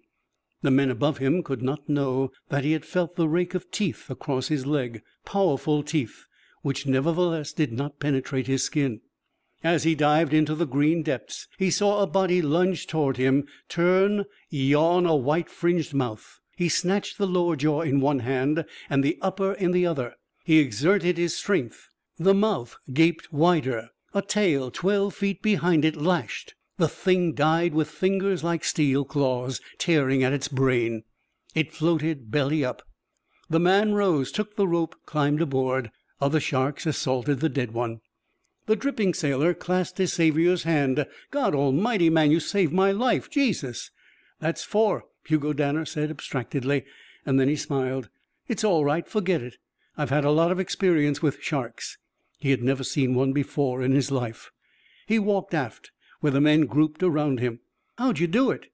"It's a trick I can't explain very well," Hugo said. "You use their rush to break their jaws. It takes a good deal of muscle. Anyway, guy, thanks." "Sure." A whistle blew. The ships were lining up in the order of their arrival for admission to the Panama Canal. Gatun loomed in the feeble sun of dawn. The anchor chain rumbled. The Katrina edged forward at half speed. The sea, blue green, restless, ghost ridden, driven in empty quarters by devils riding the wind, secretive, mysterious, making a last gigantic primeval stand against the conquest of man, hemming and isolating the world, beautiful, horrible, dead god of ten thousand voices, universal incubator, universal grave. The Katrina came to the islands in the South Pacific, islands that issued from the water like green wreaths and seemed to float on it. The small boats were put out and sections of the cargo were sent to rickety wharves where white men and brown islanders took charge of it and carried it away into the fringe of the lush vegetation. Hugo, looking at those islands, was moved to smile. The place where broken men hid from civilization, where the derelicts of the world gathered to drown their shame in a verdant paradise that had no particular position in the white man's scheme of the earth. At one of the smaller islands an accident to the engine forced the Katrina to linger for two weeks. It was during those two weeks, in a rather extraordinary manner, that Hugo Danner laid the first foundation of the fortune that he accumulated in his later life. One day, idling away a leave on shore in the shade of a mighty tree, he saw the outriggers of the natives file away for the oyster beds, and, out of pure curiosity, he followed them. For a whole day he watched the men plunge under the surface in search of pearls. The next day he came back and dove with one of them. On the bizarre floor of the ocean, among the colossal fronds of its flora, the two men swam. They were invaders from the brilliance above the surface, shooting like fish horizontally through the murk and shadow. And the denizens of that world resented their coming. Great fish shot past them with malevolent eyes, and the vices of giant clams shut swiftly in attempts to trap their moving limbs. Hugo was entranced. He watched the other man as he found the oyster bed and commenced to fill his basket with frantic haste. When his lungs stung and he could bear the agony no longer, he turned and forged toward the upper air. Then they went down again. Hugo's blood, designed to take more oxygen from the air, and his greater density fitted him naturally for the work. The pressure did not make him suffer, and the few moments granted to the divers beneath the forbidding element stretched to a longer time for him. On the second day of diving he went alone. His amateur attempt had been surprisingly fruitful. Standing erect in the immense solitude, he searched the hills and valleys. At length, finding a promising cluster of shellfish, he began to examine them one by one, pulling them loose, feeling in their pulpy interior for the precious jewels. He occupied himself determinedly while the Katrina was waiting in Apia, and at the end of the stay he had collected more than sixty pearls of great value and two hundred of moderate worth. It was, he thought, typical of himself. He had decided to make a fortune of some sort after the first bitter rage over his debacle at Webster had abated in his heart. He realized that without wealth his position in the world would be more difficult and more futile than his fates had decreed. Poverty, at least, he was not forced to bear. He could wrest fortune from nature by his might. That he had begun that task by diving for pearls fitted into his scheme. It was such a method as no other man would have considered, and its achievement robbed no one while it enriched him. When the Katrina turned her prow westward again, Hugo worked with his shipmates in a mood that had undergone considerable change. There was no more despair in him, little of the taciturnity that had marked his earliest days at sea, and none of the hatred of mankind. He had buried that slowly and carefully in a dull year of work ashore and a month of toil on the heaving deck of the ship. For six months he had kept himself alive in a manner that he could scarcely remember, driving a truck, working on a farm, digging in a road, his mind a bitter blank, his valiant dreams all dead. One day he had saved a man's life. The reaction to that was small, but it was definite. The strength that could slay was also a strength that could succor. He had repeated the act some time later. He felt it was a kind of atonement. And after that he sought deliberately to go where he might be of assistance. In the city again in September, when a fire engine clanged and whooped through the streets, he followed and carried a woman from a blazing roof as if by a miracle. Then the seaman. He had counted four rescues by that time. Perhaps his self condemnation for the boy who had fallen on the field at Webster could be stifled eventually. Human life seemed very precious to Hugo then. He sold his pearls when the ship touched at large cities. A handful here, a dozen there, bargaining carefully and forwarding the profit to a bank in New York. He might have continued that voyage, which was a voyage commenced half in new recognition of his old wish to see and know the world, and half in the quest of forgetfulness. But a slip and shifts in the history of the world put an abrupt end to it.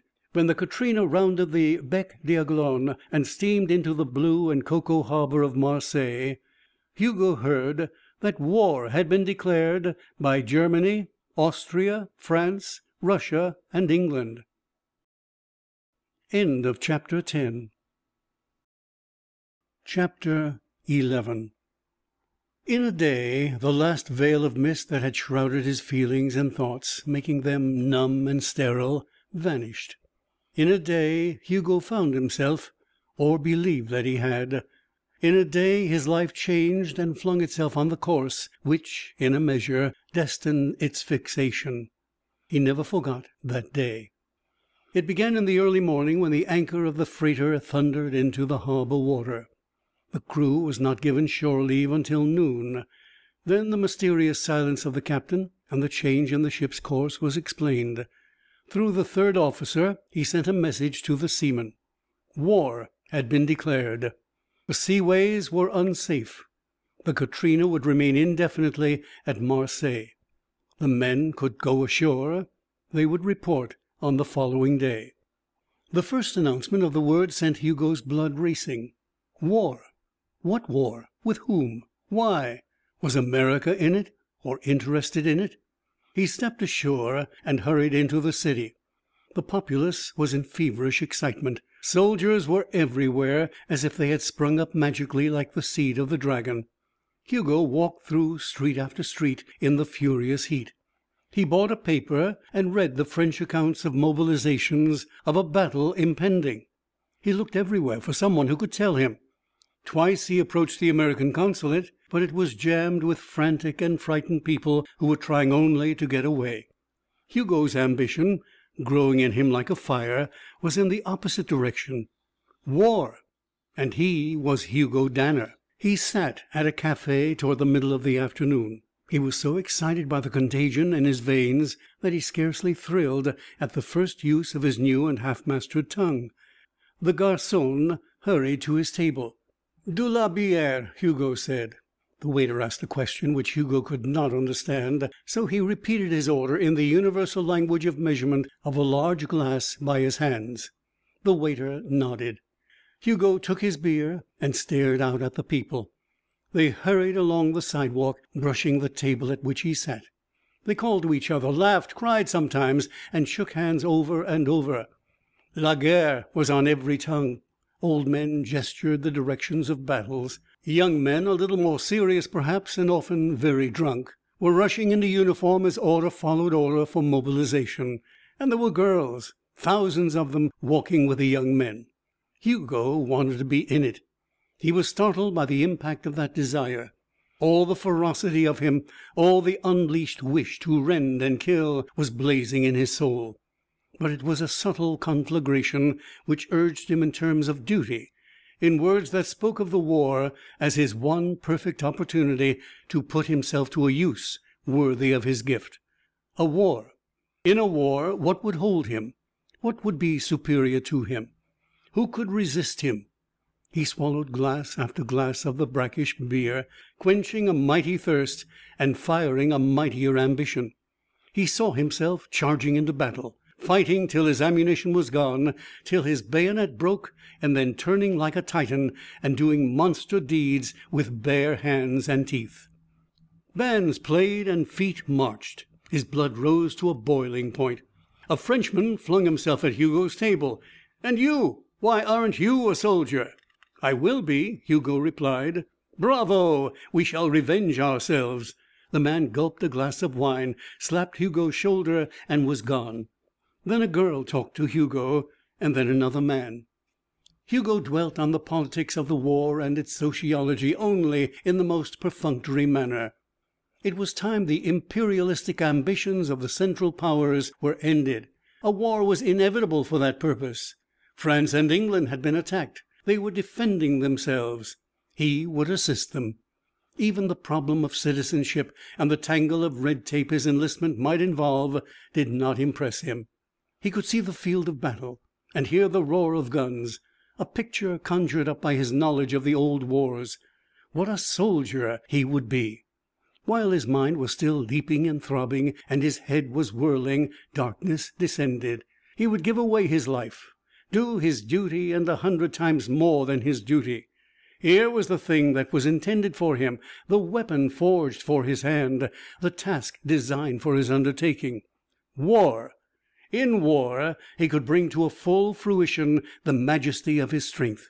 No need to fear it there, no need to be ashamed of it. He felt himself almost the Messiah of war, the man created at the precise instant he was required. His call to serve was sounding in his ears, and the bands played. The chaos did not diminish at night, but rather it increased. He went with milling crowds to a bulletin board. The Germans had commenced to move. They had entered Belgium in violation of treaties long held sacred. Belgium was resisting and Liege was shaking at the devastation of the great howitzers. A terrible crime. Hugo shook with the rage of the crowd. The first outrages and violations, highly magnified, were reported. The blond beast would have to be broken. "God damn!" a voice drawled at Hugo's side. He turned. A tall, lean man stood there, a man who was unquestionably American. Hugo spoke in instant excitement. "There sure is hell to pay." The man turned his head and saw Hugo. He stared at him rather superciliously, at his slightly seedy clothes and his strong, unusual face. "American? Yeah. Let's have a drink." They separated themselves from the mob and went to a crowded café. The man sat down and Hugo took a chair at his side. "As you put it," the man said, "there is hell to pay. Let's drink on the payment." Hugo felt in him a certain aloofness, a detachment that checked his desire to throw himself into flamboyant conversation. "My name's Danner," he said. "Mine's Shayne Thomas Matthew Shayne. I'm from New York." "So am I, in a way. I was on a ship that was stranded here by the war. At loose ends now." Shayne nodded. He was not particularly friendly for a person who had met a countryman in a strange city. Hugo did not realize that Shayne had been besieged all day by distant acquaintances and total strangers for assistance in leaving France, or that he expected a request for money from Hugo momentarily. And Shayne did not seem particularly wrought up by the condition of war. They lifted their glasses and drank. Hugo lost a little of his ardor. Nice mess. Time, though. Time the Germans got their answer. Shayne's haughty eyebrows lifted. His wide, thin mouth smiled. Perhaps. I just came from Germany. Seemed like a nice, peaceful country three weeks ago. Oh. Hugo wondered if there were many pro German Americans. His companion answered the thought. Not that I don't believe the Germans are wrong, but war is such such a damn fool thing. Well, it can't be helped. No, it can't. We're all going to go out and get killed, though. We? Sure. America will get in it. That's part of the game. America is more dangerous to Germany than France. Or England, for that matter. That's a rather cold-blooded viewpoint. Shayne nodded. I've been raised on it. Garçon, l'addition, s'il vous plaît. He reached for his pocketbook simultaneously with Hugo. "I'm sorry you're stranded," he said, "and if a hundred francs will help, I'll be glad to let you have it. I can't do more." Hugo's jaw dropped. He laughed a little. "Good Lord, man, I said my ship was stuck, not me. And these drinks are mine." He reached into his pocket and withdrew a huge roll of American bills and a packet of French notes. Shayne hesitated. His calmness was not severely shaken, however. "I'm sorry, old man. You see, all day I've been fighting off starving and startled Americans, and I thought you were one. I apologize for my mistake." He looked at Hugo now with more interest. "As a matter of fact, I'm a little skittish about patriotism and about war. Of course, I'm going to be in it the first entertaining thing that has happened in a dog's age but I'm a conscientious objector on principles. I rather thought I'd enlist in the Foreign Legion to morrow." He was an unfamiliar type to Hugo. He represented the American who had been educated at home and abroad, who had acquired a wide horizon for his views, who was bored with the routine of his existence. His clothes were elegant and impeccable. His face was very nearly inscrutable.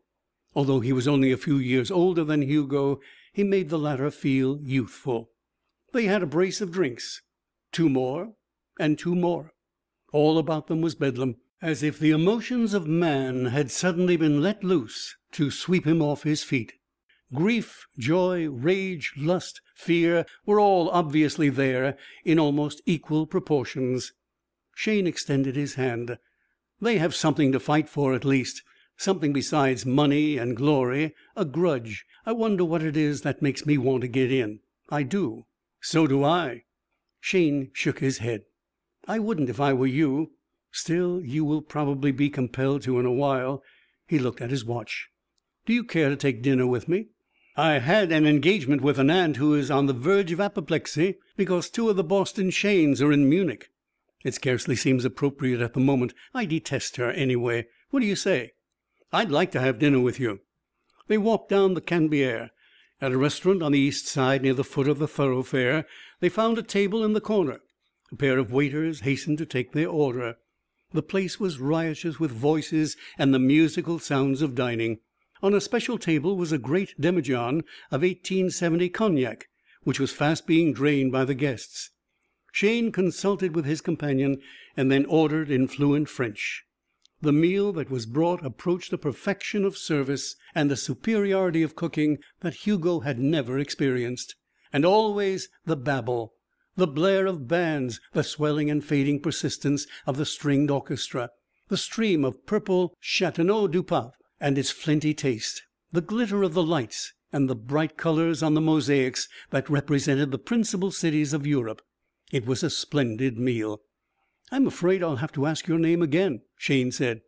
"Danner. Hugo Danner." "Good God! Not the football player?" "I did play football some time ago." "I saw you against Cornell. When was it?" Two years ago. You were magnificent. How does it happen that that I'm here?" Hugo looked directly into Shayne's eyes. "Well, I have no intention of prying into your affairs." "Then I'll tell you. Why not?" Hugo drank his wine. "I killed a man in the game and quit. Beat it." Shayne accepted the statement calmly. "That's tough. I can understand your desire to get out from under. Things like that are bad when you're young. What else could I have done?" "Nothing. What are you going to do? Rather, what were you going to do?" "I don't know," Hugo answered slowly. "What do you do? What do people generally do?" He felt the question was drunken, but Shayne accepted it at its face value. "I'm one of those people who have too much money to be able to do anything I really care about most of the time. The family keeps me in sight and control, but I'm going to cut away to morrow." "In the Foreign Legion? I'll go with you." "Splendid." They shook hands across the table. Three hours later found them at another café. They had been walking part of the time in the throngs on the street. For a while they had stood outside a newspaper office watching the bulletins. They were quite drunk. "Old man," Shayne said, "I'm mighty glad I found you." "Me, too, old egg. Where do we go next?" "I don't know. What's your favorite vice? We can locate it in Marseilles." Hugo frowned. "Well, vice is so limited in its scope." His companion chuckled. "Isn't it? I've always said vice was narrow. The next time I see Aunt Emma I'm going to say, 'Emma, vice is becoming too narrow in its scope.' She'll be furious and it will bring her to an early demise and I'll inherit a lot more money and that will be the real tragedy. She's a useless old fool, Aunt Emma. Never did a valuable thing in her life. Goes in for charity just like we go in for golf and what not. Oh, well, to hell with Aunt Emma." Hugo banged his glass on the table. "Garçon, encore du whisky à l'eau. And to hell with Aunt Emma." "Like to play roulette?" "Like to try." They climbed into a taxi. Shayne gave an address and they were driven to another quarter of the town. In a room packed with people in evening clothes they played for an hour. Several people spoke to Shayne and he introduced Hugo to them. Shayne won and Hugo lost. They went out into the night.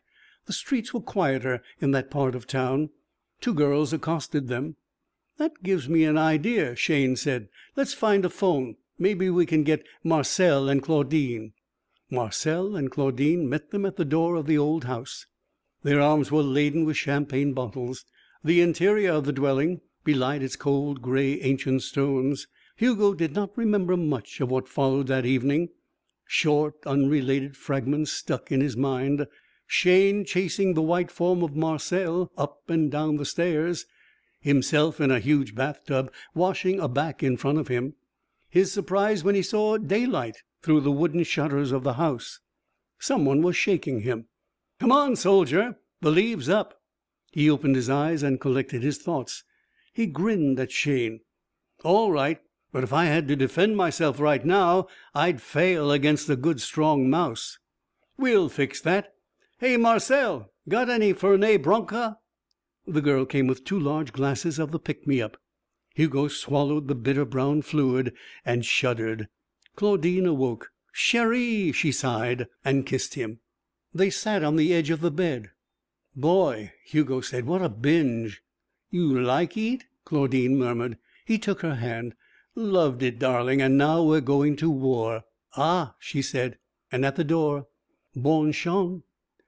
Shayne left Hugo after agreeing on a time and place for their meeting in the afternoon. The hours passed slowly. Hugo took another drink, and then, exerting his judgment and will, he refrained from taking more. At noon he partook of a light meal. He thought or imagined that the ecstasy of the day before was showing some signs of decline. It occurred to him that the people might be very sober and quiet before the war was a thing to be written into the history of France. The sun was shining. He found a place in the shade where he could avoid it. He ordered a glass of beer, tasted it, and forgot to finish it. The elation of his first hours had passed, but the thing within him that had caused it was by no means dead. As he sat there, his muscles tensed with the picturization of what was soon to be. He saw the grim shadows of the enemy. He felt the hot splash of blood. For one suspended second he was ashamed of himself. And then he stamped out that shame as being something very much akin to cowardice. He wondered why Shayne was joining the Legion and what sort of person he was underneath his rather haughty exterior. A man of character, evidently, and one who was weary of the world to which he had been privileged. Hugo's reverie veered to his mother and father. He tried to imagine what they would think of his enlistment, of him in the war and even what they thought of him from the scant and scattered information he had supplied. He was sure that he would justify himself. He felt purged and free and noble. His strength was a thing of wreck and ruin, given to the world at a time when wreck and ruin were needed to set it right. It was odd that such a product should emerge from the dusty brain of a college professor in a Bible ridden town. Hugo had not possessed a religion for a long time. Now, wondering on another tangent if the war might not bring about his end, he thought about it. He realized that he would hate himself for murmuring a prayer or asking protection. He was gamer than the cross obsessed weaklings who were not wise enough to look life in the face and not brave enough to draw the true conclusions from what they saw. True conclusions? He meditated. What did it matter? Agnosticism, atheism, pantheism, anything but the savage and anthropomorphic twaddle that had been doled out since the Israelites singled out Jehovah from among their many gods. He would not commit himself. He would go back with his death to the place where he had been before he was born and feel no more regret than he had in that oblivious past. Meanwhile he would fight. He moved restively and waited for Shayne with growing impatience. Until that chaotic and gorgeous hour he had lived for nothing, proved nothing, accomplished nothing. Society was no better in any way because he had lived. He accepted the lives he had saved, the few favors he had done.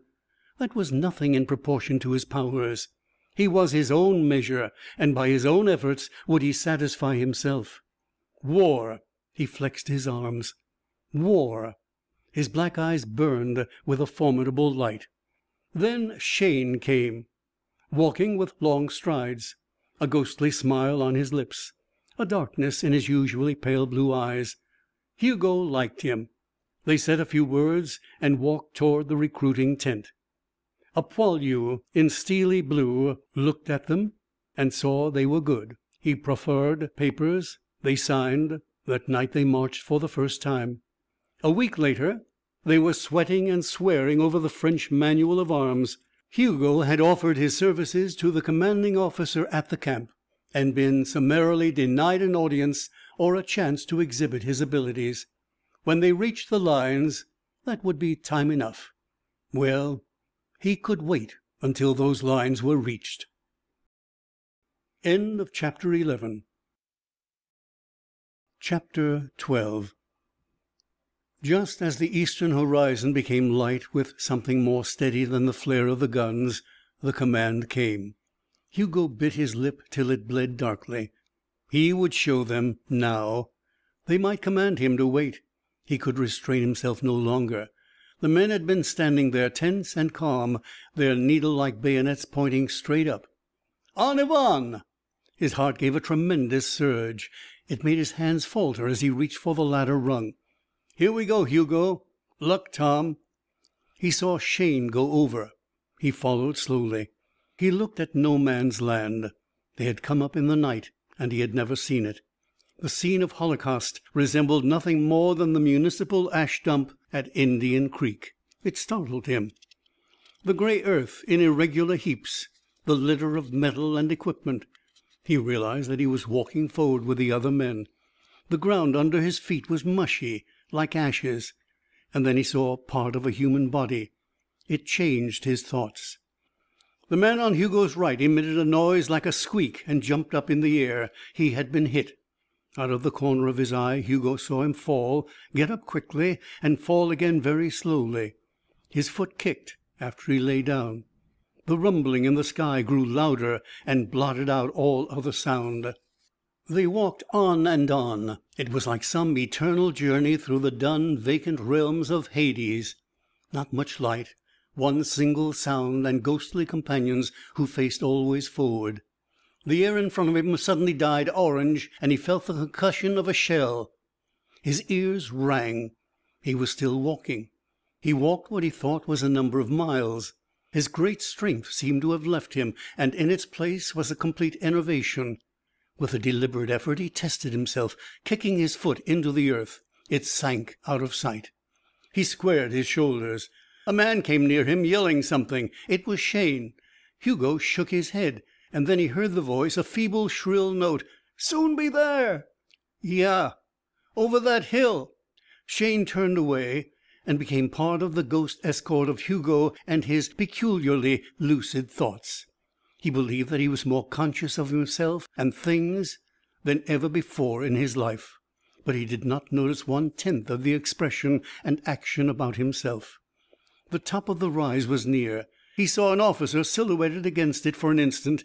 The officer moved down the other side. He could see over the rise then. Across the gray ashes was a long hole. In front of it a maze of wire. In it mushrooms. German helmets. Hugo gaped at them. All that training, all that restraint had been expended for this. They were small and without meaning. He felt a sharp sting above his collar bone. He looked there. A row of little holes had appeared in his shirt. "Good God!" he whispered. "A machine gun!" But there was no blood. He sat down. He presumed, as a casualty, he was justified in sitting down. He opened his shirt by ripping it down. On his dark, tanned skin there were four red marks. The bullets had not penetrated him. Too tough. He stared numbly at the walking men. They had passed him. The magnitude of his realization held him fixed for a full minute. He was invulnerable. He should have known it.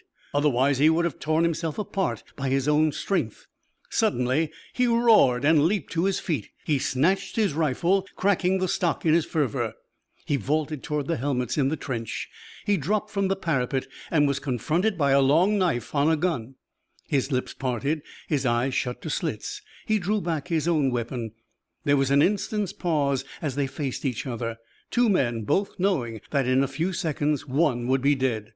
Then Hugo, out of his scarlet fury, had one glimpse of his antagonist's face and person.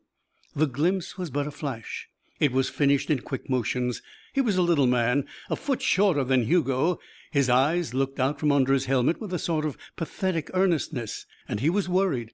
horribly worried, standing there with his rifle lifted and trying to remember the precise technique of what would follow, even while he fought back the realization that it was hopeless. In that split second Hugo felt a human, amazing urge to tell him that it was all right and that he ought to hold his bayonet a little higher and come forward a bit faster. The image faded back to an enemy. Hugo acted mechanically from the rituals of drill. His own knife flashed. He saw the man's clothing part smoothly from his bowels, where the point had been inserted, up to the gray green collar.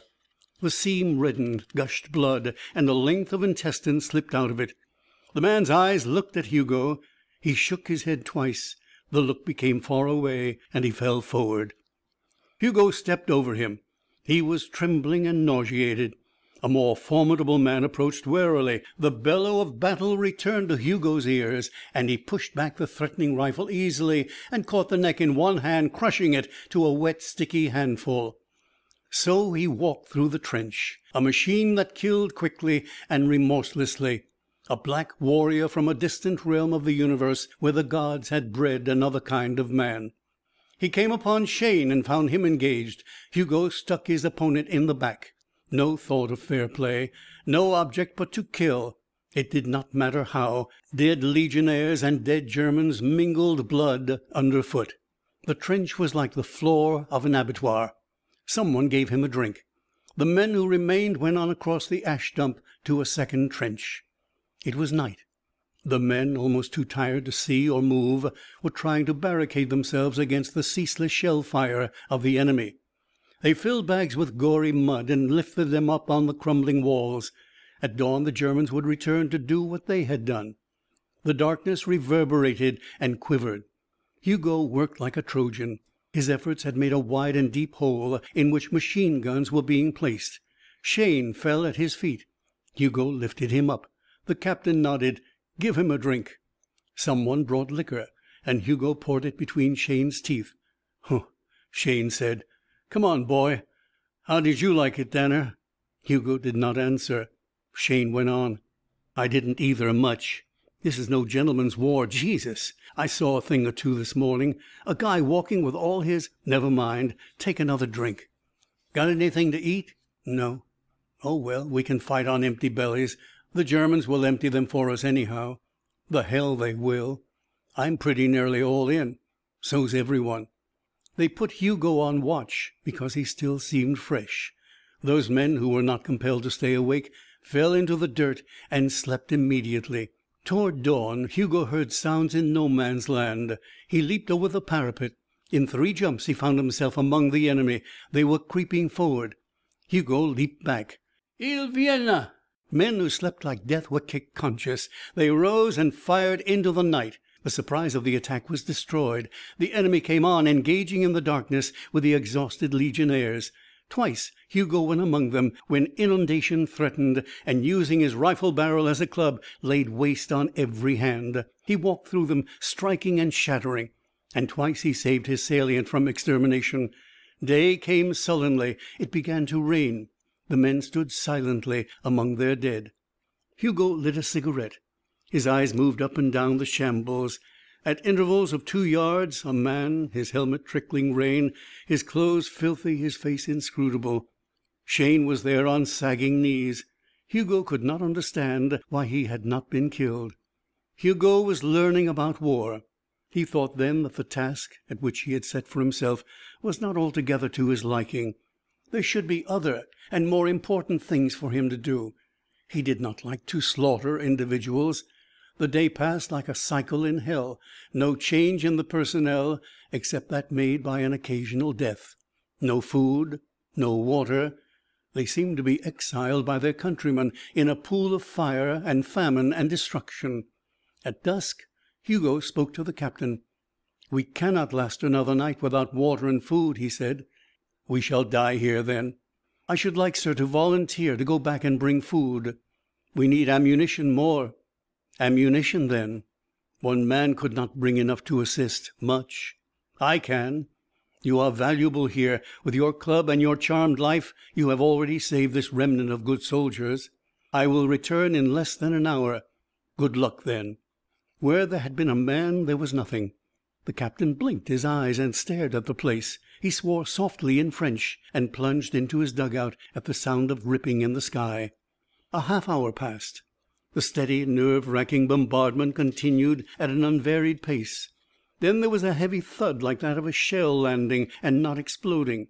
The captain looked. A great bundle, tied together by ropes, had descended into the trench. A man emerged from beneath it. The captain passed his hand over his eyes. Here was ammunition for the rifles and the machine guns in plenty. Here was food. Here were four huge tins of water, one of them leaking where a shell fragment had pierced it. Here was a crate of canned meat and a sack of onions and a stack of bread loaves. Hugo broke the ropes. His chest rose and fell rapidly. He was sweating. The bundle he had carried weighed more than a ton and he had been running very swiftly. The captain looked again a case of cognac. Hugo was carrying things into the dugout. "Where?" the captain asked. Hugo smiled and named a town thirty kilometres behind the lines. A town where citizens and soldiers together were even then in frenzied discussion over the giant who had fallen upon their stores and supplies and taken them, running off like a locomotive in a hail of bullets that did no harm to him. "And how?" the captain asked. "I am strong." The captain shrugged and turned his head away. His men were eating the food and drinking water mixed with brandy, and stuffing their pouches with ammunition. The machine gunners were laughing. They would not be forced to spare the precious belts when the Germans came in the morning. Hugo sat among them, dining his tremendous appetite. Three days went by. Every day, twice, five times, they were attacked. But no offense seemed capable of driving that demoniac cluster of men from their position. A demon, so the enemy whispered, came out and fought for them. On the third day the enemy retreated along four kilometers of front, and the French moved up to reclaim many, many acres of their beloved soil. The legionnaires were relieved, and another episode was added to their valiant history. Hugo slept for twenty hours in the wooden barracks. After that he was wakened by the captain's orderly and summoned to his quarters. The captain smiled when he saluted. "My friend," he said, "I wish to thank you in behalf of my country for your labor. I have recommended you for the Croix de Guerre." Hugo took his outstretched hand. "I am pleased that I have helped." And now the captain continued, "You will tell me how you executed that so unusual coup." Hugo hesitated. It was the opportunity he had sought the chance that might lead to a special commission whereby he could wreak the vengeance of his muscles on the enemy. But he was careful, because he did not feel secure in trusting the captain with too much of his secret. Even in a war it was too terrible. They would mistrust him, or they would attempt to send him to their biologists. And he wanted to accomplish his mission under their permission and with their cooperation. It would be more valuable then and of greater magnitude. So he smiled and said, "Have you ever heard of Colorado?" "No, I have not heard. It is a place?" "A place in America. A place that has scarcely been explored. I was born there, and all the men of Colorado are born as I was born and are like me. We are very strong. We are great fighters. We cannot be wounded except by the largest shells. I took that package by force, and I carried it to you on my back, running swiftly." The captain appeared politely interested. He thumbed a dispatch. He stared at Hugo. "If that is the truth, you shall show me." "It is the truth, and I shall show you." Hugo looked around.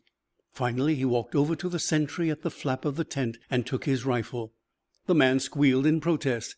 Hugo lifted him off the floor by the collar, shook him, and set him down. The man shouted in dismay, and then was silent at a word from the captain. Hugo weighed the gun in his hands while they watched, and then slowly bent the barrel double. Next he tore it from its stock.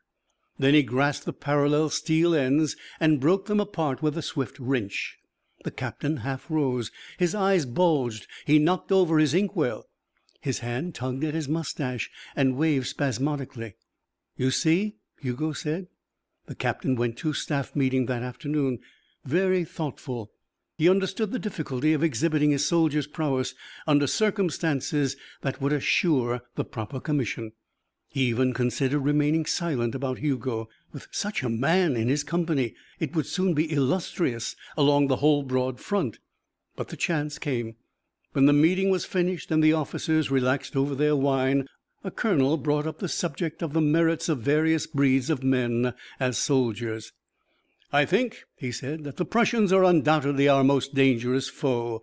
On our side we have " "Begging the colonel's pardon," the captain said, "there is a species of fighter unknown, or almost unknown, in this part of the world, who excels by far all others." "And who may they be?" the colonel asked stiffly. "Have you ever heard of the Colorados?" "No," the colonel said. Another officer meditated. "They are redskins American Indians, are they not?" The captain shrugged. "I do not know. I know only that they are superior to all other soldiers." "And in what way?" The captain's eyes flickered. "I have one Colorado in my troops. I will tell you what he did in five days near the town of Barsine." The officers listened. When the captain finished the colonel patted his shoulder. "That's a very amusing fabrication, very.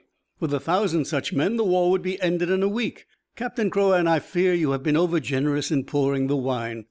The captain rose, saluted. "With your permission I shall cause my Colorado to be brought and you shall see." The other men laughed. "Bring him, by all means." The captain dispatched an orderly. A few minutes later Hugo was announced at headquarters. The captain introduced him. "Here, messieurs, is a Colorado. What will you have him do?" The colonel, who had expected the soldier to be both embarrassed and made ridiculous, was impressed by Hugo's calm demeanor. "You are strong?" he said with a faint irony. "Exceedingly." "He is not humble, at least, gentlemen." Laughter. The colonel fixed Hugo with his eye. "Then, my good fellow, if you are so strong, if you can run so swiftly and carry such burdens, bring us one of our beautiful seventy fives from the artillery." "With your written order, if you please." The colonel started, wrote the order laughingly, and gave it to Hugo, and he left the room. "It is a good joke," the colonel said, "but I fear it is harsh on the private." The captain shrugged. Wine was poured. In a few minutes they heard heavy footsteps outside the tent. "He is here!" the captain cried. The officers rushed forward. Hugo stood outside the tent with the cannon they had requested lifted over his head in one hand. With that same hand clasped on the breech he set it down. The colonel paled and gulped. "Name of the Mother of God! He has brought it!" Hugo nodded. "It was as nothing, my colonel. Now I will show you what we men from Colorado can do. Watch." They eyed him. There was a grating sound beneath his feet. Those who were quickest of vision saw his body catapult through the air high over their heads. It landed, bounced prodigiously, and then vanished. Captain Crouan coughed and swallowed. He faced his superiors, trying to seem nonchalant. "That, gentlemen, is the sort of thing the Colorados do for sport." The colonel recovered first. "It is not human, gentlemen. We have been in the presence of the devil himself." "Or the good Lord." The captain shook his head. "He is a man, I tell you. In Colorado all the men are like that. He told me so himself. When he first enlisted he came to me and asked for a special commission to go to Berlin and smash the Reich, to bring back the Kaiser himself. I thought he was mad. I made him peel potatoes. He did not say any more foolish things. He was a good soldier. Then the battle came and I saw him, not believing. I saw him standing on the parapet and wielding his rifle like the lightning, killing I do not know how many men hundreds, certainly, perhaps thousands. Ah, it is as I said the Colorados are the finest soldiers on earth. They are more than men. He comes." Hugo burst from the sky, moving like a hawk. He came from the direction of the lines, many miles away. There was a bundle slung across his shoulder. There were holes in his uniform. He landed heavily among the officers and set down his burden. It was a German. He dropped to the ground. "Water for him!" Hugo panted. "He has fainted. I snatched him from his outpost in a trench." End of chapter XIII At Blaisencourt it was spring again. The war was nearly a year old. Blaisencourt was now a street of houses' ghosts of rubble and dirt, populated by soldiers. A little new grass sprouted peevishly here and there. An occasional house retained enough of its original shape to harbor an industry. Captain Crouan, his arm in a sling, was looking over a heap of debris with the aid of field glasses. "I see him," he said, pointing to a place on the boiling field where an apparent lump of soil had detached itself. "He rises. He goes on. He takes one of his mighty leaps. Ah, God, if I only had a company of such men!" His aide, squatted near by, muttered something under his breath. The captain spoke again. He is very near their infernal little gun now. He has taken his rope. Ah! He spins it in the air. It falls. They are astonished. They rise up in the trench. "Quick, Phèdre! Give me a rifle!" The rifle barked sharply four, five times. Its bullet found a mark. And then another. Ah! Two of them. And M. Danner now has his rope on that pig's breath. It comes up. See! He has taken it under his arm. They are shooting their machine guns. He drops into a shell hole. He's been hit, but he's laughing at them. He leaps. Look out, Phèdre! Hugo landed behind the debris with a small German trench mortar in his arms. He set it on the floor. The captain opened his mouth, and Hugo waved to him to be silent. Deliberately Hugo looked over the rickety parapet of loose stones. He elevated the muzzle of the gun and drew back the lanyard. The captain, grinning, watched through his glasses. The gun roared. Its shell exploded presently on the brow of the enemy trench, tossing up a column of smoke and earth. "I should have brought some ammunition with me," Hugo said. Captain Crouan stared at the little gun. "Pig," he said. "Son of a pig! Five of my men are in your little belly. Bah!" He kicked it.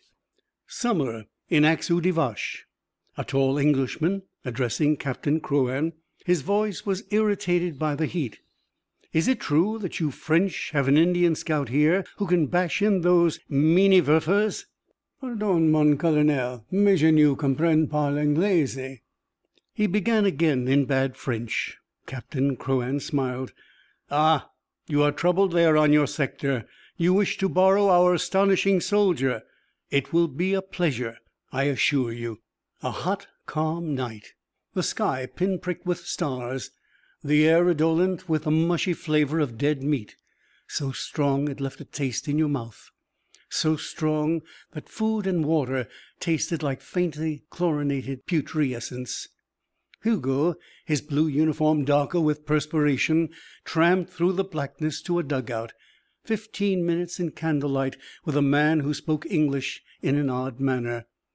They've been raising bloody hell with us from a point about there the tap of a pencil. We've got little enough confidence in you, God knows. Thank you. Don't be huffy. We're obliged to your captain for the loan of you, but we've lost too many trying to take that place ourselves not to be fed up with it. I suppose you'll want a raiding party." "No, thanks." "But, Cripes, you can't make it out there alone." "I can do it," Hugo smiled. "And you've lost so many of your own men." "Very well." Otto Meyer pushed his helmet back on his sandy haired head and gasped in the feverish air. A non commissioned officer passing behind him shoved the helmet over his eyes with a muttered word of caution. Otto shrugged. Half a dozen men lounged near by. Beside and above them were the muzzles of four squat guns and the irregular silhouette of a heap of ammunition. Two of the men rolled onto their backs and panted. "I wish," one said in a soft voice, "that I was back in the Hofbrau at Munich with a tall stein of beer, with that fat Fräulein that kissed me on the Potsdam station last September, sitting at my side, and the orchestra playing." Otto flung a clod of dank earth at the speaker. There were chuckles from the shadows that sucked in and exhaled the rancid air. Outside the pit in which they lay there was a gentle thud. Otto scrambled into a sitting posture. "What is that?" "Nothing. Even these damned English aren't low enough to fight us in this weather." "You can never tell. At night, in the first battle of listen!" The thud was repeated much closer. It was an ominous sound, like the drop of a sack of earth from a great height. Otto picked up a gun. He was a man who perspired freely, and now, in that single minute, his face trickled. He pointed the gun into the air and pulled the trigger. It kicked back and jarred his arm. In the glaring light that followed, six men peered through the spider web of the wire. They saw nothing. "You see?" Their eyes smarted with the light and dark so swiftly exchanged. Came a thud in their midst, a great thud that spattered the dirt in all directions. "Something has fallen! A shell! It's a dud!" The men rose and tried to run. Otto had regained his vision and saw the object that had descended. A package of yellow sticks tied to a great mass of iron, wired to it. Instead of running, he grasped it. His strength was not enough to lift it. And then for one short eternity he saw a sizzling spark move toward the sticks. He clutched at it. Help! The guns must be saved! A bomb! He knew his arms surrounded death. I cannot His feeble voice was blown to the four winds at that instant. A terrible explosion burst from him, shattering the escaping men, blasting the howitzers into fragments, enlarging the pit to enormous dimensions. Both fronts crattered with machine gun fire. Flares lit the terrain. Hugo, running as if with seven league boots, was thrown on his face by the concussion. Winter. Mud. A light fall of snow that was split into festers by the guns before it could anneal the ancient sores. Hugo shivered and stared into No Man's Land, whence a groan had issued for twenty hours, audible occasionally over the tumult of the artillery. He saw German eyes turn mutely on the same heap of rags that moved pitifully over the snow, leaving a red wake, dragging a bloody thing behind. It rose and fell, moving parallel to the two trenches. Many machine gun bullets had either missed it or increased its crimson torment. Hugo went out and killed the heap of rags with a revolver that cracked until the groans stopped into a low moan. Breaths on both sides were bated. The rags had been gray green. A shout of low, rumbling praise came from the silent enemy trenches. Hugo looked over there for a moment and smiled. He looked down at the thing and vomited. The guns began again. Another winter. Time had become stagnant.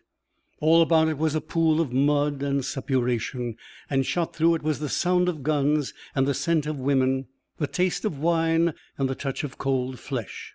Somewhere, he could not remember distinctly where, Hugo had a clean uniform, a portfolio of papers, a jewel case of medals. He was a great man, a man feared, the Colorado in the Foreign Legion. Men would talk about what they had seen him accomplish all through the next fifty years at watering places in the Sahara, at the crackling fires of country house parties in Shropshire, on the shores of the South Seas, or on the moon, maybe. Old men at the last would clear the phlegm from their skinny throats and begin: "When I was a fightin' with the Legion in my youngest days, there was a feller in our company that came from some place in wild America that I disrecollect." And younger, more sanguine men would listen and shake their heads and wish there was a war for them to fight. Hugo was not satisfied with that. Still he could see no decent exit and contrive no better use for himself. He clung frantically to the ideals he had taken with him and to the splendid purpose with which he had emblazoned his mad lust to enlist. Marseilles and the sentiment it had inspired seemed very far away. He thought about it as he walked toward the front, his head bent into the gale and his helmet pitched to protect his eyes from the sting of the rain. That night he slept with Shayne, a lieutenant now, twice wounded, thrice decorated, and like Hugo, thinner than he had been, older, with eyes grown bleak and seldom vehement. He resembled his lean Yankee ancestors after their exhausting campaigns of the wilderness, alive and sentient only through a sheer stubbornness that brooked neither element nor disaster. Only at rare moments did the slight strain of his French blood lift him from that grim posture. Such a moment was afforded by the arrival of Hugo. "Great God, Hugo, we haven't seen you in a dog's age!" Other soldiers smiled and brought rusty cigarettes into the dugout where they sat and smoked. Hugo held out his hand. "Been busy. Glad to see you." "Yes, I know how busy you've been. Up and down the lines we hear about you, Le Colorado. Damned funny war. You'd think you weren't human, or anywhere near human, to hear these birds. Wish you'd tell me how you get away with it. Hasn't one nicked you yet?" "Not yet." "God damn! Got me here." He tapped his shoulder. "And here." His thigh. "That's tough. I guess the sort of work I do isn't calculated to be as risky as yours," Hugo said. "Humph! That you can tell to Sweeny." The Frenchmen were still sitting politely, listening to a dialogue they could not understand. Hugo and Shayne eyed each other in silence a long, penetrating silence. At length the latter said soberly: "Still as enthusiastic as you were that night in Marseilles?" "Are you?" "I didn't have much conception of what war would be then." "Neither did I," Hugo responded. "And I'm not very enthusiastic any more." "Oh, well exactly." "Heard from your family?" "Sure." "Well " They relapsed into silence again. By and by they ate a meal of cold food, supplemented by rank, steaming coffee. And then they slept. Before dawn Hugo woke feeling like a man in the mouth of a volcano that had commenced to erupt. The universe was shaking. The walls of the dugout were molting chunks of earth. The scream and burst of shells were constant. He heard Shayne's voice above the din, issuing orders in French. Their batteries were to be phoned, a protective counter fire, a barrage in readiness in case of attack which seemed imminent. Larger shells drowned the voice. Hugo rose and stood beside Shayne. "Coming over?" "Coming over." A shapeless face spoke in the gloom. The voice panted: "We must get out of here, my Lieutenant. They are smashing in the dugout." A methodical scramble to the orifice. Hell was rampaging in the trench. The shells fell everywhere. Shayne shook his head. It was neither light nor dark. The incessant, blinding fire did not make things visible except for fragments of time and in fantastic perspectives. Things belched and boomed and smashed the earth and whistled and howled. It was impossible to see how life could exist in that cauldron. And yet men stood calmly all along the line. A few of them, here and there, were obliterated. The red sky in the southeast became redder with the rising sun. Hugo remained close to the wall. It was no novelty for him to be under shell fire, but at such times he felt the need of caution with which he could ordinarily dispense. If one of the steel cylinders found him, even his mighty frame might not contain itself. Even he might be rent asunder. Shayne saw him and smiled. Twenty yards away a geyser of fire sprayed the heavens. Ten feet away a fragment of shell lashed down a pile of sand bags. Shayne's smile widened. Hugo returned it. Then red fury enveloped the two men. Hugo was crushed ferociously against the wall and liberated in the same second. He fell forward, his ears singing and his head dizzy. He lay there aching. Dark red stains flowed over his face from his nose and ears. Painfully he stood up.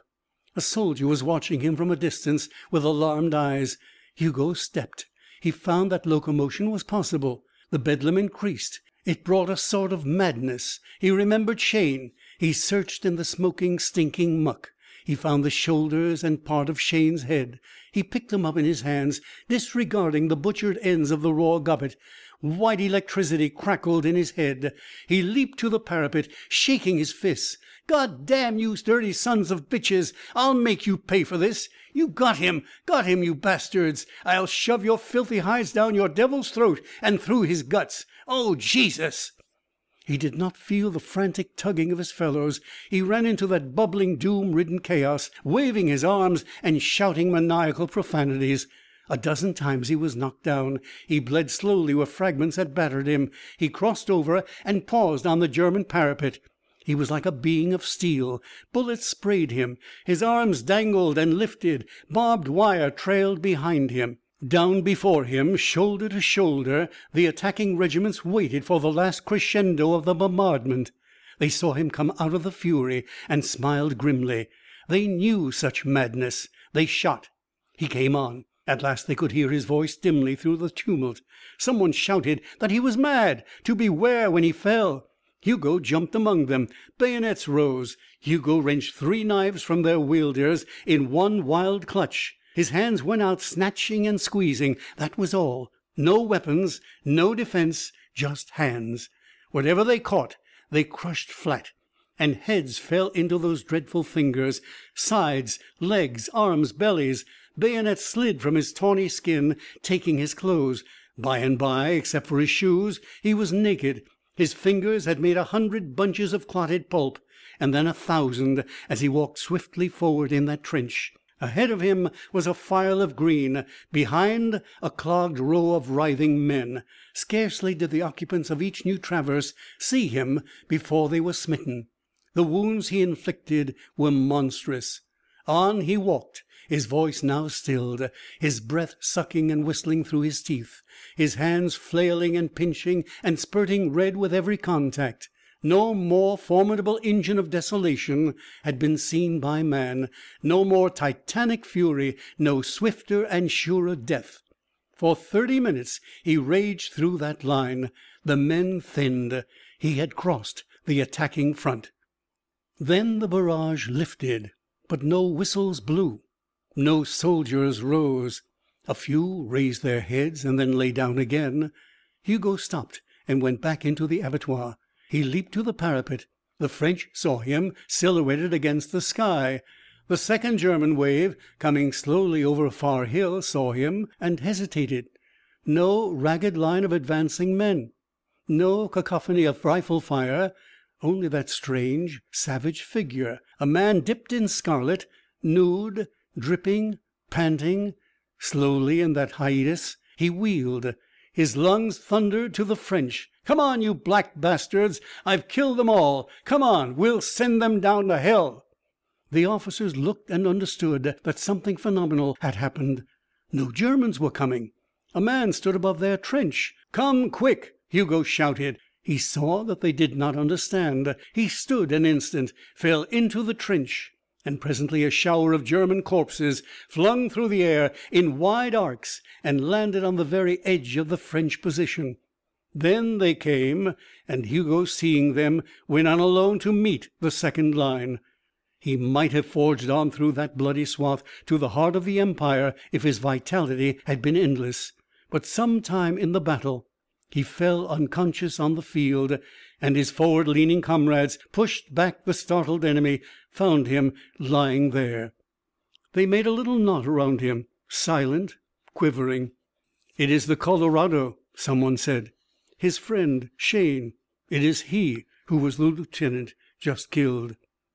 They shook their heads and felt a strange fear of the unconscious man. "He is breathing." They called for stretcher bearers. They faced the enemy again, bent over the stocks of their rifles, and surged forward. Hugo was washed and dressed in pajamas. His wounds had healed without the necessity of a single stitch. He was grateful for that, otherwise the surgeons might have had a surprise which would have been difficult to allay. He sat in a wheel chair, staring across a lawn. An angular woman, in an angular hat and tailored clothes, was trying to engage him in conversation. "Is it very painful, my man?" Hugo was seeing that trench again. The pulp and blood and hate of it. "Not very." Her tongue and saliva made a noise. "Don't tell me. I know it was. I know how you all bleed and suffer." "Madam, it happens that my wounds were quite superficial." "Nonsense, my boy. They wouldn't have brought you to a base hospital in that case. You can't fool me." "I was suffering only from exhaustion." She paused. He saw a gleam in her eye. "I suppose you don't like to talk about things. Poor boy, but I imagine your life has been so full of horror that it would be good for you to unburden yourself. Now tell me, just what does it feel like to bayonet a man?" Hugo trembled.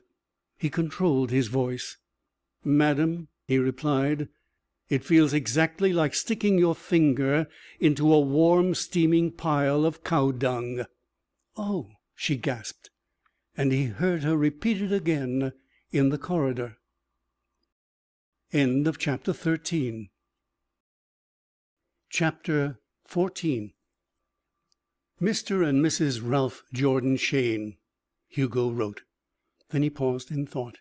He began again. I met your son in Marseilles and was with him most of the time until his death. He hesitated. In fact he died in my arms from the effect of the same shell which sent me to this hospital. He is buried in Carcy Cemetery on the south side. It is for that reason I take the liberty to address you.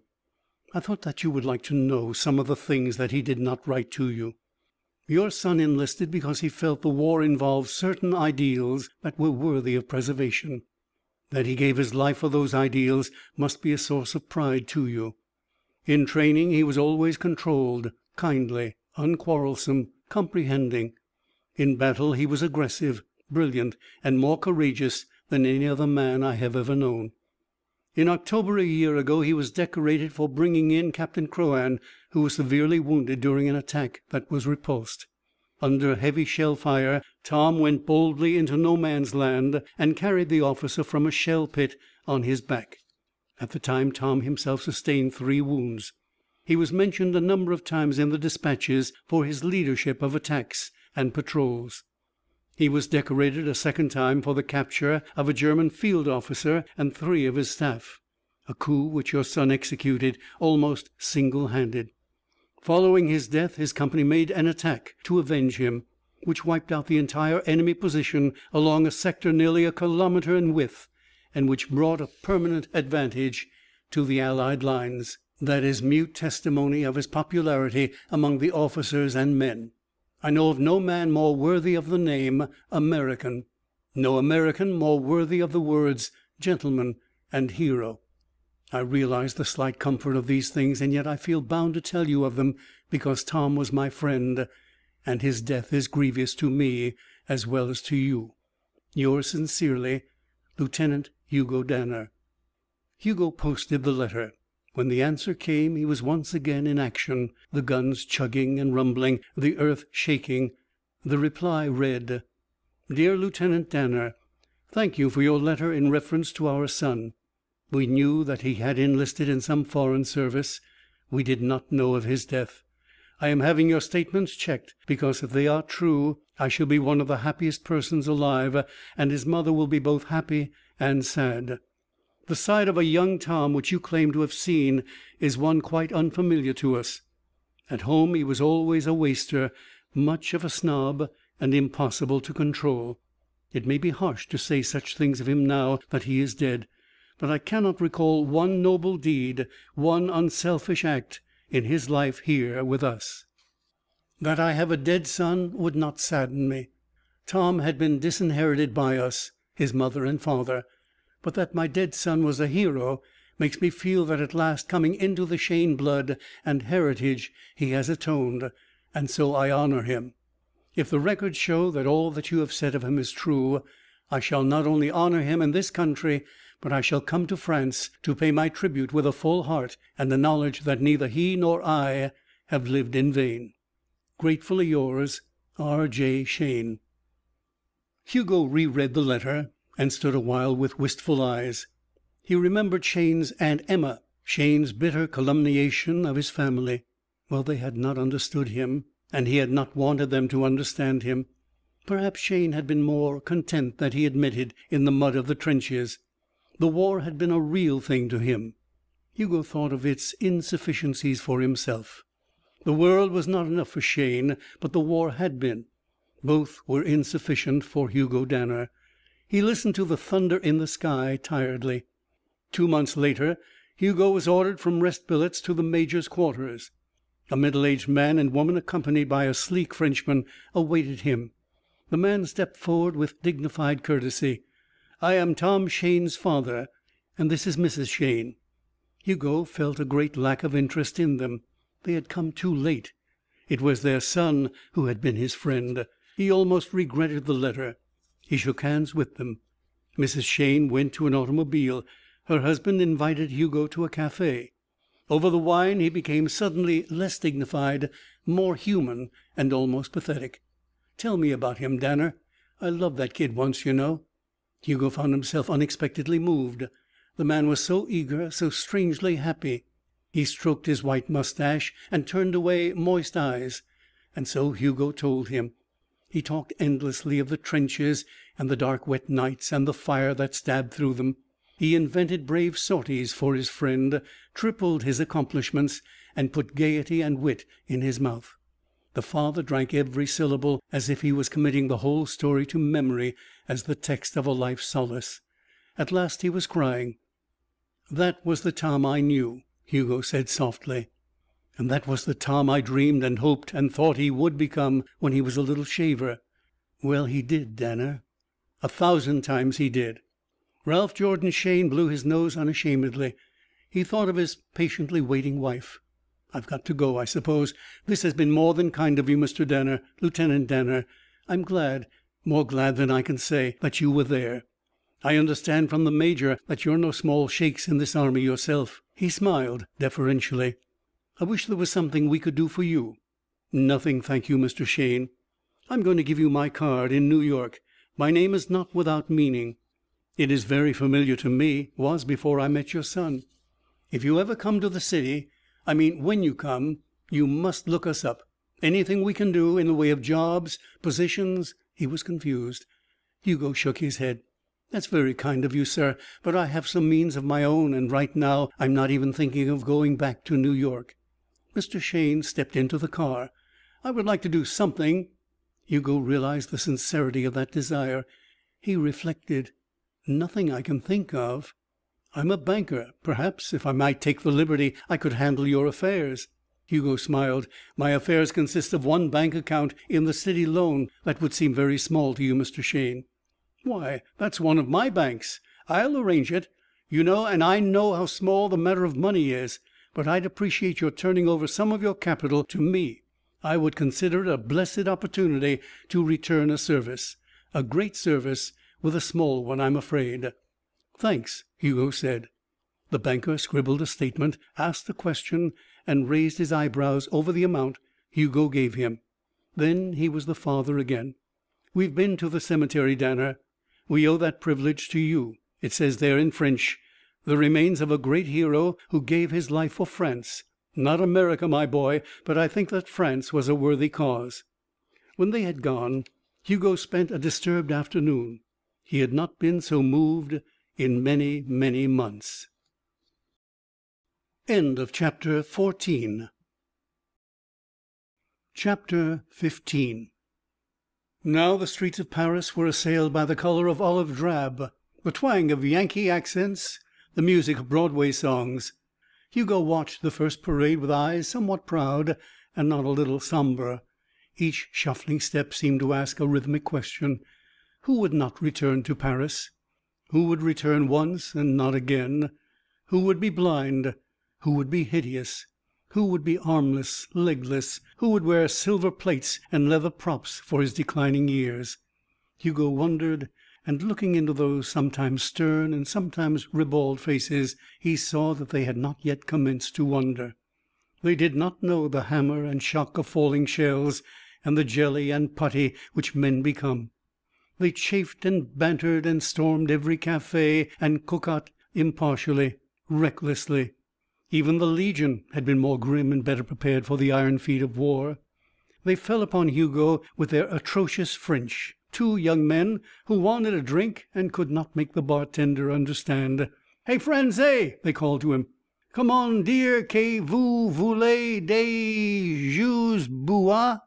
Hugo smiled and said, "What do you birds want to drink?" "God Almighty, here's a frog that speaks United States. Get the gang. What's your name, Bo?" "Danner." "Come on and have a flock of drinks on us. You're probably dying on French pay. You order for the gang and we'll treat eager, grinning American faces. "Can you get whisky in this God forsaken dump?" "Straight or highball?" "That's the talk. Straight, Dan. We're in the army now." Hugo drank with them. Only for one moment did they remember they were in the army to fight. "Say, Dan, the war really as tough as they claim it is?" "I don't know how tough they claim it is." "Well, you seen much fighting?"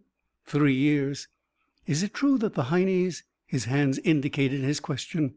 "Sometimes. Accidentally, more or less. You can't help it." "And do them machine guns really mow 'em down?" Hugo shrugged. "There are only four men in service now who started with my company." "Ouch!" "Garçon, encore, and tell 'em to make it double no, triple. Dan, old man, it may be my last." To Hugo: "Well, it's about time we got here and took the war off your shoulders. You guys sure have had a bellyful and I'm going to get me one right here and now. Bottoms up, you guys." Hugo was transferred to an American unit. The officers belittled the recommendations that came with him. They put him in the ranks. He served behind the lines for a week. Then his regiment moved up. As soon as the guns began to rumble, a nervous second lieutenant edged toward the demoted private. "Say, Danner, you've been in this before. Do you think it's all right to keep on along this road the way we are?" "I'm sure I couldn't say. You're taking a chance. Plane strafing and shells." "Well, what else are we to do? Those are our orders." "Nothing," Hugo said. When the first shells fell among them, however, Danner forgot that his transference had cost his commission and sadly bereft Captain Crouan and his command.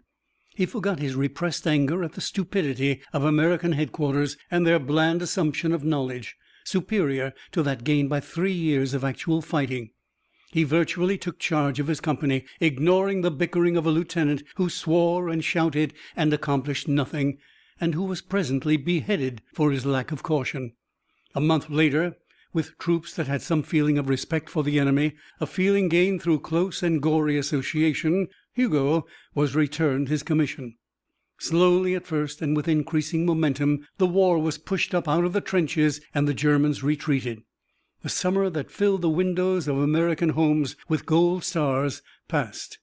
Hugo worked like a slave out beyond the front trenches scouting, spying, destroying, salvaging, bending his heart and shoulders to a task that had long since become an acid routine. September, October, November. The end of that holocaust was very near. Then there came a day warmer than the rest and less rainy. Hugo was riding toward the lines on a camion. He rode as much as possible now. He had not slept for two days. His eyes were red and twitching. He felt tired, tired as if his fatigue were the beginning of death, tired so that nothing counted or mattered, tired of killing, of hating, of suffering, tired even of an ideal that had tarnished through long weathering. The camion was steel and it rattled and bumped as it moved over the road. Hugo lay flat in it, trying to close his eyes. After a time, moving between the stumps of a row of poplars, they came abreast of a regiment returning from the battle. They walked slowly and dazedly. Each individual was still amazed at being alive after the things he had witnessed. Hugo raised himself and looked at them. The same expression had often been on the faces of the French. The long line of the regiment ended. Then there was an empty space on the road, and the speed of the truck increased. Finally it stopped with a sharp jar, and the driver shouted that he could go no farther. Hugo clambered to the ground. He estimated that the battery toward which he was traveling was a mile farther. He began to walk. There was none of the former lunge and stride in his steps. He trudged, rather, his head bent forward. A little file of men approached him, and even at a distance he did not need a second glance to identify them, walking wounded. By ones and twos they began to pass him. He paid scant attention. Their field dressings were stained with the blood that their progress cost. They cursed, and muttered. Some one had given them cigarettes, and a dozen wisps of smoke rose from each group. It was not until he reached the end of the straggling line that he looked up. Then he saw one man whose arms were both under bandage, walking with another whose eyes were covered and whose hand rested on his companion's shoulder, guided his stumbling feet. Hugo viewed them as they came on, and presently heard their conversation. "Christ, it hurts," one of them said. "The devil with hurting, boy," the blinded man answered. "So do I, for that matter. I feel like there was a hot poker in my brains." "Want another butt?" "No, thanks. Makes me kind of sick to drag on them. Wish I had a drink, though. Who doesn't?" Hugo heard his voice. "Hey, you guys," he'd said. "Here's some water. And a shot of cognac, too." The first man stopped, and the blind man ran into him, bumping his head. He gasped with pain, but his lips smiled. "Damn nice of you, whoever you are." They took the canteen and swallowed. "Go on," Hugo said, and permitted himself a small lie. "I can get more in a couple of hours." He produced his flask. "And finish off with a shot of this." He held the containers for the armless man and handed them to the other. Their clothes were ragged and stained. Their shoes were in pieces. Sweat had soaked under the blind man's armpits and stained his tunic. As Hugo watched him swallow thirstily, he started. The chin and the hair were familiar. His mind spun. He knew the voice, although its tenor was sadly changed. "Good God!" he said involuntarily. "It's Lefty!" Lefty stiffened. "Who are you?" "Hugo Danner." Hugo Danner! The tortured Blaine reflected. Hugo! Good old Hugo! What in the name of Jesus are you doing here? Same thing you are. An odd silence fell. The man with the shattered arms broke it. Know this feller? Do I know him? Gee, he was at college with me. One of my buddies. Gosh. His hand reached out. Put it there, Hugo. They shook hands. Got it bad, Lefty? The bound head shook. Not so bad, I guess. I kind of feel that I won't be able to see much any more. Eyes all washed out. Got mustard gas in 'em. But I'll be all right, you know. A little thing like that's nothing. Glad to be alive. Still have my sex appeal, anyhow. Still got the old appetite. But listen, what happened to you? Why in hell did you quit? Woodman nearly went crazy looking for you. Oh. Hugo's thoughts went back a distance that seemed infinite, into another epoch and another world. Oh, I just couldn't stick it. Say, you guys, wait a minute. He turned. His camion driver was lingering in the distance. Wait here. He rushed back.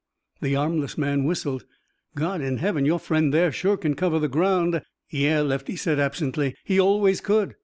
In a moment Hugo returned. I got it all fixed up for you two to ride in. No limousine, but it'll carry you. Lefty's lip trembled. Gee, Jesus Christ, he amended stubbornly. That's decent. I don't feel so dusty to day. Damn it, if I had my eyes, I guess I'd cry. Must be the cognac. Nothing at all, Lefty, old kid. Here, I'll give you a hand. He took Lefty's arm over his shoulder, encircled him with his own, and carried him rapidly over the broken road. "Still got the old fight," Lefty murmured as he felt himself rushed forward. "Still. Been in this mess long?" "Since the beginning." "I should have thought of that. I often wondered what became of you. Iris used to wonder, too." "How is she?" "All right." They reached the truck. Lefty sat down on the metal bottom with a sigh. "Thanks, old bean.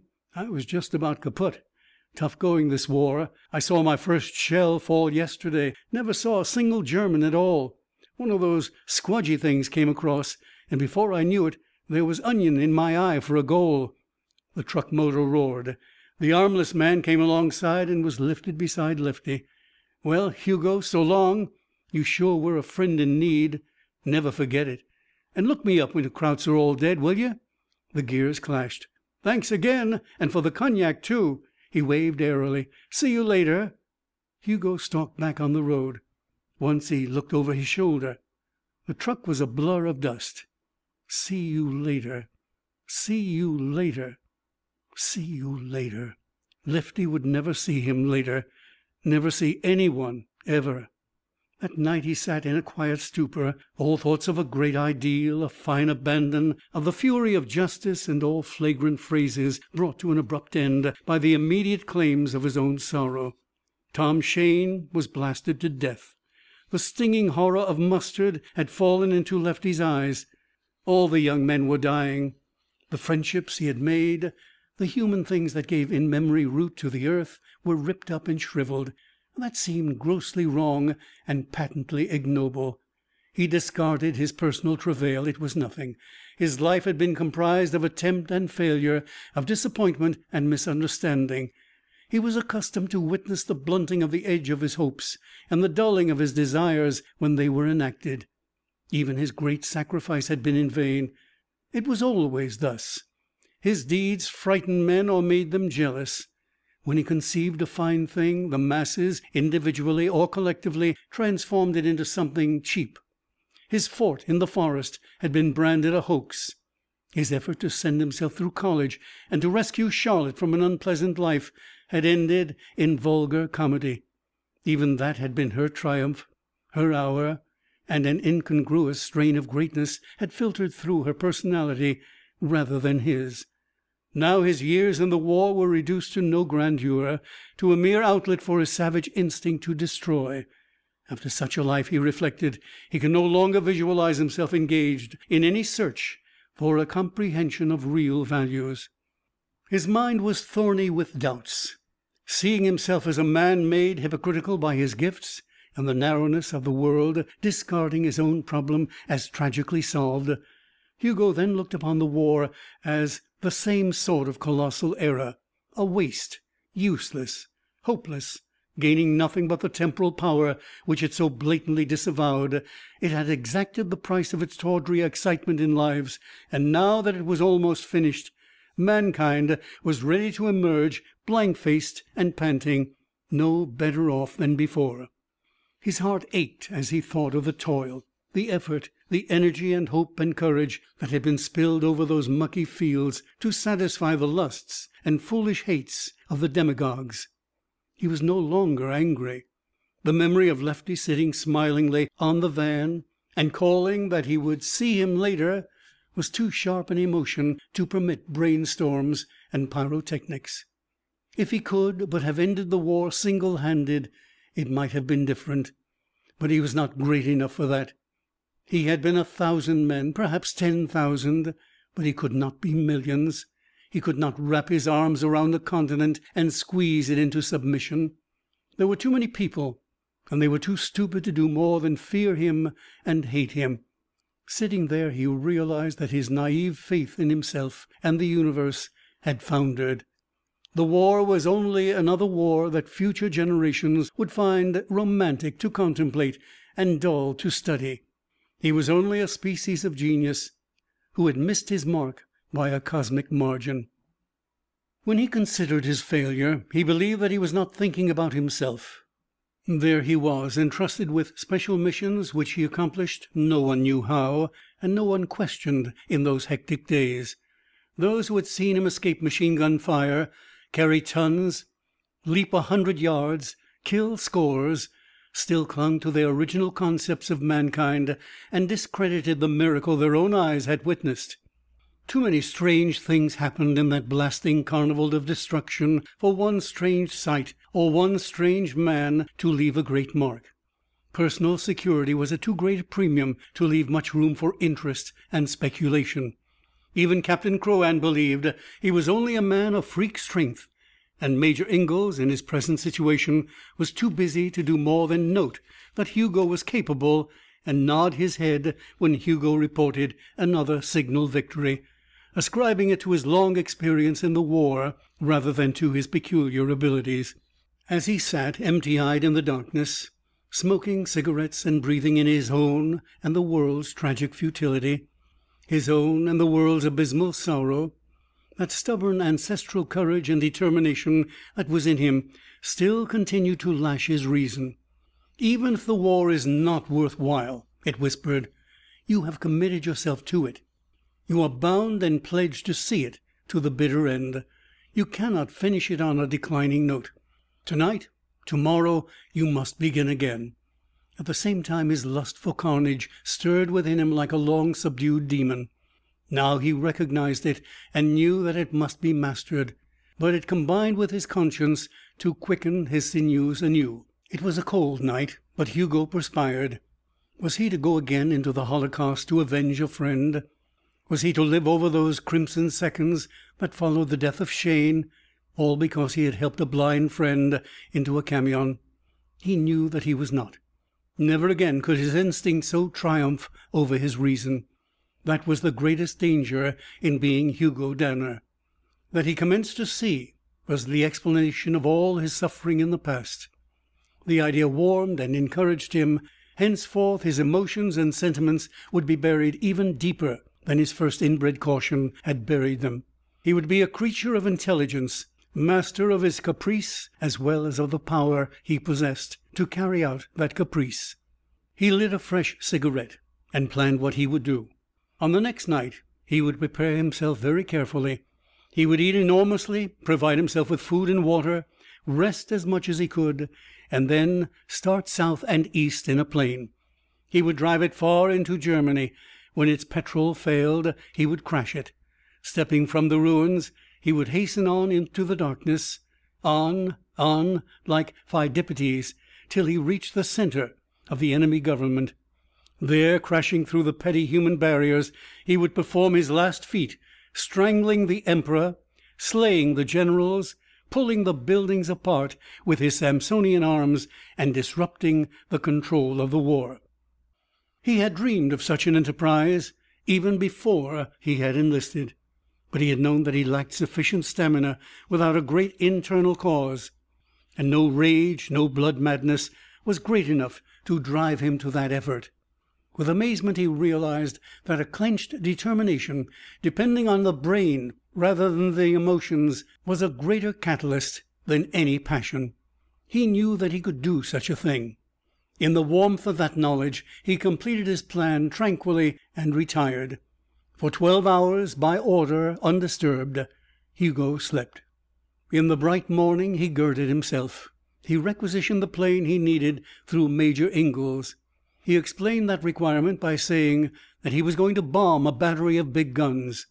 The plane offered was an old one. Hugo had seen enough of flying in his French service to understand its navigation. He ate the huge meal he had planned, and then, a cool and grim man, he made his way to the hangar.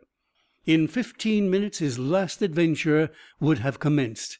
But a dispatch rider, charging onto the field in a roaring motorcycle, announced the signing of the armistice and the end of the war. Hugo stood near his plane when he heard the news. Two men at his side began to cry, one repeating over and over, "And I'm still alive! So help me God! I wish I was dead like Joey!" Hugo was rigid. His first gesture was to lift his clenched fist and search for an object to smash with it. The fist lingered in the air. His rage passed rage that would have required a giant vent had it occurred two days sooner. He relaxed. His arm fell. He ruffled his black hair. His blacker eyes stared and then twinkled. His lips smiled for the first time in many months. His great shoulders sagged. "I should have guessed it," he said to himself, and entered the rejoicing with a fervor that was unexpected. End of chapter XVI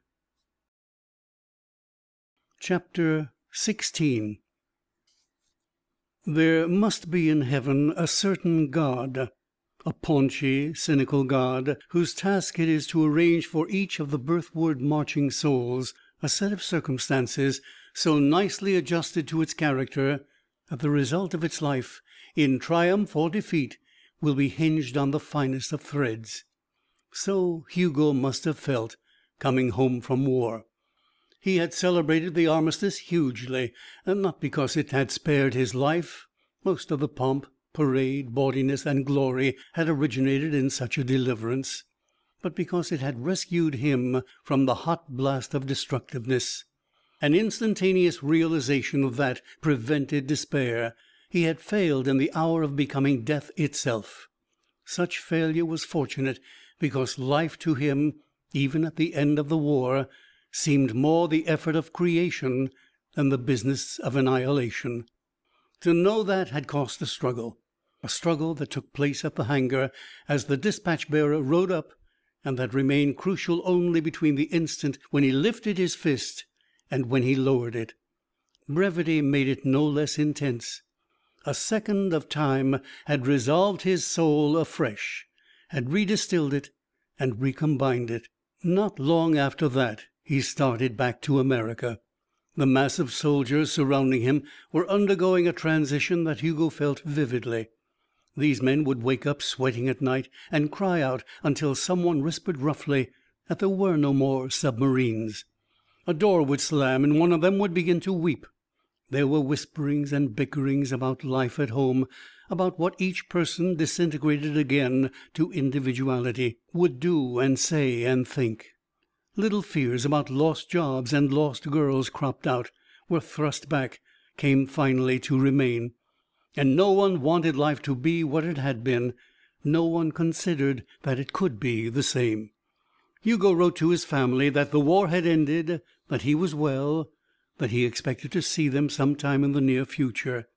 The ship that carried him reached the end of the blue sea, and he was disembarked and demobilized in New York. He realized even before he was accustomed to the novelty of civilian clothes that a familiar, friendly city had changed the retrospective spell of the eighties and nineties had vanished. New York was brand new, blatant, rushing, prosperous. The inheritance from Europe had been assimilated. A social reality, entirely foreign and American, had been wrought and New York was ready to spread it across the parent world. Those things were pressed quickly into Hugo's mind by his hotel, the magazines, a chance novel of the precise date, the cinema, and the more general, more indefinite human pulses. After a few days of random inspection, of casual imbibing, he called upon Tom Shayne's father. He would have preferred to escape all painful reminiscing, but he went partly as a duty and partly from necessity. He had no money whatever. A butler opened the door of a large stone mansion and ushered Hugo to the library, where Mr. Shayne rose eagerly. "I'm so glad you came. Knew you'd be here soon. How are you?" Hugo was slightly surprised. In his host's manner was the hardness and intensity that he had observed everywhere. "I'm very well, thanks." "Splendid. Cocktails, Smith?" There was a pause. Mr. Shayne smiled. "Well, it's over, eh?" "Yes." "All over, and now we've got to beat the spears into ploughshares, eh?" "We have." Mr. Shayne chuckled. "Some of my spears were already made into ploughs. And it was a great season for the harvest, young man, a great season." Hugo was still uncertain of Mr. Shayne's deepest viewpoint. His uncertainty nettled him. "The grim reaper has done some harvesting on his own account." He spoke almost rudely. Mr. Shayne frowned disapprovingly. I made up my mind to forget, Danner. To forget and to buckle down. And I've done both. You'll want to know what happened to the funds I handled for you." "I wasn't particularly " The older man shook his head with grotesque coyness. "Not so fast. Not so fast. You were particularly eager to hear. We're getting honest about our emotions in this day and place. You're eaten with impatience. Well, I won't hold out, Danner. I've made you a million. A clean, cold million." Hugo had been struggling in a rising tide of incomprehension. That statement engulfed him. "Me? A million? "In the bank, in your name, waiting for a blonde girl." "I'm afraid I don't exactly understand, Mr. Shayne." The banker readjusted his glasses and swallowed a cocktail by tipping back his head. Then he rose, paced across the broad carpet, and faced Hugo. "Of course you don't understand. Well, I'll tell you about it. Once you did a favor for me which has no place in this conversation." He hesitated. His face seemed to flinch and then to be jerked back to its former expression. "In return I've done a little for you. And I want to add a word to the gift of your bank book. You have, if you're careful, leisure to enjoy life, freedom, the world at your feet. No more strife for you, no worry and no care. Take it. Be a hedonist. There's nothing else. I've lain in bed nights enjoying the life that lies ahead of you, my boy. Vicariously, voluptuously. Catchy phrase, isn't it? My own. I want to see you do it up brown." Hugo rubbed his hand across his forehead. It was not long ago that this same man had sat at an estaminet and wept over snatches of a childhood which death had made sacred. Here he stood now asking that a life be done up brown, and meaning cheap, obvious things. He wished that he had never called on Tom's father. "That wasn't my idea of living," he said slowly. "It will be. Forget the war. It was a dream. I realized it suddenly. If I had not, I would still be just a banker. Not a great banker. The great banker. I saw suddenly that it was a dream. The world was mad. So I took my profit from it, beginning on the day I saw." "How, exactly?" "Eh?" "I mean how did you profit by the war?" Mr. Shayne smiled expansively. "What was in demand then, my boy? What were the stupid, traduced, misguided people raising billions to get? What? Why, shells, guns, foodstuffs. For six months I had a corner on four chemicals vitally necessary to the government. And the government got them at my price. I owned a lot of steel. I mixed food and diplomacy in equal parts, and when the pie was opened it was full of solid gold." Hugo's voice was strange. "And that is the way my money was made?" "It is." Mr. Shayne perceived that Hugo was angry. "Now, don't get sentimental. Keep your eye on the ball. I " He did not finish, because Mrs. Shayne came into the room. Hugo stared at him fixedly, his face livid, for several seconds before he was conscious of her. Even then it was only a partial consciousness. She was stuffed into a tight, bright dress. She was holding out her hand, holding his hand, holding his hand too long. There was mascara around her eyes, and they dilated and blinked in a foolish and flirtatious way. Her voice was syrup. She was taking a cocktail with the other hand. Maybe if he gave her hand a real squeeze she would let go.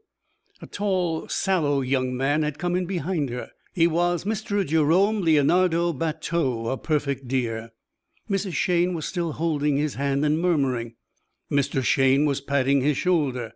Mr. Bateau was staring with haughty and jealous eyes. Hugo excused himself. In the hall he asked for Mr. Shayne's secretary. He collected himself in a few frigid sentences. "Please tell Mr. Shayne I am very grateful. I wish to transfer my entire fortune to my parents in Indian Creek, Colorado. The name is Abednego Danner. Make all arrangements, please." A faint "but" followed him futilely through the door. In the space of a block he had cut a pace that set other pedestrians gaping to a fast walk. End of chapter XVII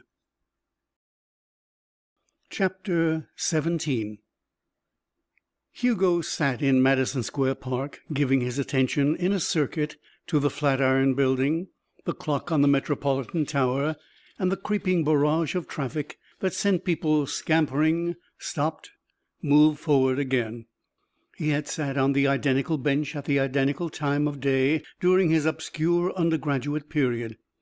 To repeat that contemplative stasis after so much living had intervened ought to have produced an emotion. He had gone to the park with that idea, but the febrile fires of feeling were banked under the weight of many things and he could suffer nothing, enjoy nothing, and think but one fragmentary routine.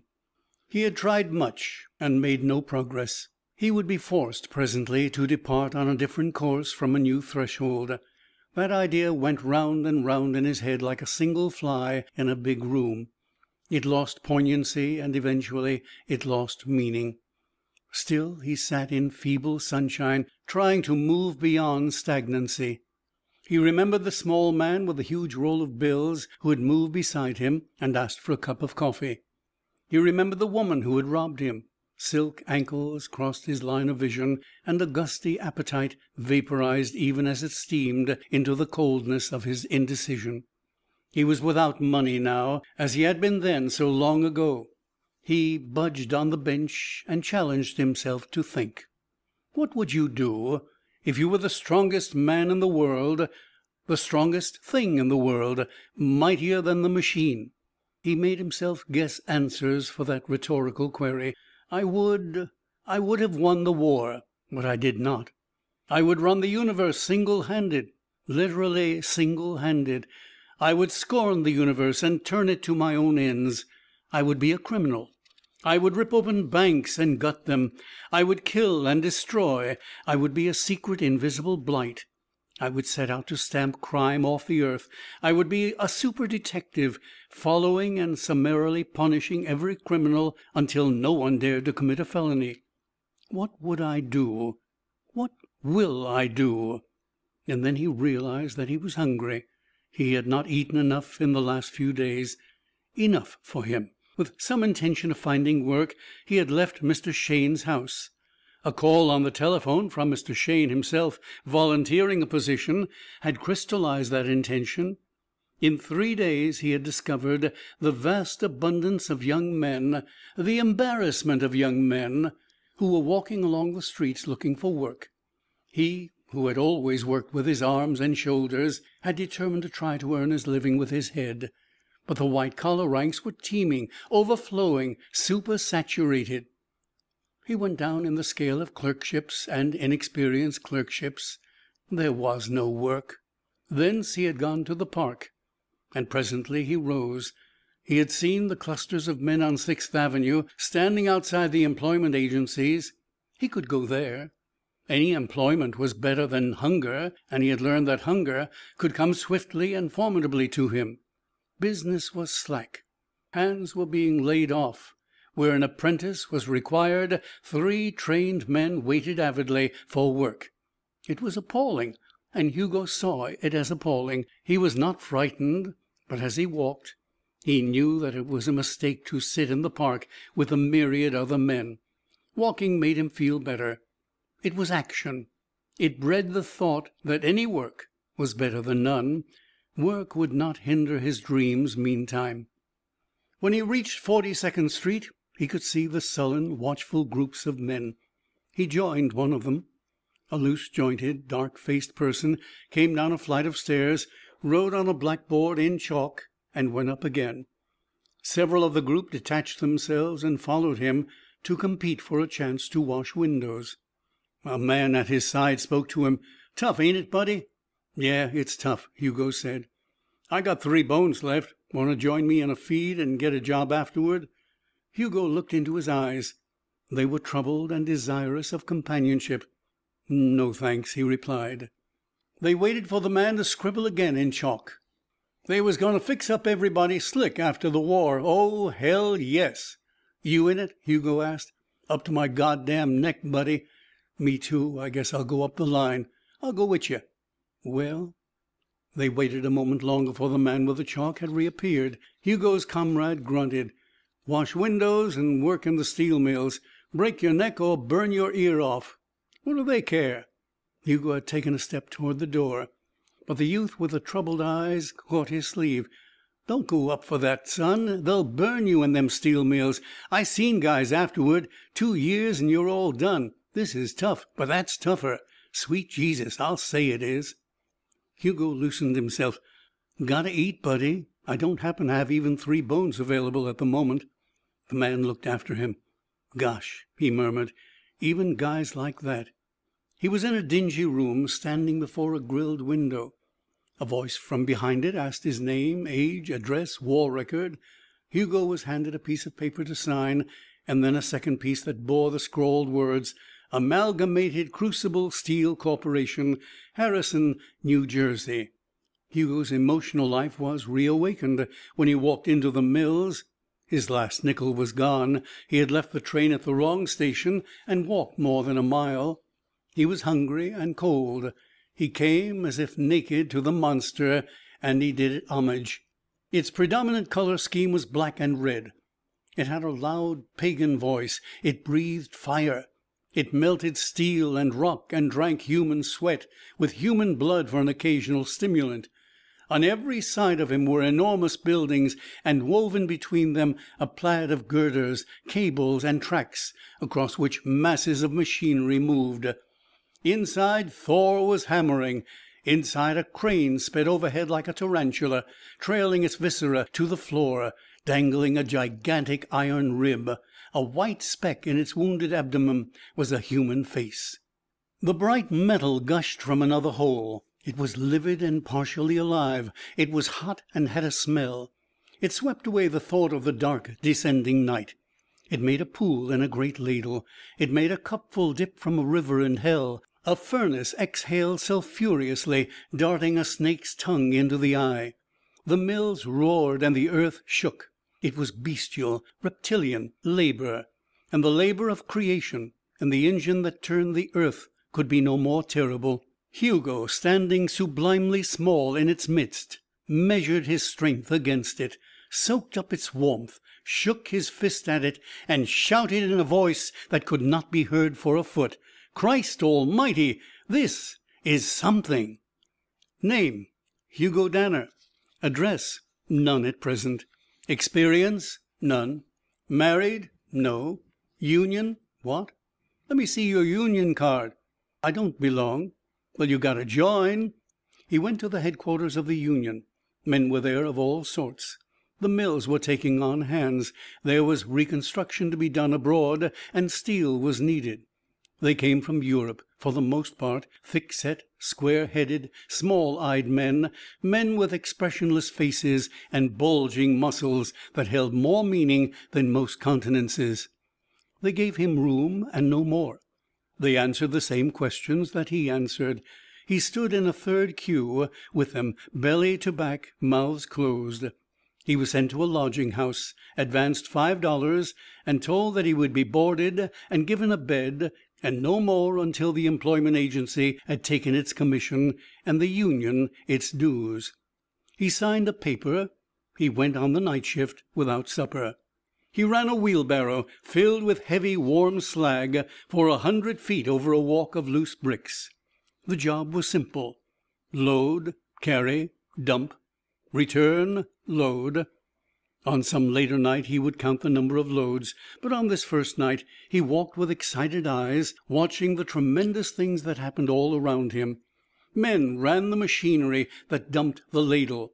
Men guided liquid iron from the furnaces into a maze of channels and cloughs, clearing the way through the sand, cutting off the stream, making new openings. Men wheeled the slag and steered the trains and trams and cranes. Men operated the hammers. And almost all the men were nude to the waist, sleek and shining with sweat. Almost all of them drank whisky. One of the men in the wheelbarrow line even offered a drink to Hugo. He held out the flask and bellowed in Czech. Hugo took it. The drink was raw and foul. Pouring into his empty stomach, it had a powerful effect, making him exalted, making him work like a demon. After a long, noisy time that did not seem long, a steam whistle screamed faintly, and the shift was ended. The Czech accompanied Hugo through the door. The new shift was already at work. They went out. A nightmare of brilliant orange and black fled from Hugo's vision, and he looked into the pale, remote chiaroscuro of dawn. "Me tired," the Czech said in a small, aimless tone. They flung themselves on dirty beds in a big room. But Hugo did not sleep for a time, not until the sun rose and day was evident in the grimy interior of the bunk house. That he could think while he worked had been Hugo's thesis when he walked up Sixth Avenue. Now, working steadily, working at a thing that was hard for other men and easy for him, he nevertheless fell into the stolid vacuum of the manual laborer. The mills became familiar, less fantastic. He remembered that oftentimes the war had given him a more dramatic passage of man's imagination forged into fire and steel. His task was changed numerous times. For a while he puddled pig iron with a long handled hoe like tool. "Don't slip in," they said. It was succinct, graphic. Then they put him on the hand cars that fed the furnaces.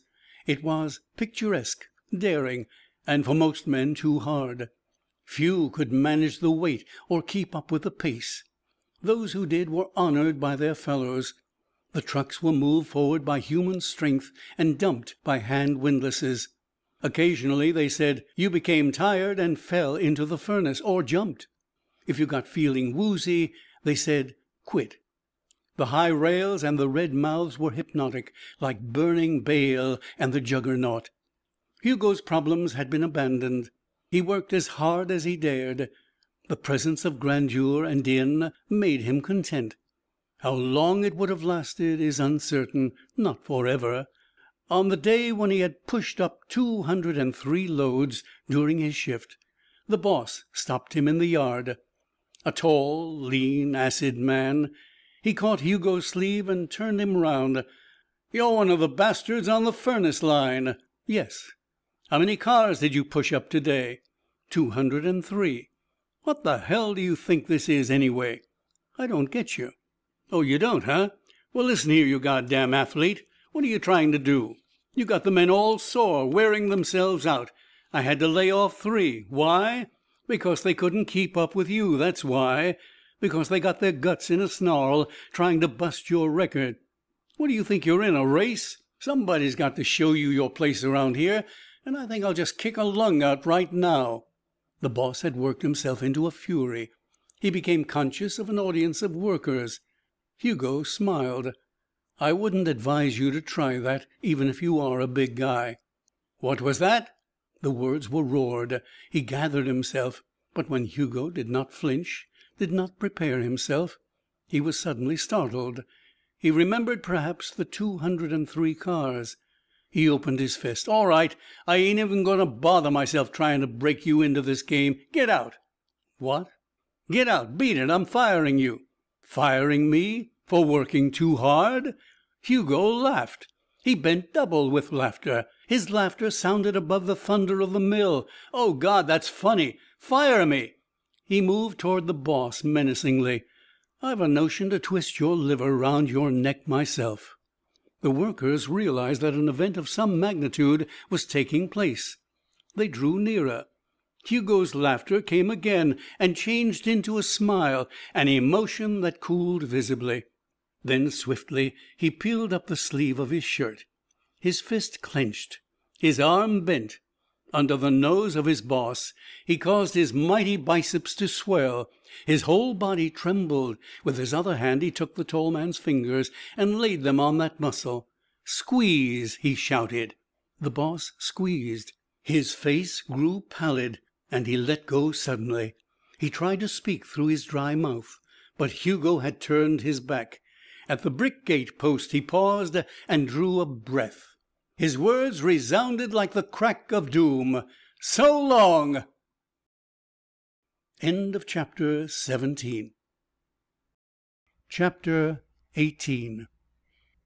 In the next four weeks Hugo knew the pangs of hunger frequently. He found odd jobs, but none of them lasted. Once he helped to remove a late snowstorm from the streets. He worked for five days on a subway excavation. His clothes became shabby. He began to carry his razor in his overcoat pocket and to sleep in hotels that demanded only twenty five cents for a night's lodging.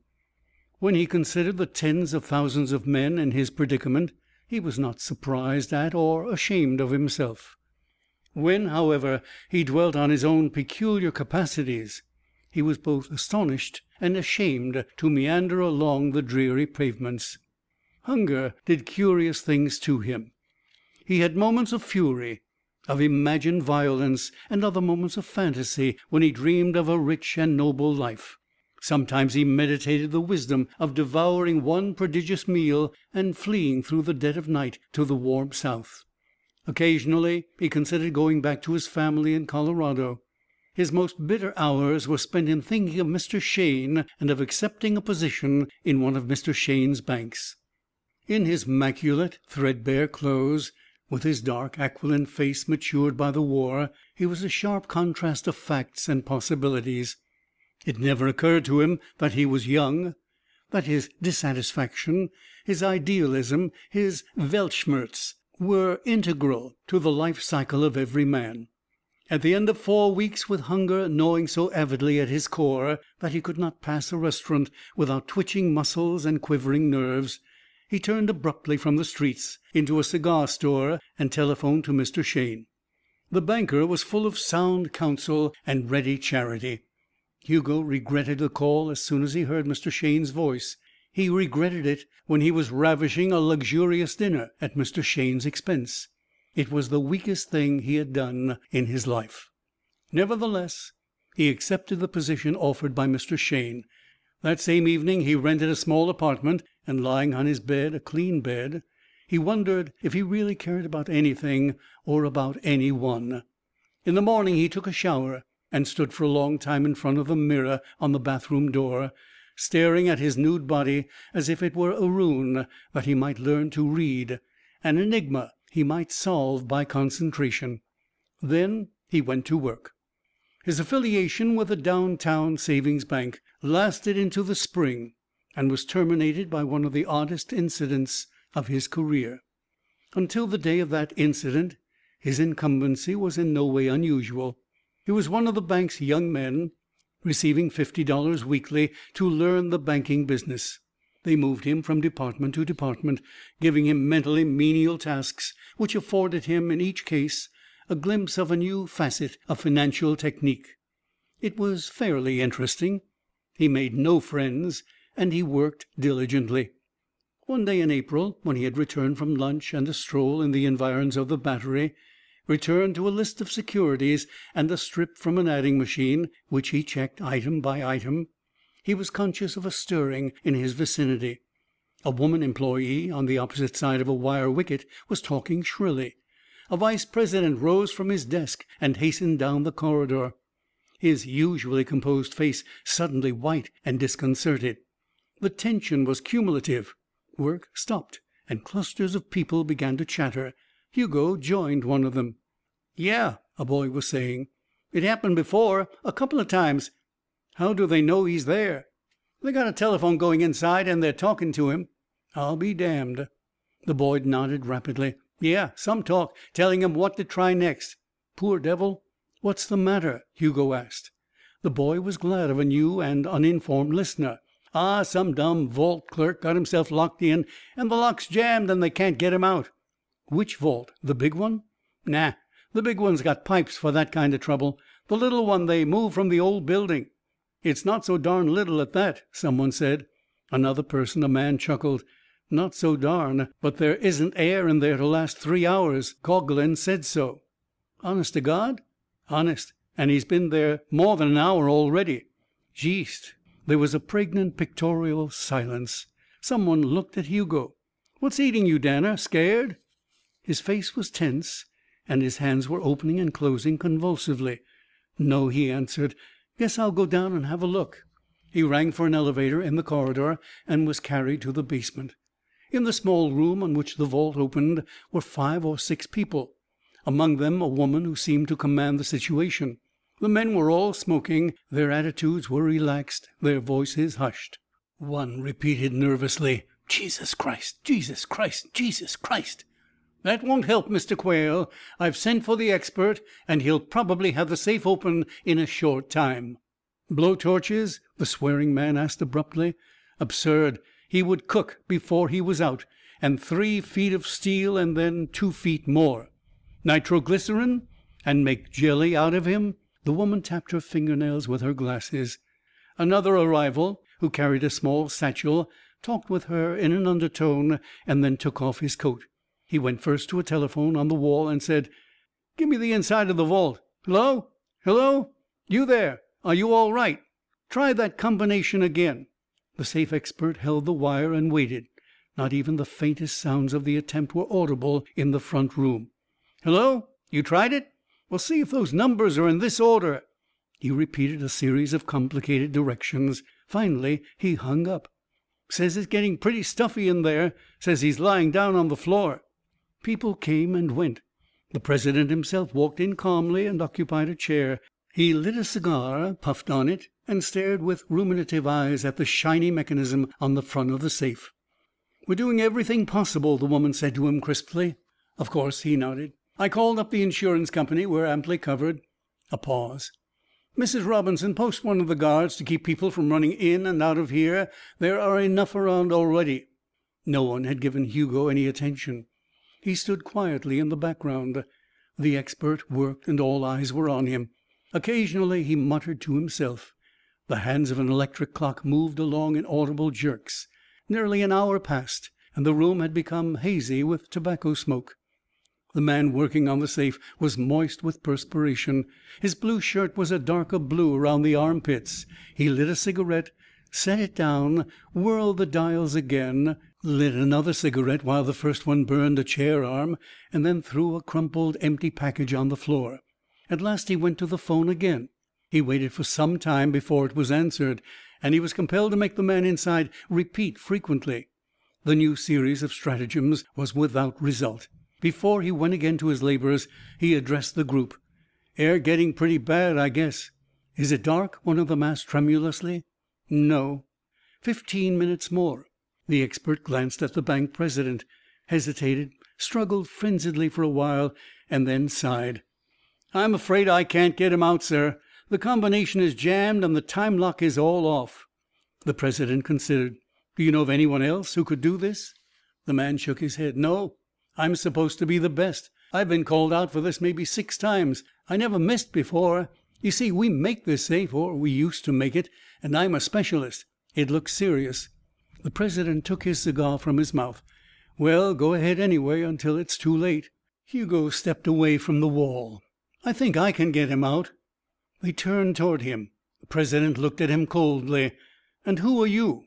"He's the new man Mr. Shayne recommended so highly." "Ah. And how do you propose to get him out, young man?" Hugo stood pensively for a moment. "By methods known only to me. I'm certain I can do it. But I will undertake it only if you will all leave the room." "Ridiculous," Mrs. Robinson said. The president's mouth worked. He looked more sharply at Hugo. And then he rose. "Come on, everybody." He spoke quietly to Hugo. "You have a nerve. How much time do you want?" "Five minutes." "Only five minutes," the president murmured as he walked from the chamber. Hugo did not move until they had all gone. Then he locked the door behind them. He walked to the safe and rapped on it tentatively with his knuckles. He removed his coat and vest. He planted his feet against the steel sill under the door. He caught hold of the two handles, fidgeted with his elbows, drew a deep breath and pulled. There was a resonant metallic sound. Something gave. The edge of the seven foot door moved outward and a miasma steamed through the aperture. Hugo changed his stance and took the door itself in his hands. His back bent. He pulled again, and with a reverberating clang and a falling of broken steel it swung out. Hugo dragged the man who lay on the floor to a window that gave on a grated pit. He broke the glass with his fist. The clerk's chest heaved violently. He panted, opened his eyes, and closed them tremblingly. Hugo put on his coat and vest and unlocked the door. The people outside all moved toward him. "It's all right," Hugo said. "He's out." Mrs. Robinson glanced at the clerk and walked to the safe. "He's ruined it," she said in a shrill voice. The president was behind her. He looked at the handles of the vault, which had been bent like hairpins. He stooped to examine the shattered bolts. And then his eyes traveled to Hugo. There was a profoundly startled expression in them. The clerk was sobbing. Presently he stopped. "Who got me out?" They indicated Hugo, and he crossed the floor on tottering feet. "Thanks, mister," he said piteously. "Oh, my God, what a wonderful thing to do! I I just passed out when I saw your fingers reaching around " "Never mind," Hugo interrupted. "It's all right, buddy." The president touched his shoulder. "Come up to my office." A doctor arrived. Several people left. Others stood around the demolished door. The president was alone when Hugo entered and sat down. He was cold, and he eyed Hugo coldly. "How did you do that?" Hugo shrugged. "That's my secret, Mr. Mills." "Pretty clever, I'd say." "Not when you know how." Hugo was puzzled. His ancient reticence about himself was acting together with a natural modesty. "Some new explosive?" "Not exactly." "Electricity? Magnetism? Thought waves?" Hugo chuckled. "No. All wrong. Could you do it on a modern safe?" "I don't know." President Mills rubbed his fingers on the mahogany desk. "I presume you were planning that for other purposes." "What?" Hugo said. "Very well done. Very well acted. I will play up to you, Mr. " "Danner." "Danner. I'll play up to this assumption of innocence. You have saved a man's life. You are, of course, blushingly modest. But you have shown your hand rather clearly. H'm." He smiled sardonically. "I read a book about a safe cracker who opened a safe to get a child out at the expense of his liberty and position or at the hazard of them. Anyhow, maybe you have read the same book." "Maybe," Hugo answered icily. "Safe crackers, blasters, light fingers educated to the dials and ears attuned to the tumblers we can cope with those things, Mr.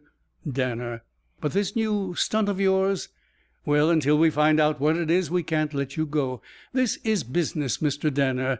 It involves money millions the security of American finance, of the very nation. You will understand. Society cannot afford to permit a man like you to go at large until it has a thoroughly effective defense against you. Society must disregard your momentary sacrifice, momentary nobleness. Your process, unknown by us, constitutes a great social danger. I do not dare overlook it. I cannot disregard it even after the service you have done, even if I thought you never intended to put it to malicious use." Hugo's thoughts were far away to the fort he had built when he was a child in Colorado, to the wagon he had lifted up, to the long, discouraging gauntlet of hard hearts and frightened eyes that his miracles had met with. His voice was wistful when at last he addressed the banker. "What do you propose to do?" "I shan't bandy words, Danner. I propose to hang on to you until I get that secret. And I shall be absolutely without mercy. That is frank, is it not?" "Quite." "You comprehend the significance of the third degree?" "Not clearly." "You will learn about it unless you are reasonable." Hugo bowed sadly. The president pressed a button. Two policemen came into the room. "McClaren has my instructions," he said. "Come on." Hugo rose and stood between them. He realized that the whole pantomime of his arrest was in earnest. For one brief instant the president was given a glimpse of a smile, a smile that worried him for a long time. He was so worried that he called McClaren on the telephone and added to his already abundant instructions. A handful of bystanders collected to watch Hugo cross from the bank to the steel patrol wagon. It moved forward and its bell sounded. The policemen had searched Hugo, and now they sat dumbly beside him. He was handcuffed to both of them. Once he looked down at the nickel bonds and up at the dull faces. His eyebrows lifted a fraction of an inch. Captain McClaren received Hugo in a bare room shadowed by bars. He was a thick shouldered, red haired man with a flabby mouth from which protruded a moist and chewed toothpick. His eyes were blue and bland. He made Hugo strip nude and gave him a suit of soiled clothes. Hugo remained alone in that room for thirty hours without food or water. The strain of that ordeal was greater than his jailers could have conceived, but he bore it with absolute stoicism. Early in the evening of the second day the lights in the room were put out. A glaring automobile lamp was set up on a table. He was seated in front of it, and the men behind the table began to question him in voices that strove to be terrible. They asked several questions and ultimately boiled them down to one. "How did you get that safe open?" Which was bawled at him and whispered hoarsely at him from the darkness behind the light until his mind rang with the words, until he was waiting frantically for each new issue of the words, until sweat glistened on his brow and he grew weak and nauseated. His head ached splittingly and his heart pounded. They desisted at dawn and gave him a glass of water, which he gulped, and then a dose of castor oil, which he allowed them to force into his mouth. A few hours later they began again. It was night before they gave up. The remnant of Hugo's clenched sanity was dumbfounded at what followed after that. They beat his face with fists that shot from the blackness. They threw him to the floor and kicked him. When his skin did not burst and he did not bleed, they beat and kicked more viciously. They lashed him with rubber hoses. They twisted his arms as far as they could, until the bones of an ordinary man would have become dislocated. Except for thirst and hunger and the discomfort caused by the castor oil, Hugo did not suffer. They refined their torture slowly. They tried to drive a splinter under his nails. They turned on the lights and drank water copiously in his presence. They finally brought a blow torch and prepared to brand him. Hugo perceived that his invulnerability was to stand him in stead no longer. His tongue was swollen, but he could still talk. Sitting placidly in his bonds, he watched the soldering iron grow white in the softly roaring flame. When, in the full light that shone on the bare and hideous room, they took up the iron and approached him, Hugo spoke. "Wait. I'll tell you." McClaren put the iron back. "You will, eh?" "No." "Oh, you won't?" "I shan't tell you, McClaren. I'll show you. And may God have mercy on your filthy soul." There were six men in the room. Hugo looked from one to another. He could tolerate nothing more. He had followed the course of President Mill's social theory far enough to be surfeited with it. There was decision in his attitude, and not one of the six men who had worked his torment in relays could have failed to feel the chill of that decision. They stood still. McClaren's voice rang out. "Cover him, boys!" Hugo stretched. His bonds burst. The chair on which he sat splintered to kindling. Six revolvers spat simultaneously. Hugo felt the sting of the bullets. Six chambers were emptied. The room eddied smoke. There was a harsh silence. "Now," Hugo said gently, "I will demonstrate how I open that safe." "Christ save us!" one of the men whispered, crossing himself. McClaren was frozen still. Hugo walked to the wall of the jail and stabbed his fist through it. Brick and mortar burst out on the other side and fell into the cinder yard. Hugo kicked and lashed with his fists. A large hole opened. And then he turned to the men. They broke toward the door, but he caught them one by one, and one by one he knocked them unconscious. That much was for his own soul. Only McClaren was left. He carried McClaren to the hole and dropped him into the yard. He wrenched open the iron gate and walked out on the street, holding the policeman by the arm. McClaren fainted twice, and Hugo had to keep him upright by clinging to his collar. It was dark. He hailed a cab and lifted the man in. "Just drive out of town," Hugo said. McClaren came to. They bumped along for miles, and he did not dare to speak. The apartment buildings thinned. Street lights disappeared. They traversed a stretch of woodland, and then rumbled through a small town. "Who are you?" McClaren said. "I'm just a man, McClaren. A man who is going to teach you a lesson." The taxi was on a smooth turnpike. It made swift time. Twice Hugo satisfied the driver that the direction was all right. At last, on a deserted stretch, Hugo called to the driver to stop. McClaren thought that he was going to die. He did not plead. Hugo still held him by the arm and helped him from the cab. "Got any money on you?" Hugo asked. "About twenty dollars." "Give me five." With trembling fingers McClaren produced the bill. He put the remainder of his money back in his pocket automatically. The taxi driver was watching, but Hugo ignored him. "McClaren," he said soberly, "here is your lesson. I just happen to be the strongest man in the world. Never tell anybody that, and don't tell any one where I took you to night wherever it is. I shan't be here, anyway. If you tell either of those two things, I'll eat you actually. There was a poor devil smothering in that safe, and I yanked it open and dragged him out. As a reward, you and your dirty scavengers were put to work on me. If I weren't as merciful as God himself, you'd all be dead. Now that's your lesson. Keep your mouth shut. Here is the final parable." Still holding the policeman's arm, he walked to the taxi, and, to the astonishment of the driver, gripped the axle in one hand lifted up the front end like a derrick, and turned the entire car around. He put McClaren in the back seat. "Don't forget, McClaren." To the driver: "Back to where you picked us up. The bird in the back seat will be glad to pay." The red lamp of the cab vanished. Hugo turned in the other direction and began to run in great leaps. He slowed when he came to a town. A light was burning in an all night restaurant. Hugo produced the five dollar bill. "Give me a bucket of water and put on about five steaks. Five." CHAPTER XIX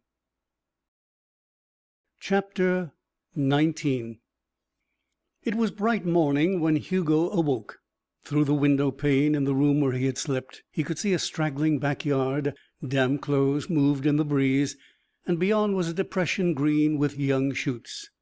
He descended to the restaurant and ate his breakfast. Automobiles were swishing along the road outside, and he could hear a clatter of dishes in the kitchen.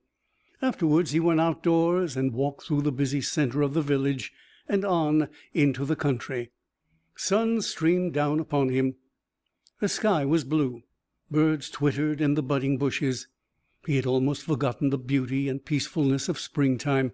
Now it came over him in a rush. Pastel colors and fecund warmth, smells of earth and rain, melodious haphazard wind. He knew intuitively that McClaren would never send for him.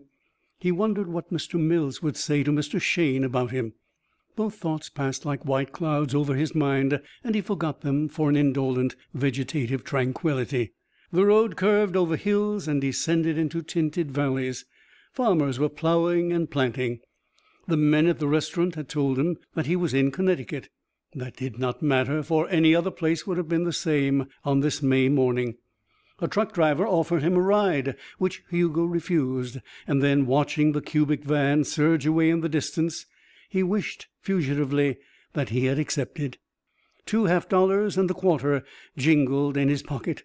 His suit was seedy and his beard unshaven. A picture of New York ran through his mind. He stood far off from it, gazing at the splendor of its towers in the morning light. He came closer, and the noise of it smote his ears. Suddenly he plunged into the city. His perspective vanished, and there rose about him the ugly, unrelated, inchoate masses of tawdriness that had been glorious from a distance, while people, dour, malicious, selfish people, who scuttle like ants, supplanted the vista of stone and steel. The trite truth of the ratio between approach and enchantment amused him. It was so obvious, yet so few mortals had the fine sense to withdraw themselves. He was very happy, walking tirelessly along that road. After his luncheon he allowed a truck to carry him farther from the city, deeper into the magic of spring. The driver bubbled with it. He wore a purple tulip in his greasy cap, and he slowed down on the hilltops with an unassuming reverence and a naive slang that fitted well with Hugo's mood. When he reached his destination, Hugo walked on with reluctance. Shadows of the higher places moved into the lowlands. He crossed a brook and leaned over its middle on the bridge rail, fascinated by an underwater landscape, complete, full of color, less than a foot high. From every side came the strident music of frogs. Spring, spring, spring, they sang, rolling their liquid gutturals and stopping abruptly when he came too near. In the evening, far from the city, he turned from the pavement on a muddy country road, walking on until he reached the skeleton of an old house. There he lay down, taking his supper from his pocket and eating it slowly. The floor of the second story had fallen down, and he could see the stars through a hole in the roof. In such houses, he thought, the first chapters of American history had been lived. When it was entirely dark, a whippoorwill began to make its sweet and mournful music. Warmth and chilliness came together from the ground, and he slept. In the morning he followed the road into the hills.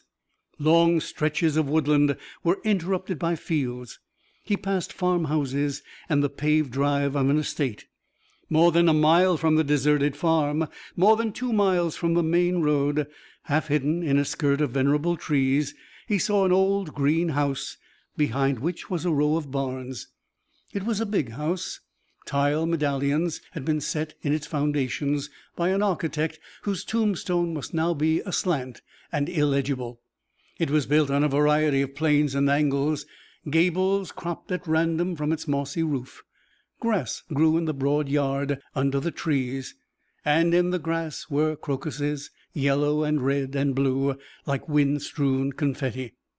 Hugo paused to contemplate this peaceful edifice. A man walked briskly from one of the barn doors. He perceived Hugo and stopped, holding a spade in his hand. Then, after starting across to the house, he changed his mind, and dropping the spade, approached Hugo. "Looking for work, my man?" Hugo smiled. "Why, yes." "Know anything about cattle?" "I was reared in a farming country." "Good." He scrutinized Hugo minutely. I'll try you at eight dollars a week, room and board." He opened the gate. Hugo paused. The notion of finding employment somewhere in the country had been fixed in his mind, and he wondered why he waited, even as he did, when the charm of the old manor had offered itself to him as if by a miracle. The man swung open the gate. He was lithe, sober, and direct. "My name is Cane Ralph Cane. We raise blooded Guernsey stock here. At the moment we haven't a man." "I see," Hugo said. "I could make the eight ten in a week if you were satisfactory." "I wasn't considering the money." "How?" "I wasn't considering the money." "Oh, come in. Try it."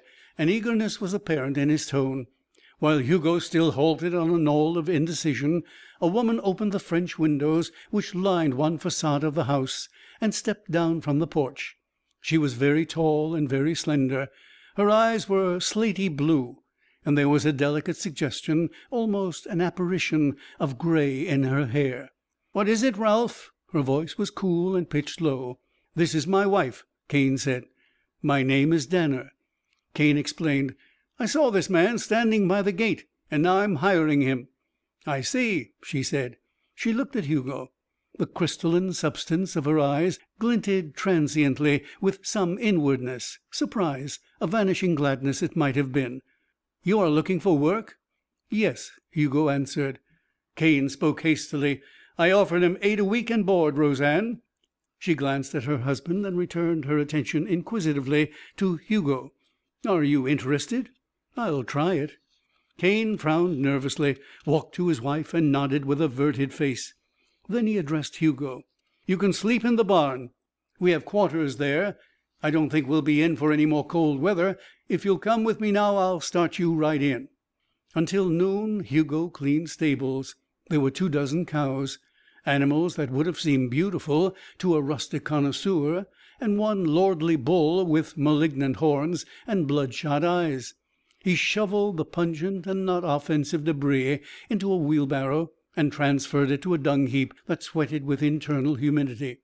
At noon Cane came into the barn. "Pretty good," he said, viewing floors fairly shaved by Hugo's diligence. "Lunch is ready. You'll eat in the kitchen." Hugo saw the woman again. She was toiling over a stove, her hair in disarray, a spotted apron covering her long body. He realized that they had no servants, that the three of them constituted the human inhabitants of the estate. But there were shades, innumerable shades, of a long past, and some of these ghosts had crept into Roseanne's slaty eyes. She carried lunch for herself and her husband into a front room and left him to eat in the soft silence. After lunch Cane spoke to him again. "Can you plow?" "It's been a long time, but I think so." "Good. I have a team. We'll drive to the north field. I've got to start getting the corn in pretty soon." The room in the barn was bare. Four board walls, a board ceiling and floor, an iron cot, blankets, the sound and smell of the cows beneath. Hugo slept dreamlessly, and when he awoke he was ravenous. His week passed. Cane drove him like a slave master, but to drive Hugo was an unhazardous thing. He did not think much, and when he did it was to read the innuendo of living that was written parallel to the existence of his employer and Roseanne. They were troubled with each other. Part of that trouble sprang from an evident source. Cane was a miser. He resented the amount of food that Hugo consumed, despite the unequal ratio of Hugo's labors. When Hugo asked for a few dollars in advance, he was curtly refused. That had happened at lunch one day. After lunch, however, and evidently after Cane had debated with his wife, he inquired of Hugo what he wanted. A razor and some shaving things and new trousers, Hugo had said. Cane drove the station wagon to town and returned with the desired articles. He gave them to Hugo. "Thank you," Hugo said. Cane chuckled, opening his thin lips wide. "All right, Danner. As a matter of fact, it's money in my bank." "Money in your bank?" "Sure. I've lived here for years and I get a ten per cent discount at the general store, but I'm charging you full price, naturally." "Naturally," Hugo agreed. That was one thing that would make the tribulation in her eyes. Hugo wished that he could have met these two people on a different basis, so that he could have learned the truth about them.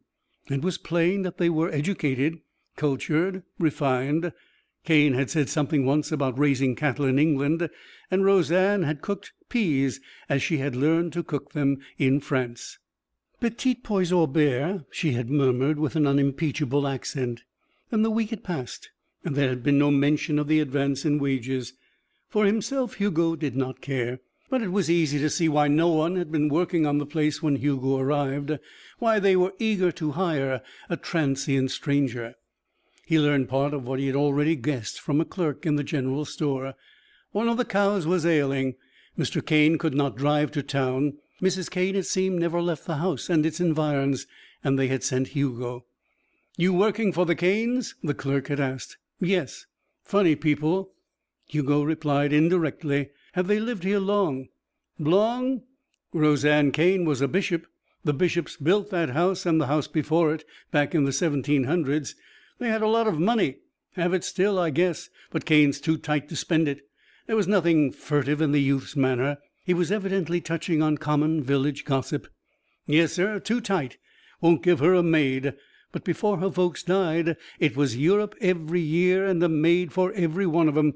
And why, dearie, don't tell me that's the second time you've put on that dress. Take it right off and never wear it again." The joke was part of the formula for telling about the Canes, and the clerk snickered appreciatively. Yes, sir, you come down here some day when I ain't got the Friday orders to fill, and I'll tell you some things about old man Cane that'll turn your stomach." Hugo accepted his bundle, set it in the seat beside himself, and drove back to the big green house.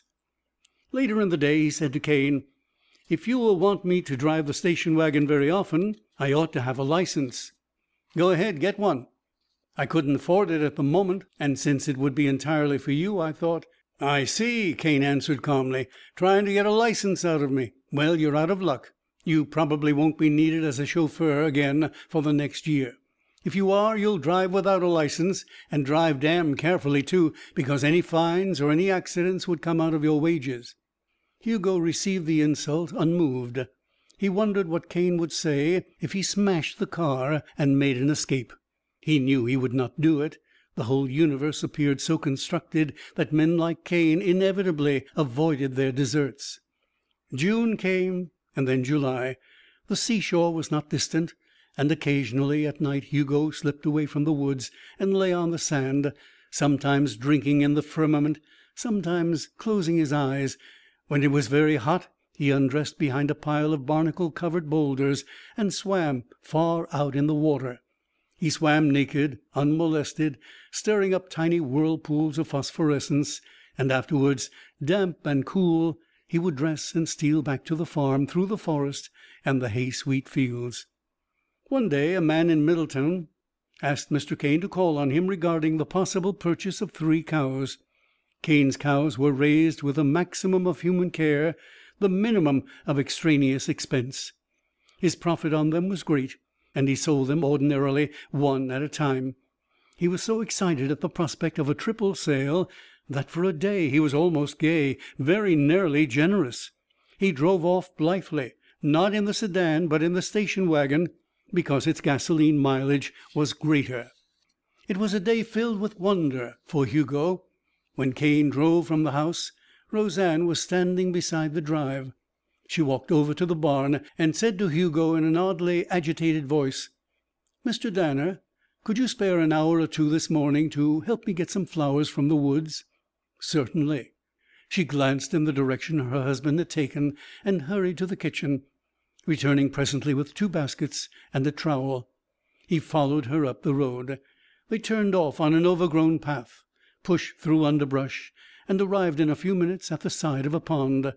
The edges were grown thick with bushes and water weeds, dead trees lifted awkward arms at the upper end, and dragon flies skimmed over the warm brown water. "I used to come here to play when I was a little girl," she said. "It's still just the same." She wore a blue dress, Branches had dishevelled her hair. She seemed more alive than he had ever seen her. "It's charming," Hugo answered. "There used to be a path all the way around, with stones crossing the brook at the inlet. And over there, underneath those pine trees, there are some orchids. I've always wanted to bring them down to the house. I think I could make them grow. Of course, this is a bad time to transplant anything, but I so seldom get a chance. I can't remember when when he realized with a shock that she was going to cry. She turned her head away and peered into the green wall. "I think it's here," she said tremulously. They followed a dimly discernible trail. There were deer tracks in it and signs of other animals whose feet had kept it passable. It was hot and damp and they were forced to bend low beneath the tangle to make progress. Almost suddenly they emerged in a grove of white pines. They stood upright and looked. Wind stirred sibilantly in the high tops, and the ground underfoot was a soft carpet. The lake reflected the blue of the sky instead of the brown of its soft bottom. "Let's rest a minute," she said, and then: "I always think a pine grove is like a cathedral. I read somewhere that pines inspired Gothic architecture. Do you suppose it's true?" "There was the lotos and the Corinthian column," Hugo answered. They sat down. This was a new emotion, a paradoxical emotion for him. He had come to an inharmonious sanctuary, and he could expect both tragedy and enchantment. There was Roseanne herself, a hidden, beautiful thing, in whom were prisoned many beauties. She was growing old in the frosty seclusion of her husband's company. She was feeding on the toothless food of dreams when her hunger was still strong. That much anyone might see. The reason alone remained invisible. He was acutely conscious of an hour at hand, an imminent moment of vision. "You're a strange man," she said finally. That was to be the password. "Yes." "I've watched you every day from the kitchen window." Her depression had gone now, and she was talking with a vague excitement. "Have you? Do you mind if we pretend for a minute? I'd like it." "Then let's pretend this is a Magic Carpet, and we've flown away from the world, and there's nothing to do but play. Play," she repeated musingly. "I'll be Roseanne and you'll be Hugo. You see, I found out your name from the letters. I found out a lot about you. Not facts like born, occupation, father's first name. Just things." He dared a little then. "What sort of things, Roseanne?" She laughed. I knew you could do it. That's one of them. I found out you had a soul. Souls show even in barnyards. You looked at the peonies one day and you played with the puppies the next. In one way, Hugo, you're a failure as a farm hand." "Failure?" "A flop. You never make a grammatical mistake." She saw his surprise and laughed again. "And your manners. And then you understood French. See, the carpet is taking us higher and farther away. Isn't it fun? You're the hired man and I'm the farmer's wife, and all of a sudden we're a prince and princess. That's exactly right. I won't pretend I'm not curious morbidly curious.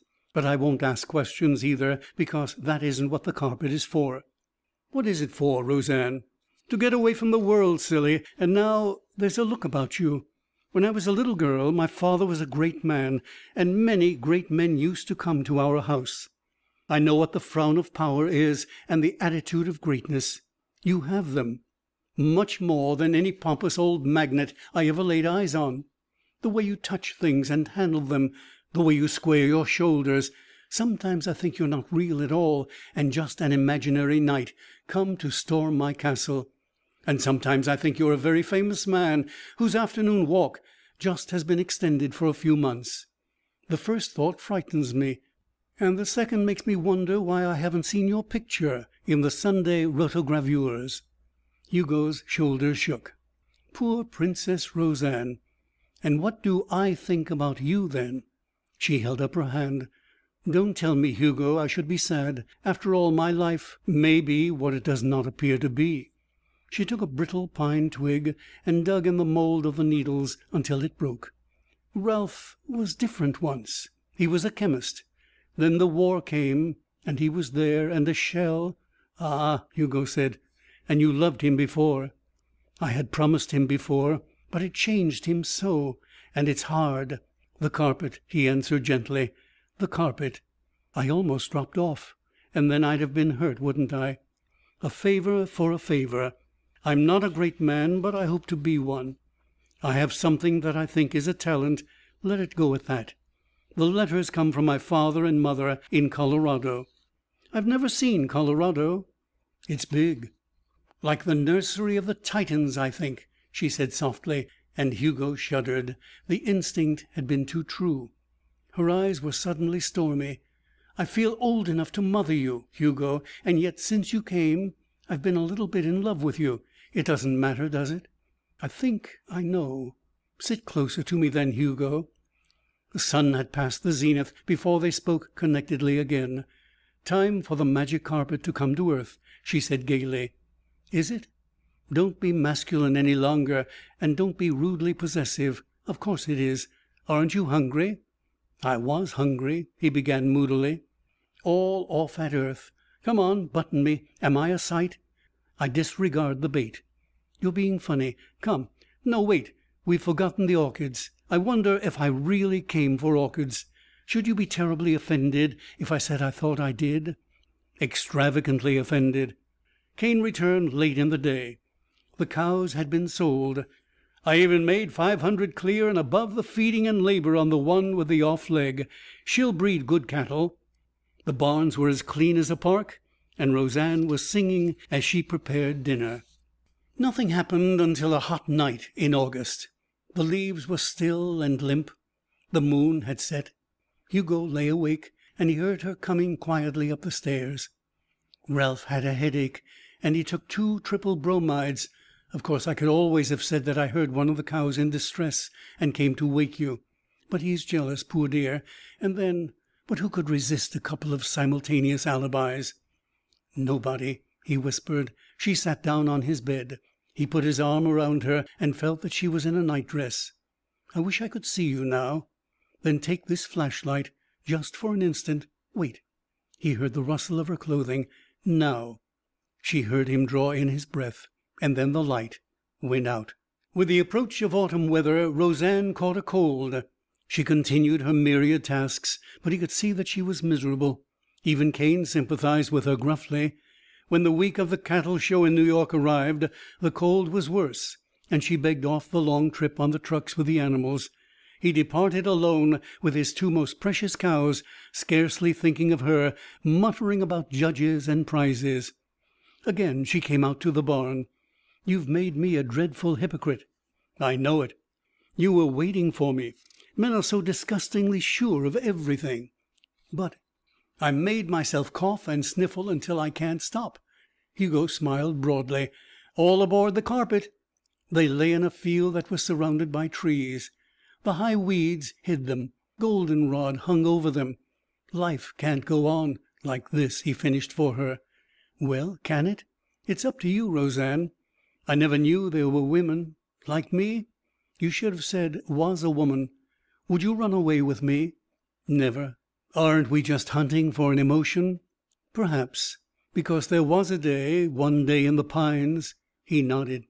"Different from these other two. That's because of the tragic formation of life.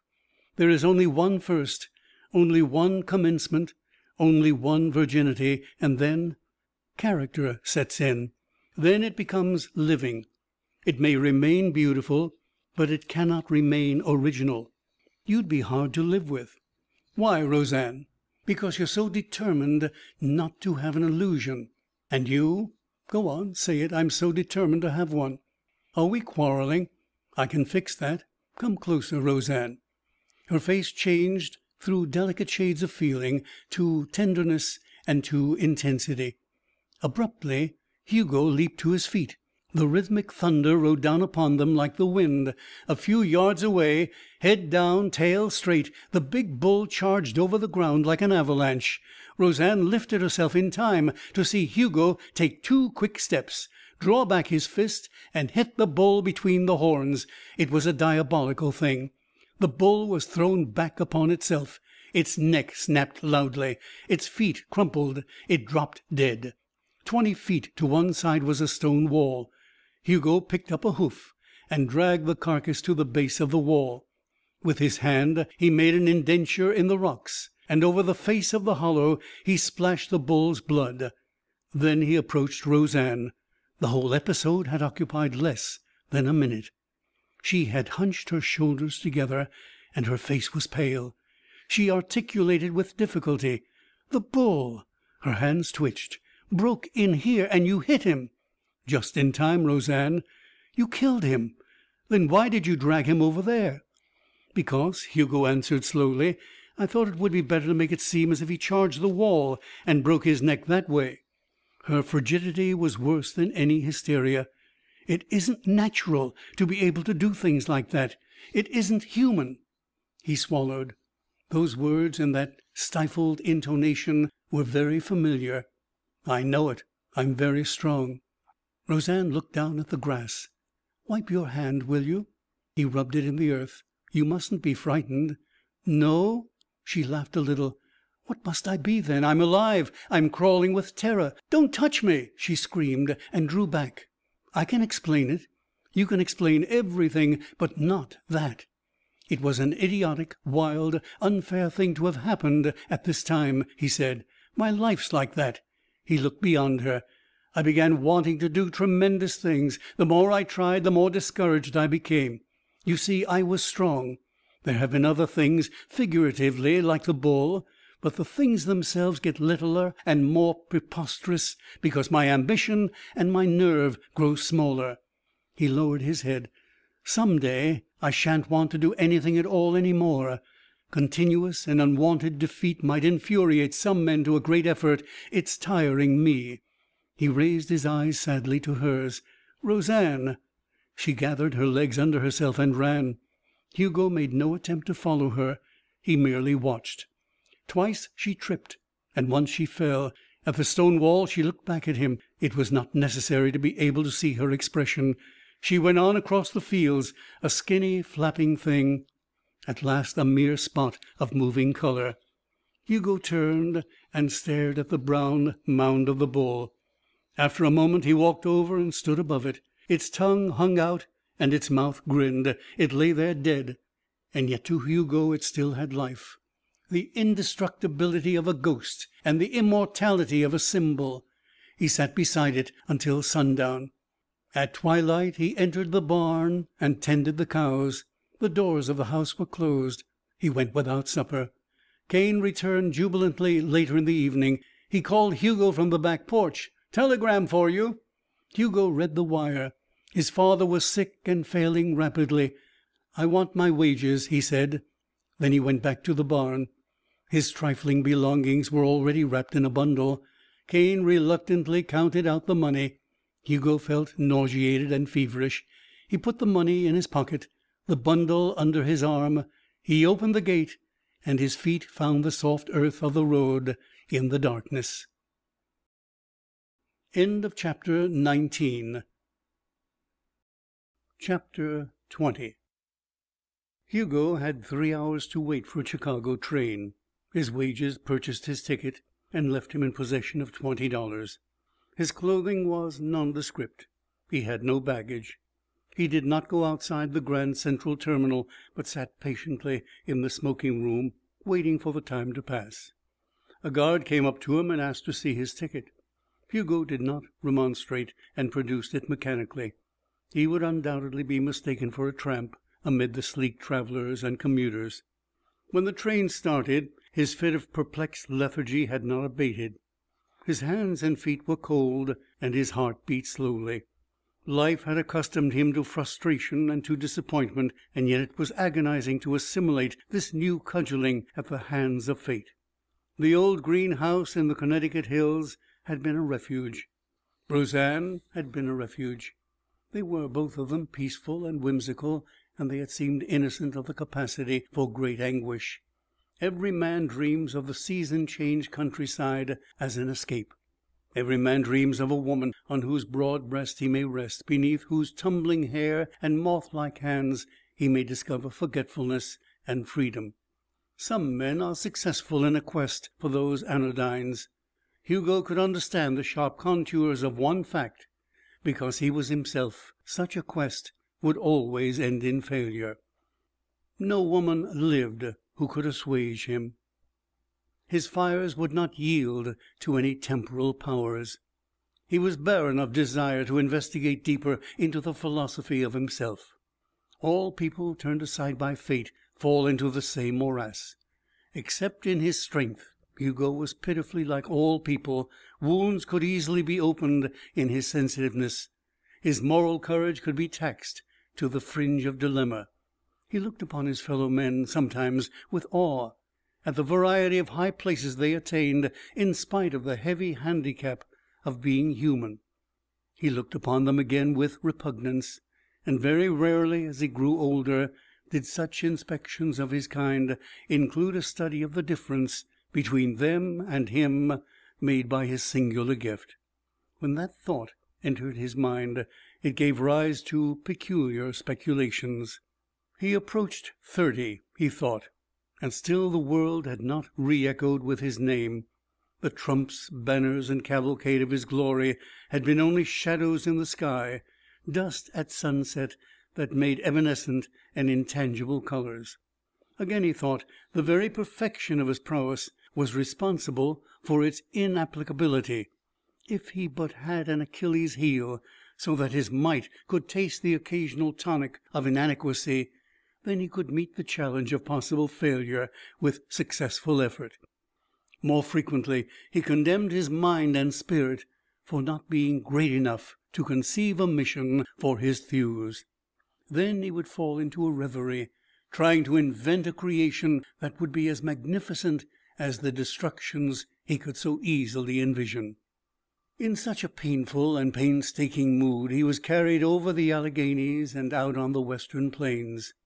He changed trains at Chicago without having slept, and all he could remember of the journey was a protracted sorrow, a stabbing consciousness of Roseanne, dulled by his last picture of her, and a hopeless guessing of what she thought about him now.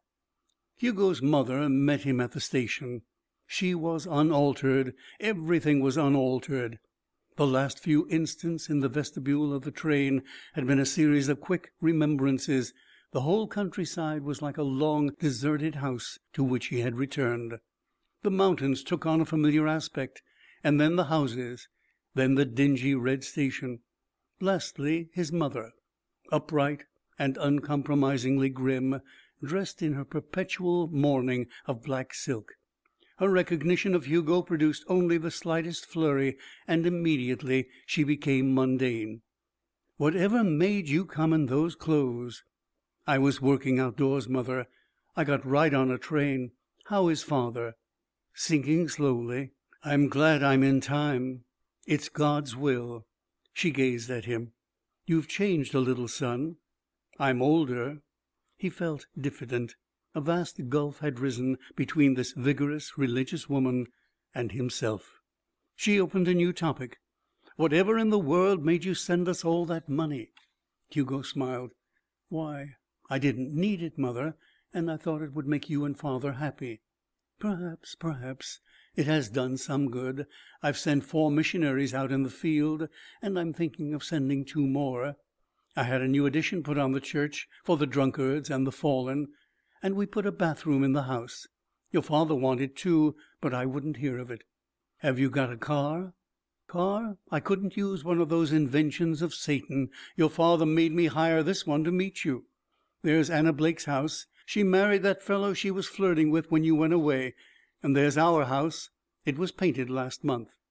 Now all the years had dropped away, and Hugo was a child again, an adolescent again. The car stopped. "You can go right up. He's in the front room. I'll get lunch." Hugo's father was lying on the bed, watching the door. A little wizened old man with a big head and thin yellow hands.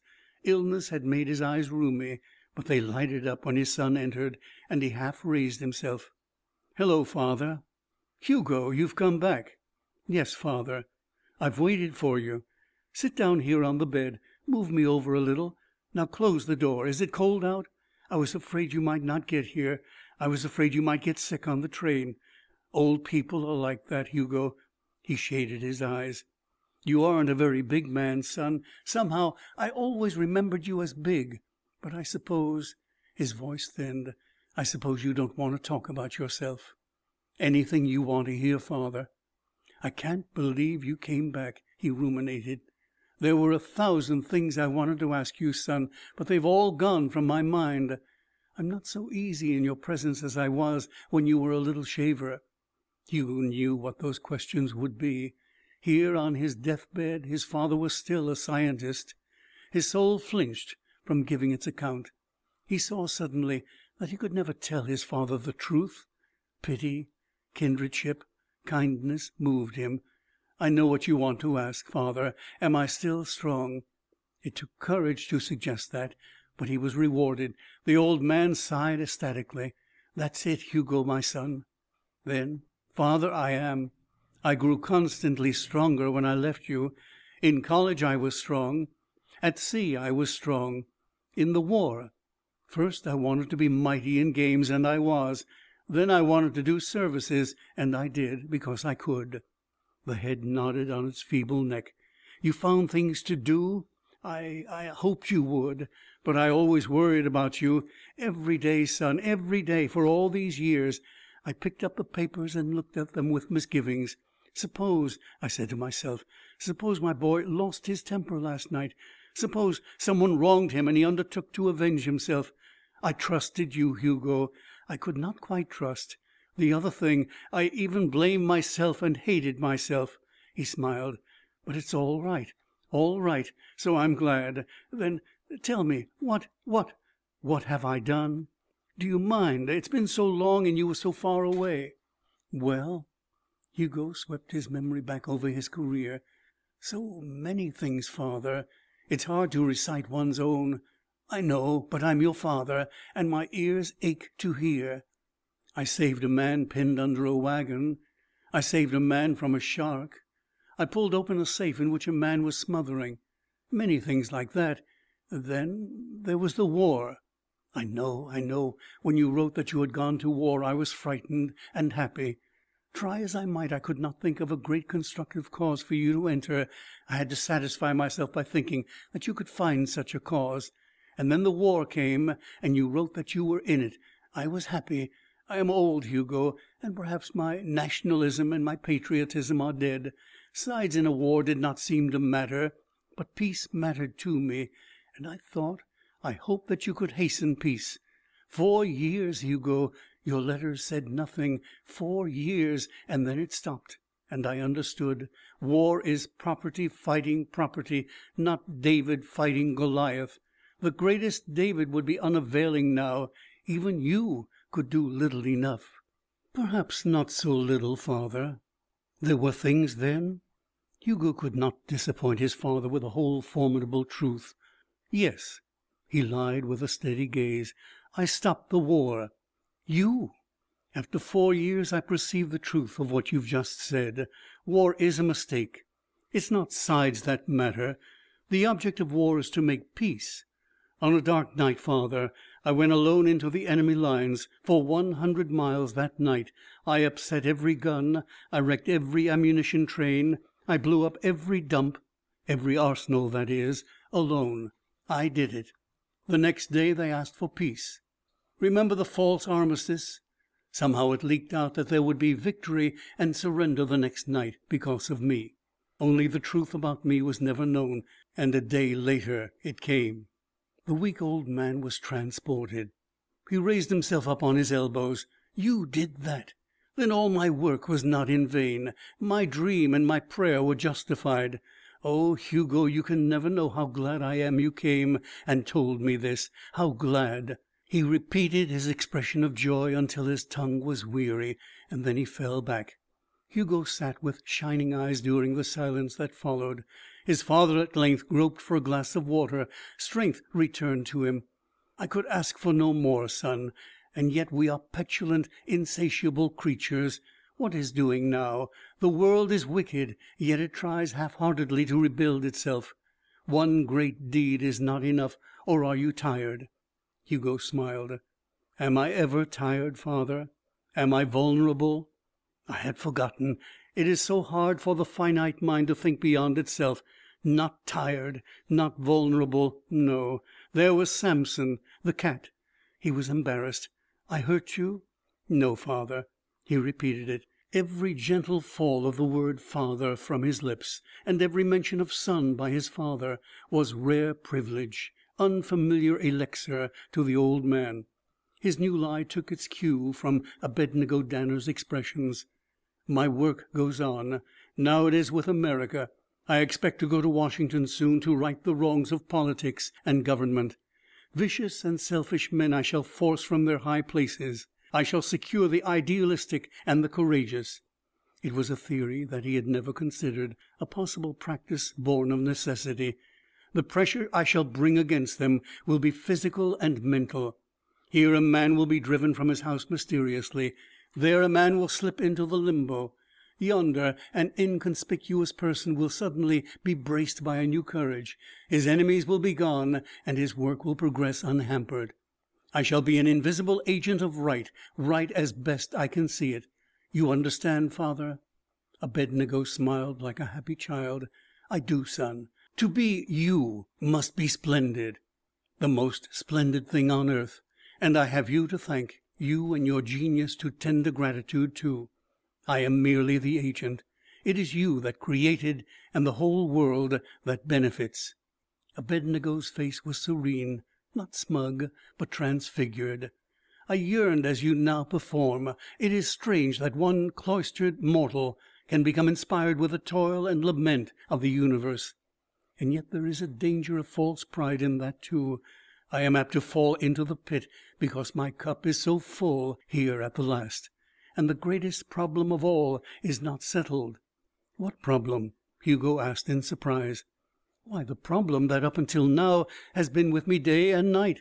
Shall there be more men like you and women like you?" The idea staggered Hugo. It paralyzed him, and he heard his father's voice come from a great distance. Up in the attic in the black trunk are six notebooks wrapped in oil paper.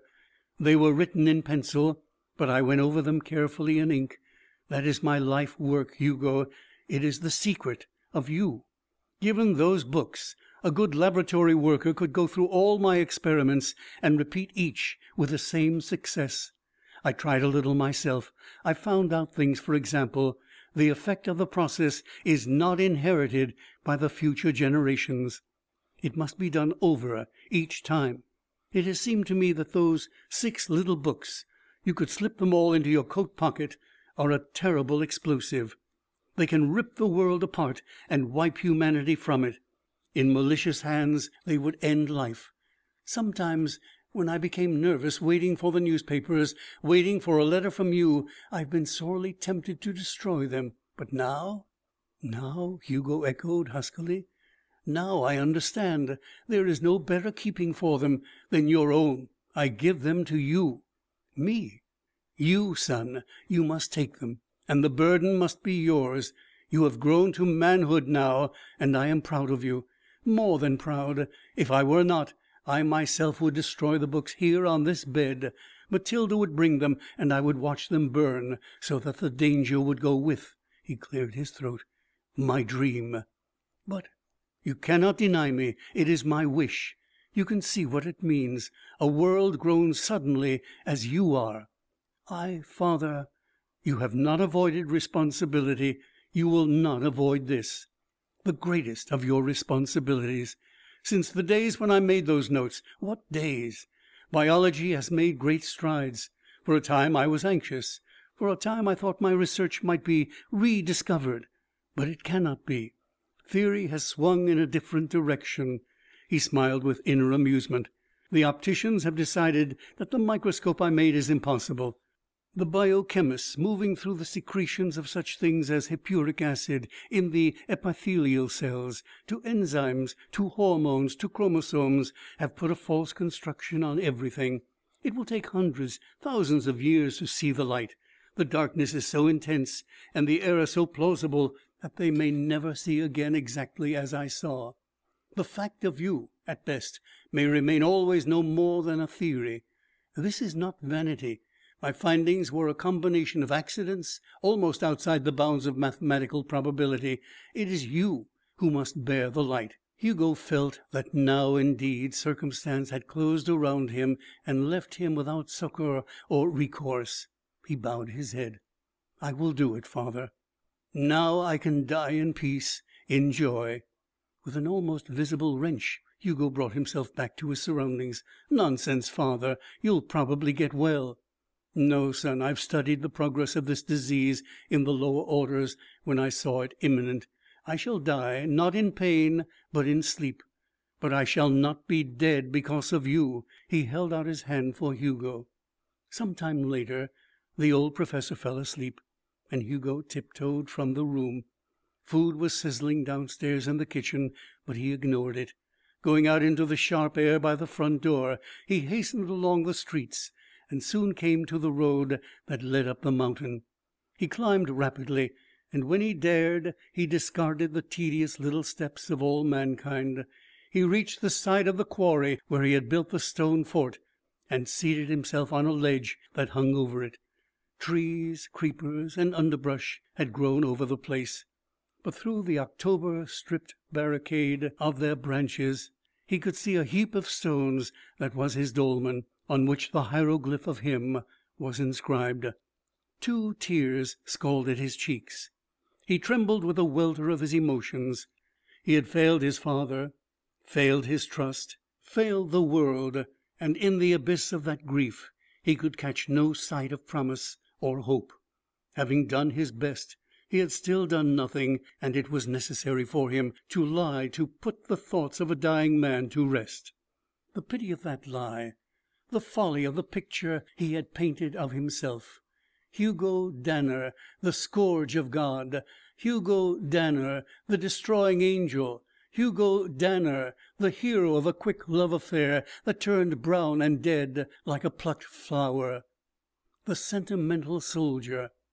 The involuntary misanthrope! "I must do it," he whispered fiercely.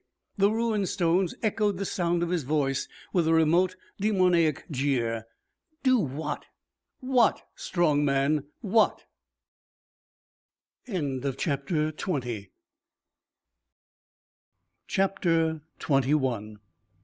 Now the winds keened from the mountains and snow fell. Abednego Danner, the magnificent Abednego Danner, was carried to his last resting place, the laboratory of Nature herself. His wife and his son followed the bier. The dirge was intoned. The meaningless cadence of ritual was spoken to the cold ground. A ghostly obelisk was lifted up over his meagre remains. Hugo had a wish to go to the hills and roll down some gigantic chunk of living rock to mark that place until the coming of a glacier, but he forbore, and followed all the dark conventions of disintegration. The will was read and the bulk of Hugo's sorry gains was thrust back into his keeping.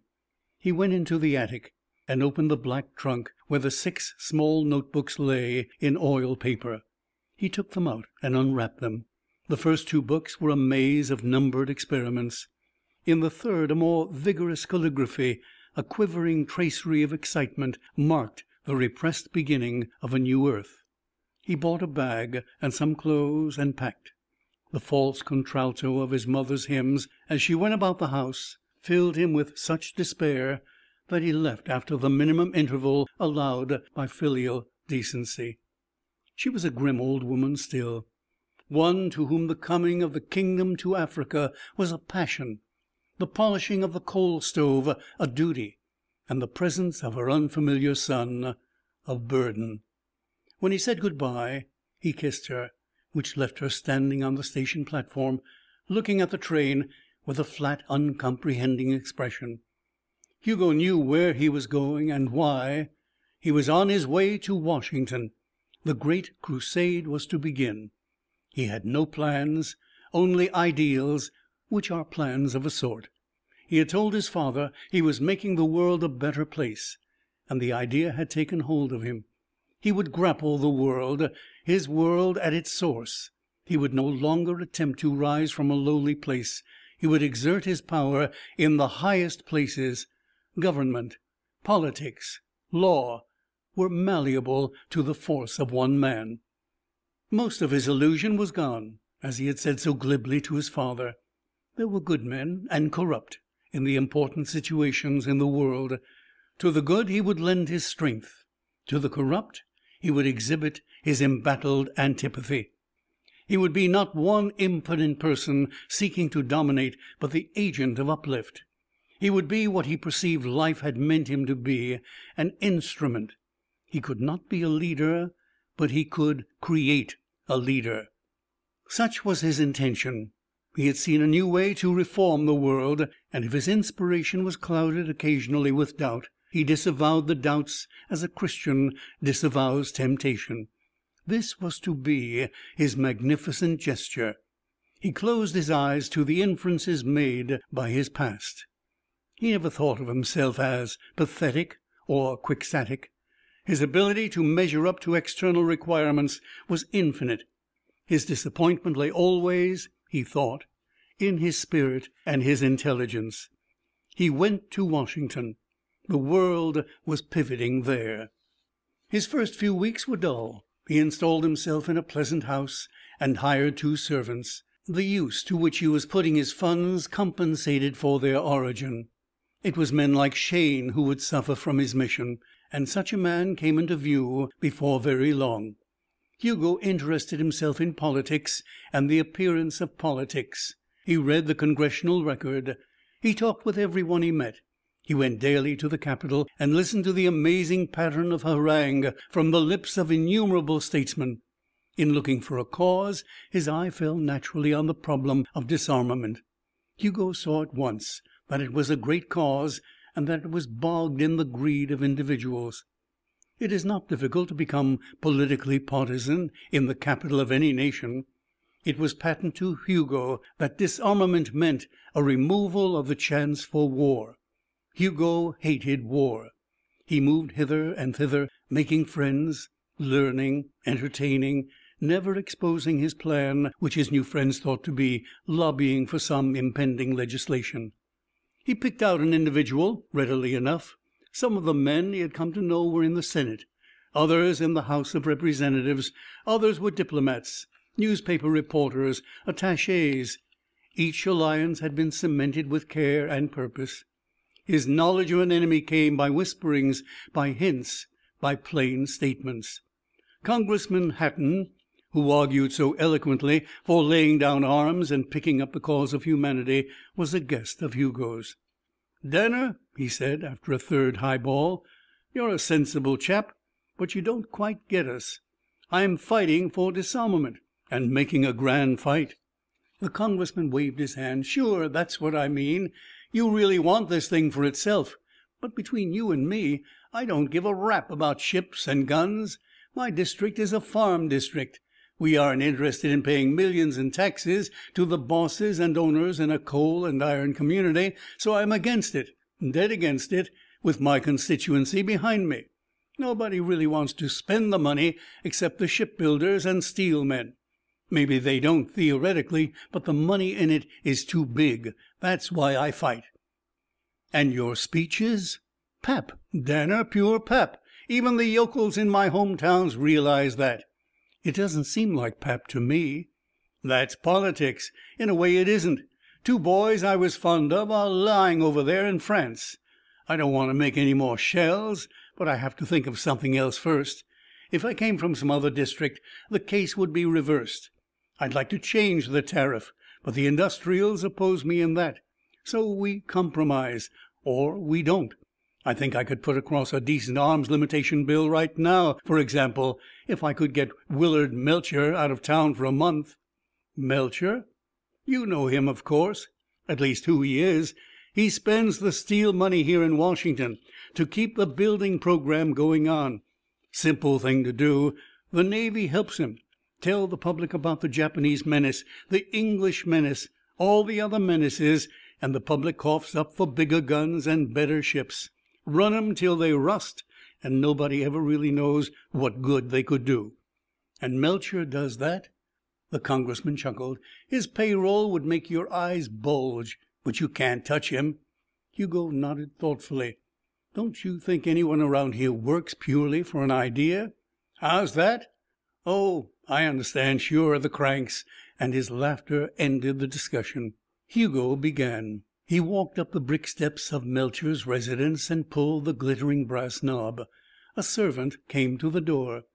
"Mr. Danner to see Mr. Melcher. Just a moment." A wait in the hall. The servant returned.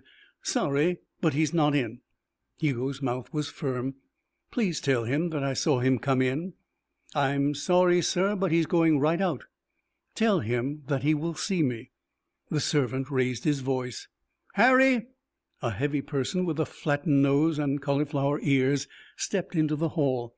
"This gentleman wishes to see Mr. Melcher, and Mr. Melcher is not in to him. Take care of him, Harry." The servant withdrew. "Run along, feller." Hugo smiled. "Mr. Melcher keeps a bouncer?" An evil light flickered in the other's eyes. "Yeah, feller. And I came up from the Pennsy mines. I'm a tough guy, so beat it." "Not so tough your ears and nose aren't a sight," Hugo said lightly. The man advanced. His voice was throaty. "Get!" "You go to the devil. I came here to see Melcher, and I'm going to see him." "Yeah?"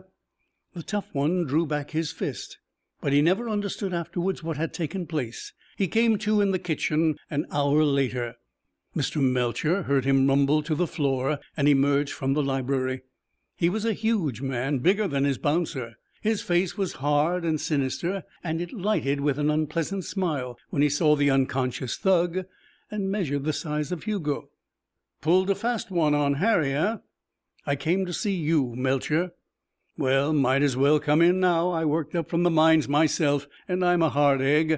If you got funny with me you'd get killed. What do you want?" Hugo sat down in a leather chair and lit a cigarette. He was comparatively without emotion. This was his appointed task, and he would make short shrift of it.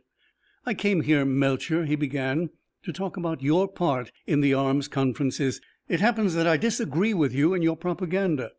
It happens that I have a method of enforcing my opinion. Disarmament is a great thing for the world, and putting the idea across is the first step toward even bigger things. I know the relative truths of what you say about America's peril and what you get from saying it. Am I clear?" Melcher had reddened. He nodded. "Perfectly." "I have nothing to add. Get out of town."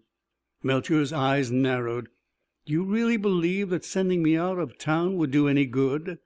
Do you have the conceit to think that one nutty shrimp like you can buck the will and ideas of millions of people?" Hugo did not permit his convictions to be shaken. "There happens to be extenuating circumstances, Melcher." "Really? You surprise me." The broad sarcasm was shaken like a weapon. "And do you honestly think you could chase me me out of here?" "I am sure of it." "How?"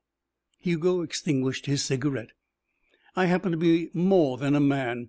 I am" he hesitated, seeking words "let us say a devil or an angel or a scourge. I detest you and what you stand for.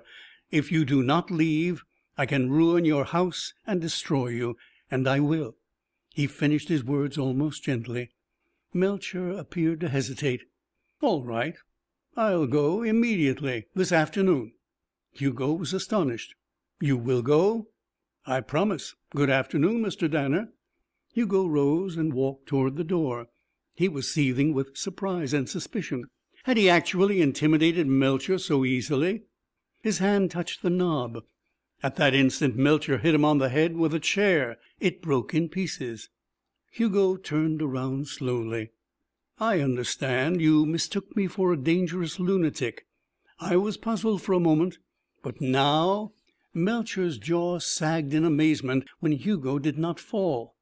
An instant later he threw himself forward, arms out, head drawn between his shoulders. With one hand Hugo imprisoned his wrists. He lifted Melcher from the floor and shook him. "I meant it, Melcher, and I will give you a sign. Rotten politics, graft, bad government are doomed." Melcher watched with staring eyes while Hugo, with his free hand, rapidly demolished the room.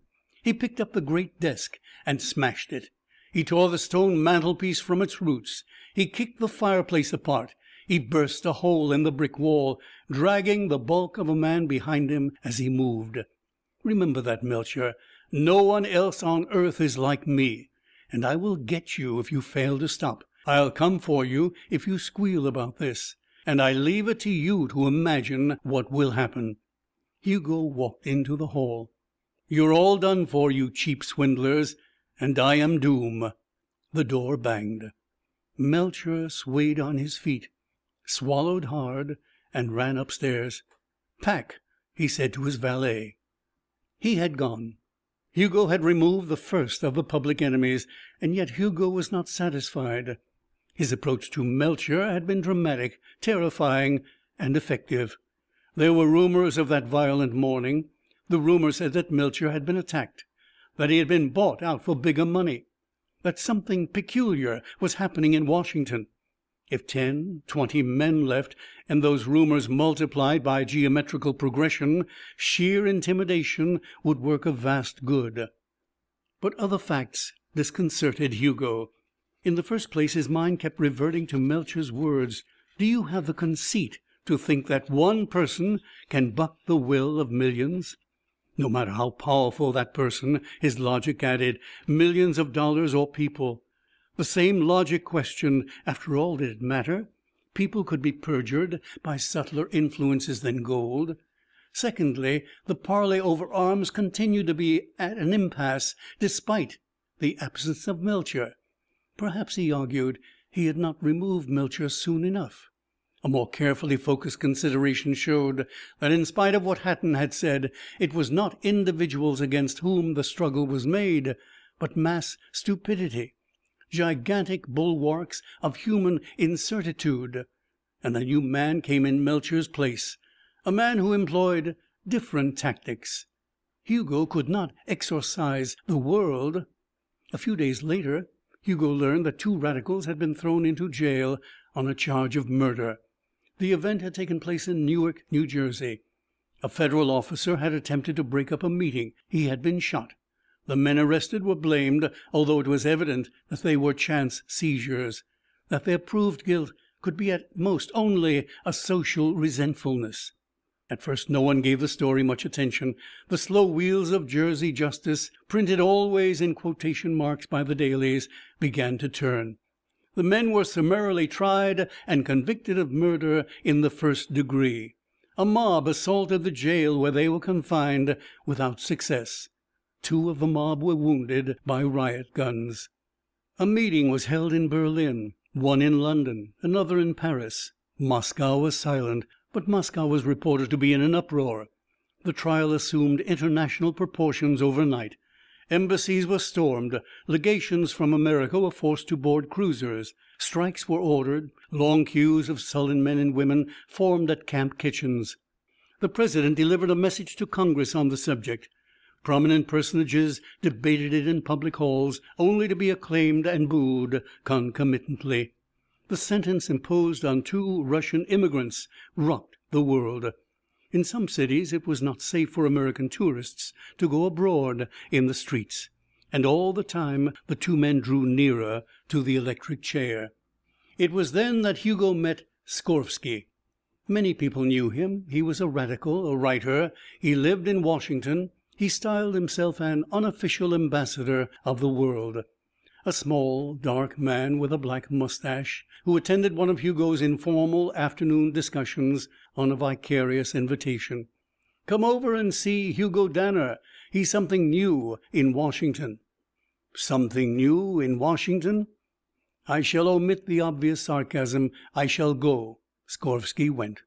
Hugo listened to him talk about the two prisoners. He was lucid. He made allowances for the American democracy, which in themselves were burning criticism.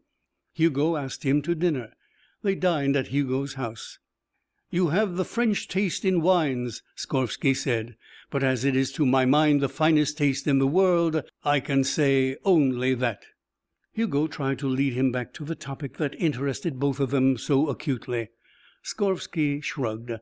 "You are polite or else you are curious. I know you. An American business man in Washington with a purpose. Not an apparent purpose just now. No, no. Just now you are a host, cultivated and genial and retiring. But at the proper time ah a dam somewhere in Arizona, a forest that you covet in Alaska. Is it not so?" "What if it is not?" Skorvsky stared at the ceiling. "What then? A secret? Yes, I thought that about you while we were talking to the others to day. There is something deep about you, my new friend. You are a power. Possibly you are not even really an American. That is wrong. You assure me that I am right. But I will agree with you. You are, let us say, the very epitome of the man Mr. Mencken and Mr. Lewis tell us about so charmingly. I am Russian, and I cannot know all of America. You might divulge your errand, perhaps." Suppose I said it was to set the world aright?" Skorvsky laughed lightly. "Then I should throw myself at your feet." Both men were in deadly earnest.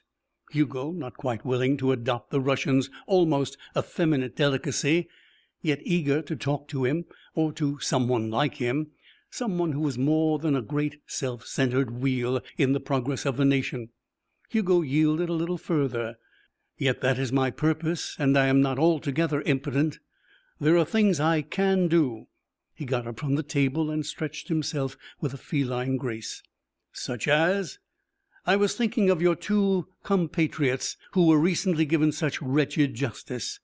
Suppose they were liberated by force. What then?" "Ah, you are an independent communist." "Not even that. Just a friend of progress."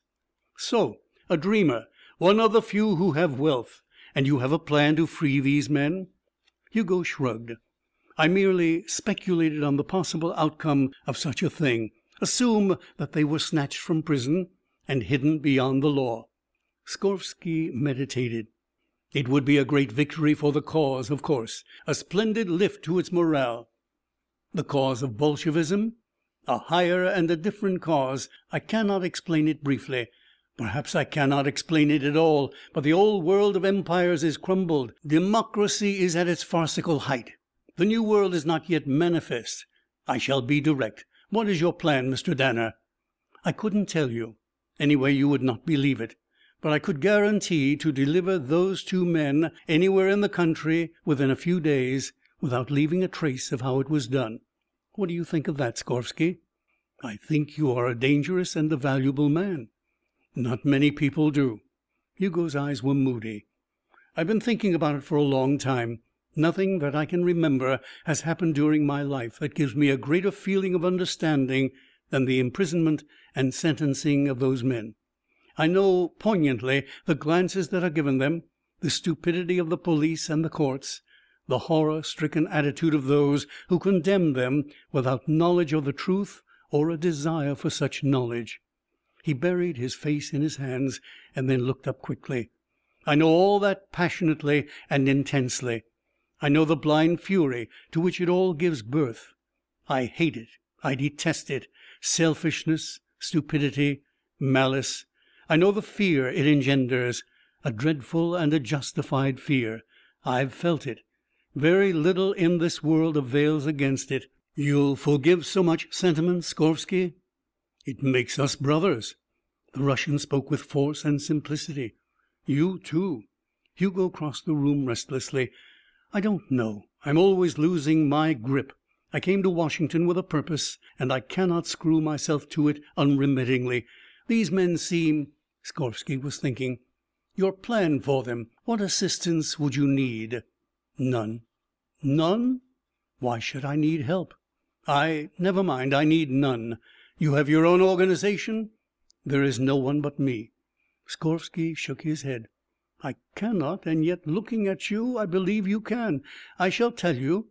You will come with me to night and meet my friends those who are working earnestly for a new America an America ruled by intelligence alone. Few outsiders enter our councils. We are all, nearly all, foreigners, yet we are more American than the Maine fisherman, the Minnesota farmer. Behind us is a party that grows apace. This incident in New Jersey has added to it, as does every dense mumble of Congress, every scandalous metropolitan investigation. I shall telephone." Hugo allowed himself to be conducted half dubiously. But what he found was, superficially at least, what he had dreamed for himself. The house to which he was taken was pretentious. The people in its salon were amiable and educated. There was no sign of the red flag, the ragged reformer, the anarchist. The women were gracious, the men witty. As he talked to them one by one, he began to believe that here was the nucleus around which he could construct his imaginary empire. He became interested. He expanded.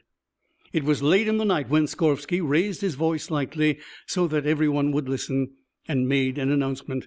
"Friends, I have had the honour to introduce Mr. Danner to you. Now I have the greater honour of telling you his purpose and pledge. To morrow night he will go to New Jersey." The silence became absolute. "And two nights later he will bring to us in person from their cells Davidoff and Pletzky." A quick, pregnant pause was followed by excitement. They took Hugo by the hand. Some of them applauded. One or two cheered. They shouldered near him. They asked questions and expressed doubts. It was broad daylight before they dispersed. Hugo walked to his house, listening to a long rhapsody from Skorvsky. "We will make you a great man if you succeed," Skorvsky said. "Good night, comrade." "Good night." Hugo went into the hall and up to his bedroom. He sat on his bed. A dullness overcame him.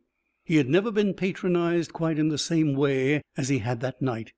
It exerted at once a corrosive and a lethargic influence. He undressed slowly, dropping his shoes on the floor. Splendid people they were, he thought. A smaller voice suggested to him that he did not really care to go to New Jersey for the prisoners. They would be hard to locate. There would be a sensation and a mystery again. Still, he had found a purpose. His telephone rang. He reached automatically from the bed. The room was bright with sunshine, which meant that it was late in the day. His brain took reluctant hold on consciousness. "Hello? Hello, Danner, my friend. Oh, hello, Skorvsky. May I come up? It is important."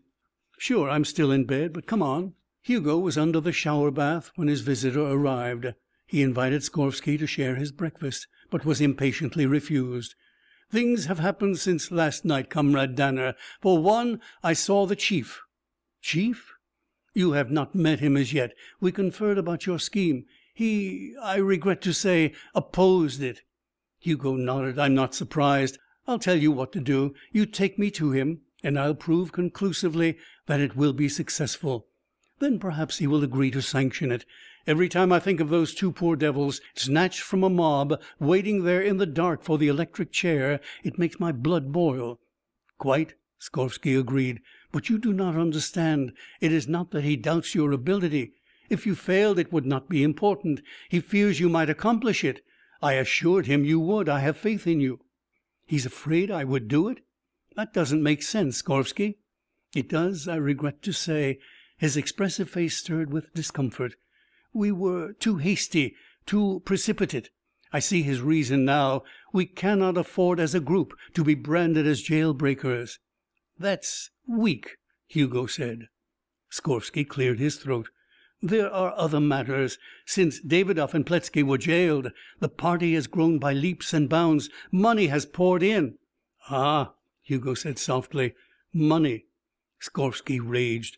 "Go ahead. Be sarcastic. To free those men would cost us a million dollars, perhaps." "Too bad." "With a million the million their electrocution will bring from the outraged we can accomplish more than saving two paltry lives. We must be hard. We must think ahead." "In thinking ahead, Skorvsky, do you not think of the closing of a switch and the burning of human flesh? For every cause there must be martyrs. Their names will live eternally." "And they themselves?" "Bah! You are impractical."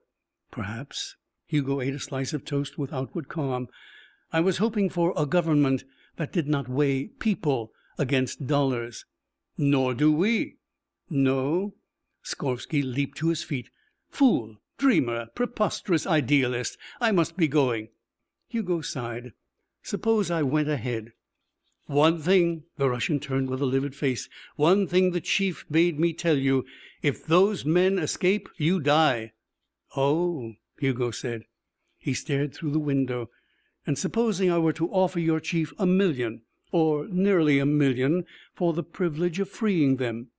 Skorvsky's face returned to its look of transfiguration, the look that had accompanied his noblest words of the night before. "You would do that, comrade?" he whispered. "You would give us give the cause a million? Never since the days of our Saviour has a man like you walked on this " Hugo stood up suddenly. "Get out of here." His voice was a cosmic menace. "Get out of here, you dirty swine. Get out of here before I break you to matchwood, before I rip out your guts and stuff them back through your filthy, lying throat. Get out. Oh, God! Get out!" End of chapter 21 Chapter 22 Hugo realized at last that there was no place in this world for him. Tides and tempest, volcanoes and lightning, all other majestic vehemences of the universe had a purpose, but he had none, either because he was all those forces unnaturally locked into the body of a man, or because he was a giant compelled to stoop and pander to live at all among his feeble fellows. His anachronism was complete. That much he perceived calmly. His tragedy lay in the lie he had told to his father. Great deeds were always imminent, and none of them could be accomplished because they involved humanity. Humanity protecting its diseases, its pettiness, its miserable convictions and conventions, with the essence of itself life. Life, not misty and fecund for the future, but life clawing at the dollar in the hour, the security of platitudes, the relief of visible facts, the hope in rationalization, the needs of skin, belly, and womb.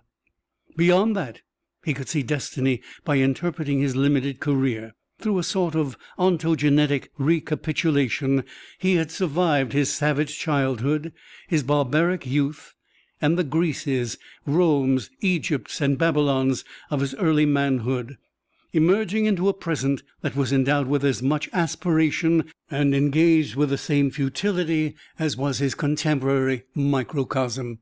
No life span could observe anything but material progress, for so mean and inalterable is the gauge of man that his races topple before his soul expands, and the eventualities of his growth in space and time must remain a problem for thousands and tens of thousands of years. Searching still further, he appreciated that no single man could force a change upon his unwilling fellows. At most he might inculcate an idea in a few and live to see its gradual spreading. Even then he could have no assurance of its contortions to the desire for wealth and power, or of the consequences of those contortions. Finally, to build, one must first destroy and he questioned his right to select unaided the objects for destruction. He looked at the Capitol in Washington and pondered the effect of issuing an ultimatum and thereafter bringing down the great dome like Samson.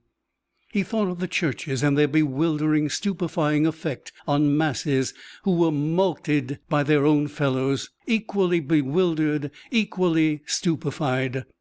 Suppose through a thousand nights he ravaged the churches, wrecking every structure in the land, laying waste property, making the loud, unattended volume of worship an impossibility, taking away the purple robed gods of his forebears. Suppose he sank the navy, annihilated the army, set up a despotism. No matter how efficiently and how well he ruled, the millions would hate him, plot against him, attempt his life, and every essential agent would be a hypocritical sycophant seeking selfish ends. He reached the last of his conclusions sitting beside a river whither he had walked to think. An immense loathing for the world rose up in him. At its apex a locomotive whistled in the distance, thundered inarticulately, and rounded a bend. It came very near the place where Hugo reclined, black, smoking, and noisy, drivers churning along the rails, a train of passenger cars behind. Hugo could see the dots that were people's heads. People, human beings. How he hated them. The train was very near. Suddenly all his muscles were unsprung. He threw himself to his feet and rushed toward the train with a passionate desire to get his fingers around the sliding piston, to upend the locomotive, and to throw the ordered machinery into a blackened, blazing, bloody tangle of ruin. His lips uttered a wild cry. He jumped across the river and ran two prodigious steps. And then he stopped. The train went on unharmed. Hugo shuddered. If the world did not want him, he would leave the world. Perhaps he was a menace to it. Perhaps he should kill himself. But his burning, sickened heart refused once more to give up. Frenzy departed, then numbness. In its place came a fresh hope, new determination. Hugo Danner would do his utmost until the end. Meanwhile he would remove himself some distance from the civilization that had tortured him. He would go away and find a new dream. The sound of the locomotive was dead in the distance. He crossed the river on a bridge and went back to his house. He felt strong again and glad. Glad because he had won an obscure victory. Glad because the farce of his quest in political government had ended with no tragic denouement. They were electrocuting Davidoff and Pletzky that day. The news scarcely interested Hugo. The part he had very nearly played in the affair seemed like the folly of a dimly remembered acquaintance. The relief of resigning that impossible purpose overwhelmed him. He dismissed his servants, closed his house, and boarded a train. When the locomotive pounded through the station, he suffered a momentary pang. He sat in a seat with people all around him. He was tranquil, and almost content. End of chapter 22 Chapter 23 Hugo had no friends. One single individual whom he loved, whom he could have taken fully into his confidence, might in a measure have resolved his whole life.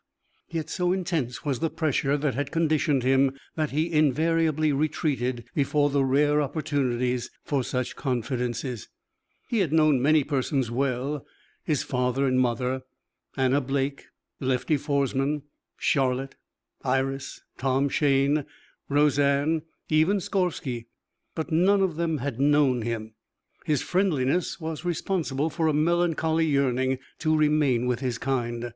Having already determined to go away, he sought for a kind of compromise. He did not want to be in New York or Washington or any other city. The landscape of America was haunted for him. He would leave it. But he would not open himself to the cruel longings for his own language, the sight of familiar customs and manners. From his hotel in New York he made excursions to various steamship agencies and travel bureaus.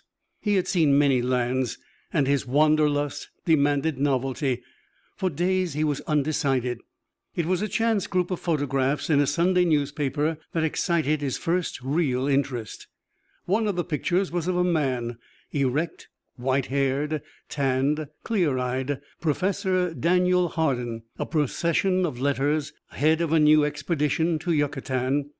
The other pictures were of ruined temples, unpiled stone causeways, jungle, he thought instantly that he would like to attach himself to the party. Many factors combined to make the withdrawal offered by an expedition ideal. The more Hugo thought about it, the more excited he became. The very nascency of a fresh objective was accompanied by and crowded with new hints for himself and his problems. The expedition would take him away from his tribulations, and it would not entirely cut him off from his own kind. Professor Hardin had both the face and the fame of a distinguished man. A thought that had been in the archives of his mind for many months came sharply into relief. Of all human beings alive, the scientists were the only ones who retained imagination, ideals, and a sincere interest in the larger world. It was to them that he should give his allegiance, not to the statesman, not to industry or commerce or war. Hugo felt that in one quick glimpse he had made a long step forward. Another concept, far more fantastic and in a way even more intriguing, dawned in his mind as he read accounts of the Maya ruins which were to be excavated. The world was cluttered with these great lumps of incredible architecture. Walls had been builded by primitive man, temples, hanging gardens, obelisks, pyramids, palaces, bridges, terraces, roads, all of them gigantic and all of them defying the penetration of archaeology to find the manner of their creation. Was it not possible Hugo's heart skipped a beat when it occurred to him that in their strange combination of ignorance and brilliance the ancients had stumbled upon the secret of human strength his secret had not these antique and migratory peoples carried with them the formula which could be poured into the veins of slaves, making them stronger than engines? And was it not conceivable that as their civilizations crumbled, the secret was lost, together with so many other formula of knowledge? He could imagine plumed and painted priests, with prayer and sacrifice, cutting open the veins of prehistoric mothers and pouring in the magic potion. When the babies grew, they could raise up the pyramids, walls and temples. They could do it rapidly and easily. A great enigma was thus resolved. He set out immediately to locate Professor Hardin and with difficulty arranged an interview with him. Preparations for the expedition were being carried on in an ordinary New York business office. A secretary announced Hugo and he was conducted before the professor. Daniel Hardin was no dusty pedagogue. His knowledge was profound and academic. His books were authoritative. But in himself he belonged to the type of man certain to succeed, whatever his choice of occupation. Much of his life had been spent in field work, arduous toil in bizarre lands where life depended sometimes on tact and sometimes on military strategy. He appraised Hugo shrewdly before he spoke. "What can I do for you, Mr. Danner?" Hugo came directly to the point. "I should like to join your Yucatan expedition." Professor Hardin smiled. "I'm sorry we're full up." "I'll be glad to go in any capacity." "Have you any special qualifications knowledge of the language, of archæology?" "No." The professor picked up a tray of letters. "These letters more than three hundred are all from young men and women who would like to join my expedition." "I think I should be useful," Hugo said. And then he played his trump. "And I should be willing to contribute, for the favor of being included, a sum of fifty thousand dollars." Professor Hardin whistled. Then his eyes narrowed. "What's your object, young man? Treasure?" "No. A life, let us say, with ample means at my disposal and no definite purpose." "Boredom, then." He smiled. "A lot of these other young men are independently wealthy and bored. I must say I feel sorry for your generation. But no, I can't accept. We're already adequately financed." Hugo smiled in response. "Then perhaps I could organize my own party and camp near you." "That would hamper me." "Then a hundred thousand dollars." "Good Lord, you are determined." "I have decided. I'm familiar with the jungle. I'm an athlete. I speak a little Spanish enough to boss a labour gang. I propose to assist you in that way as well as financially. I'll make any contract with you that you desire and attach no strings whatever to my money." Professor Hardin pondered for a long time. His eyes twinkled when he replied: "You won't believe it, but I don't give a damn for your money. Not that it wouldn't assist us. But the fact is I could use a man like you. Anybody could. I'll take you and you can keep your money." "There'll be a check in the mail to morrow," Hugo answered. The professor stood. "We're hoping to get away in three weeks. You'll leave your address with my secretary and I'll send a list of the things you'll want for your kit." He held out his hand and Hugo shook it. When he had gone the professor looked over the rooftops and swore gleefully to himself. Hugo discovered after the ship sailed that everyone called Professor Hardin Dan, and they used Hugo's first name from the second day out. Dan Hardin was too busy to be very friendly with any of the members of his party during the voyage, but they themselves fraternized continually. There were deck games and card games. There were long and erudite arguments about the people whom they were going to study. What was the Mayan time cycle, and did it correspond to the Egyptian Sothic cycle or the Greek Metonic cycle, and where did the Mayans get their jade? Did they come from Asia over Bering Strait, or were they a colony of Atlantis? When they knew so much about engineering, why did they not use the Keystone arch and the wheel? Why was their civilization decadent, finished when the conquistadors discovered it? How old were they? Four thousand years or twelve thousand years? There were innumerable other debates to which Hugo listened like a man new born. The cold Atlantic winds were transformed overnight to the balm of the Gulf Stream. Presently they passed the West Indies, which lay on the water like marine jewels. Ages turned back through the days of buccaneering to the more remote times. In the port of Xantl a rickety wharf, a single white man, a zinc bar, and a storehouse filled with chicle blocks marked off the realm of the twentieth century. The ship anchored. During the next year it would make two voyages back to the homeland for supplies. But the explorers would not emerge from the jungle in that time. An antiquated wood burning locomotive, which rocked along over treacherous rails, carried them inland. The scientists became silent and pensive. In another car the Maya Indians, who were to do the manual labor, chattered incessantly in their explosive tongue. At the last sun baked stop they disembarked slept through an insect droning night, and entered the jungle. For three weeks they hacked and hewed their way forward. The vegetation closed behind them, cutting off the universe as completely as the submerging waves of the sea. It was hot, difficult work, to which Hugo lent himself with an energy that astounded even Hardin, who had judged him valuable. One day, when the high mountains loomed into view, Hugo caught his first glimpse of Uctotol, the sacred city. A creeper on the hillside fell before his machete, then another, a hole in the green wall, and there it stood, shining white, huge, desolate, still as the grave. His arm hung in mid air.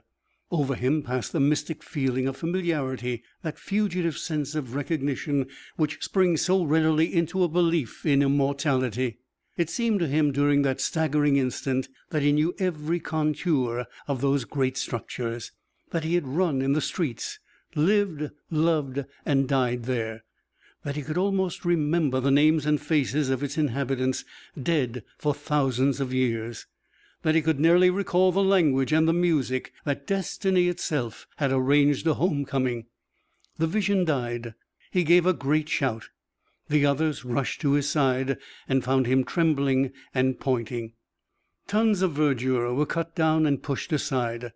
A hacienda was constructed and a camp for the laborers. Then the shovels and picks were broken from their boxes, the scientists arranged their paraphernalia, and the work began, interrupted frequently by the exultant shouts that marked a new finding.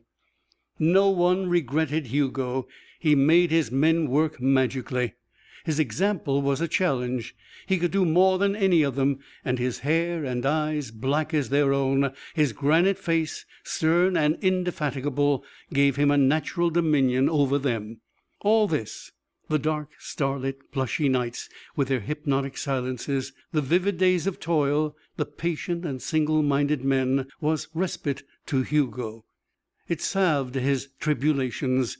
It brought him to a gradual assurance that any work with such men would be sufficient for him. He was going backward into the world instead of forward, and that did not matter. He stood on the frontier of human knowledge. He was a factor in its preparation. And if what they carried back with them was no more than history, if it cast no new light on existing wants and perplexities, it still served a splendid purpose. Months rolled by unheeded. Hugo gathered friends among these men, and the greatest of those friends was Daniel Hardin. In their isolation and occasional loneliness each of them, little by little, stripped his past for the others. Only Hugo remained silent about himself until his reticence was conspicuous. He might never have spoken except for the accident. It was in itself a little thing, which happened apart from the main field of activity. Hugo and two Indians were at work on a small temple at the city's fringe. Hardin came down to see. The great stone in the roof, crumbled by ages, slipped and teetered. Underneath, the professor stood unheeding. But Hugo saw. He caught the mass of rock in his arms and lifted it to one side. And Dan Hardin turned in time to perceive the full miracle. When Hugo lifted his head he knew. And yet, to his astonishment, there was no look of fear in Hardin's blue eyes. Instead, they were moderately surprised and vastly interested. He did not speak for some time. And then he said, "Thanks, Danner. I believe you saved my life. Should you mind picking up that rock again?" Hugo dismissed the Indians with a few words. He glanced again at Hardin to make sure of his composure. And then he lifted the square stone back to its position. Hardin was thinking aloud. "That stone must weigh four tons. No man alive can handle four tons like that. How do you do it, Hugo?" Hot, streaming sun, tumbled debris. This profound question, asked again, asked mildly for the first time. "My father was a biologist a great biologist. I was an experiment. Good Lord! And that's why you've kept your past dark, Hugo. Of course, not many people survive the shock. You forget that we, here, are all scientists. I won't press you. Perhaps, Hugo heard himself saying, I'd like to tell you. In that case, in my room to night, I should like to hear. That night, after a day of indecision, Hugo sat in a dim light and poured out the story of his life. Hardin never interrupted, never commented, until the end. And then he said softly, "You poor devil! Oh, you poor bastard!" And Hugo saw that he was weeping. He tried to laugh. "It isn't as bad as that, Dan." Son," his voice choked with emotion, "this thing this is my life work. This is why you came to my office last winter. This is the most important thing on earth. What a story! What a man you are!" "On the contrary." "Don't be modest. I know, I feel, I understand." Hugo's head shook sadly. "Perhaps not. You can see I have tried everything. In itself it is great. I can see that. It is, objectively, the most important thing on earth. But the other way what can I do? Tell me that. You cannot tell me. I can destroy, as nothing that ever came before or will come again. I can destroy. But destruction, as I believe, as you believe, is at best only a step toward recreation. And what can I make afterwards? Think, think, man. Rack your brains. What?" His hands clenched and unclenched. "I can build great halls and palaces. Futile. I can make bridges. I can rip open mountains and take out the gold. I am that strong. It is as if my metabolism was atomic instead of molecular. But what of it? Stretch your imagination to its uttermost limits, and what can I do that is more than an affair of petty profit to myself? Mankind has already extended its senses and its muscles to their tenth powers. He can already command engines to do what I can do. It is not necessary that he become an engine himself. It is preposterous that he should think of it, even to transcend his engines. I defy you I defy you with all my strength to think of what I can do to justify myself." The words had been wrung from Hugo. Perspiration trickled down his face. He bit his lips to check himself. The older man was grave. "All your emotions, your reflections, your yearnings and passions come to that and yet "Look at me in another light," Hugo went on. "I've tried to give you an inkling of it. You were the first who saw what I could do glimpsed a fraction of it, rather and into whose face did not come fear, loathing, and even hate. Try to live with a sense of that. I can remember almost back to the cradle that same thing. First it was envy and jealousy, and then, as I grew stronger, it was fear, alarm, and the thing that comes from fear hatred. That is another and perhaps a greater obstacle. If I found something to do the whole universe would be against me. These little people can you imagine what it is to be me and to look at people a crowd at a ball game, a parade can you?" "Great God!" the scientist breathed. "When I see them for what they are, and when they exert the tremendous bulk of their united detestation and denial against me, when I feel rage rising inside myself, can you conceive That's enough. I don't want to try to think. None of that. I shall I walk to my grave afraid that I shall let go of myself, searching everywhere for something to absorb my energy? Shall I?" "No." The professor spoke with a firm concentration. Hugo arrested himself. "Then what? Did it ever dawn on you that you had missed your purpose entirely?" The words were like cold water to Hugo. He pulled himself together with a physical effort and replied: "You mean that I have not guessed it so far?" "Precisely. It never occurred to me. Not that I missed it entirely." "You have." "Then, for the love of God, what is it?" Hardin smiled a gentle, wise smile. "Easy there. I'll tell you. And listen well, Hugo, because to night I feel inspired. The reason you have missed it is simple. You've tried to do everything single handed." "On the contrary, every kind of assistance I have enlisted has failed me utterly." "Except one kind." "Science?" "No. Your own kind, Hugo." The words did not convey their meaning for several seconds. And then Hugo gasped. "You mean other men like me?" "Exactly. Other men like you. Not one or two. Scores. Hundreds. And women. All picked with the utmost care. Eugenic offspring. Cultivated and reared in secret by a society for the purpose. Not necessarily your children, but the children of the best parents. Perfect bodies, intellectual minds, your strength. Don't you see it, Hugo? You're not the reformer of the old world. You're the beginning of the new. We begin with a thousand of you, living by yourselves and multiplying. You produce your own arts and industries and ideals, the new Titans, and then slowly, you dominate the world, conquer and stamp out all these things to which you and I and all men of intelligence object.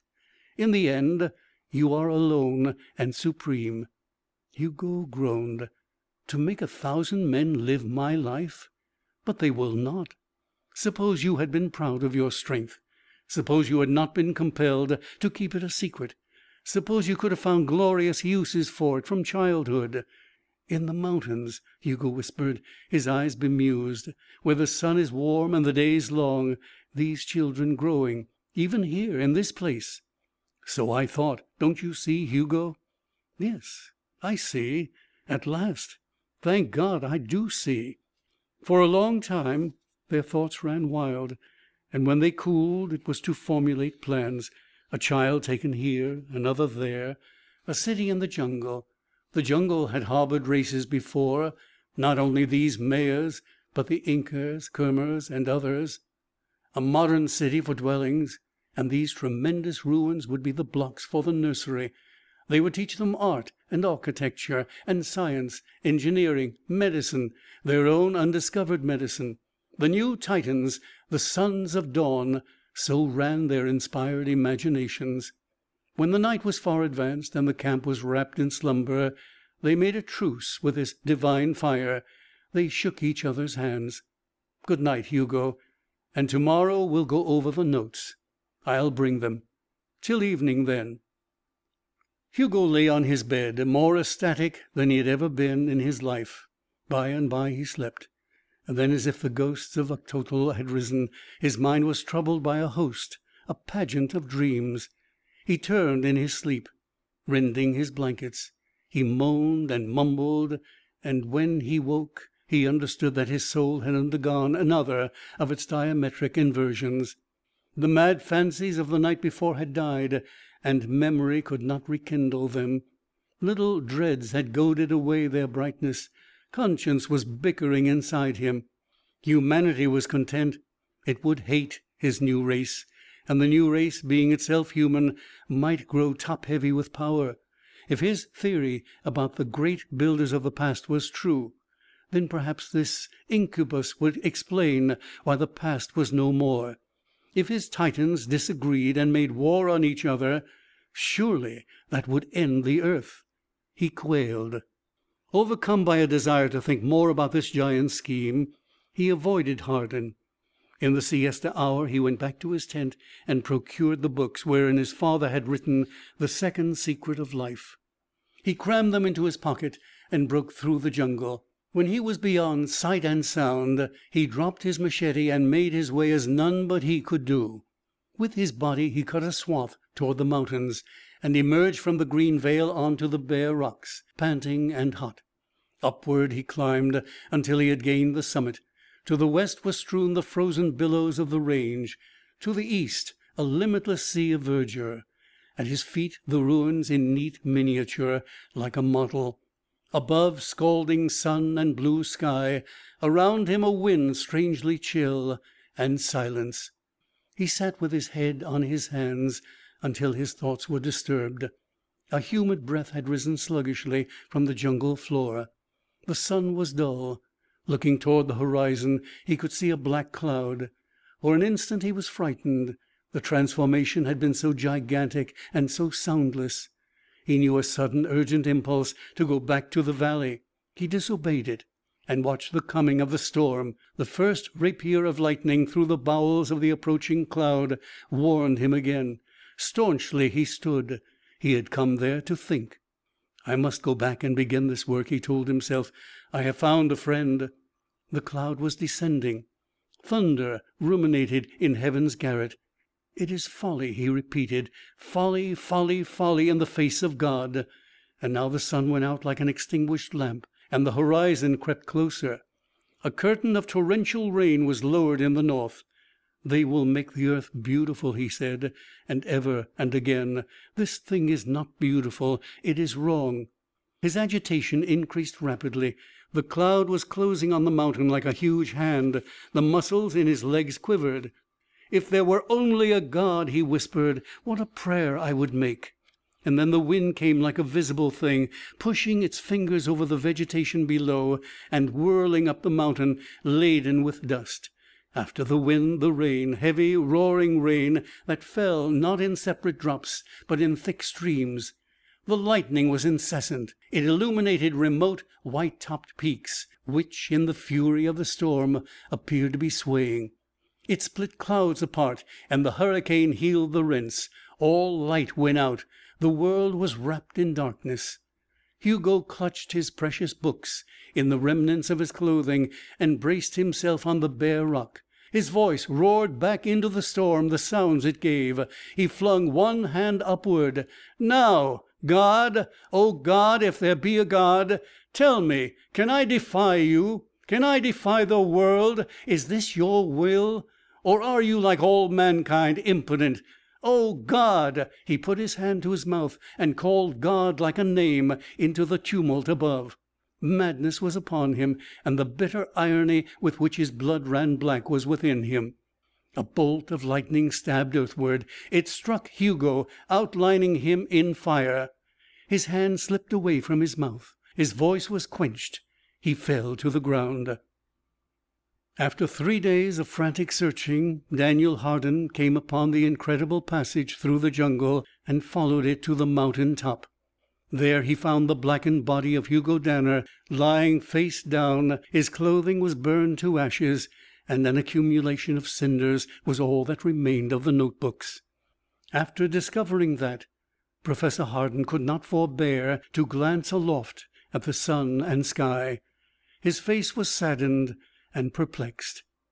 "We will carry him yonder to Uctotol and bury him," he said at last. "Then the work will go on." End of Chapter 23 and the end of Gladiator by Philip Wylie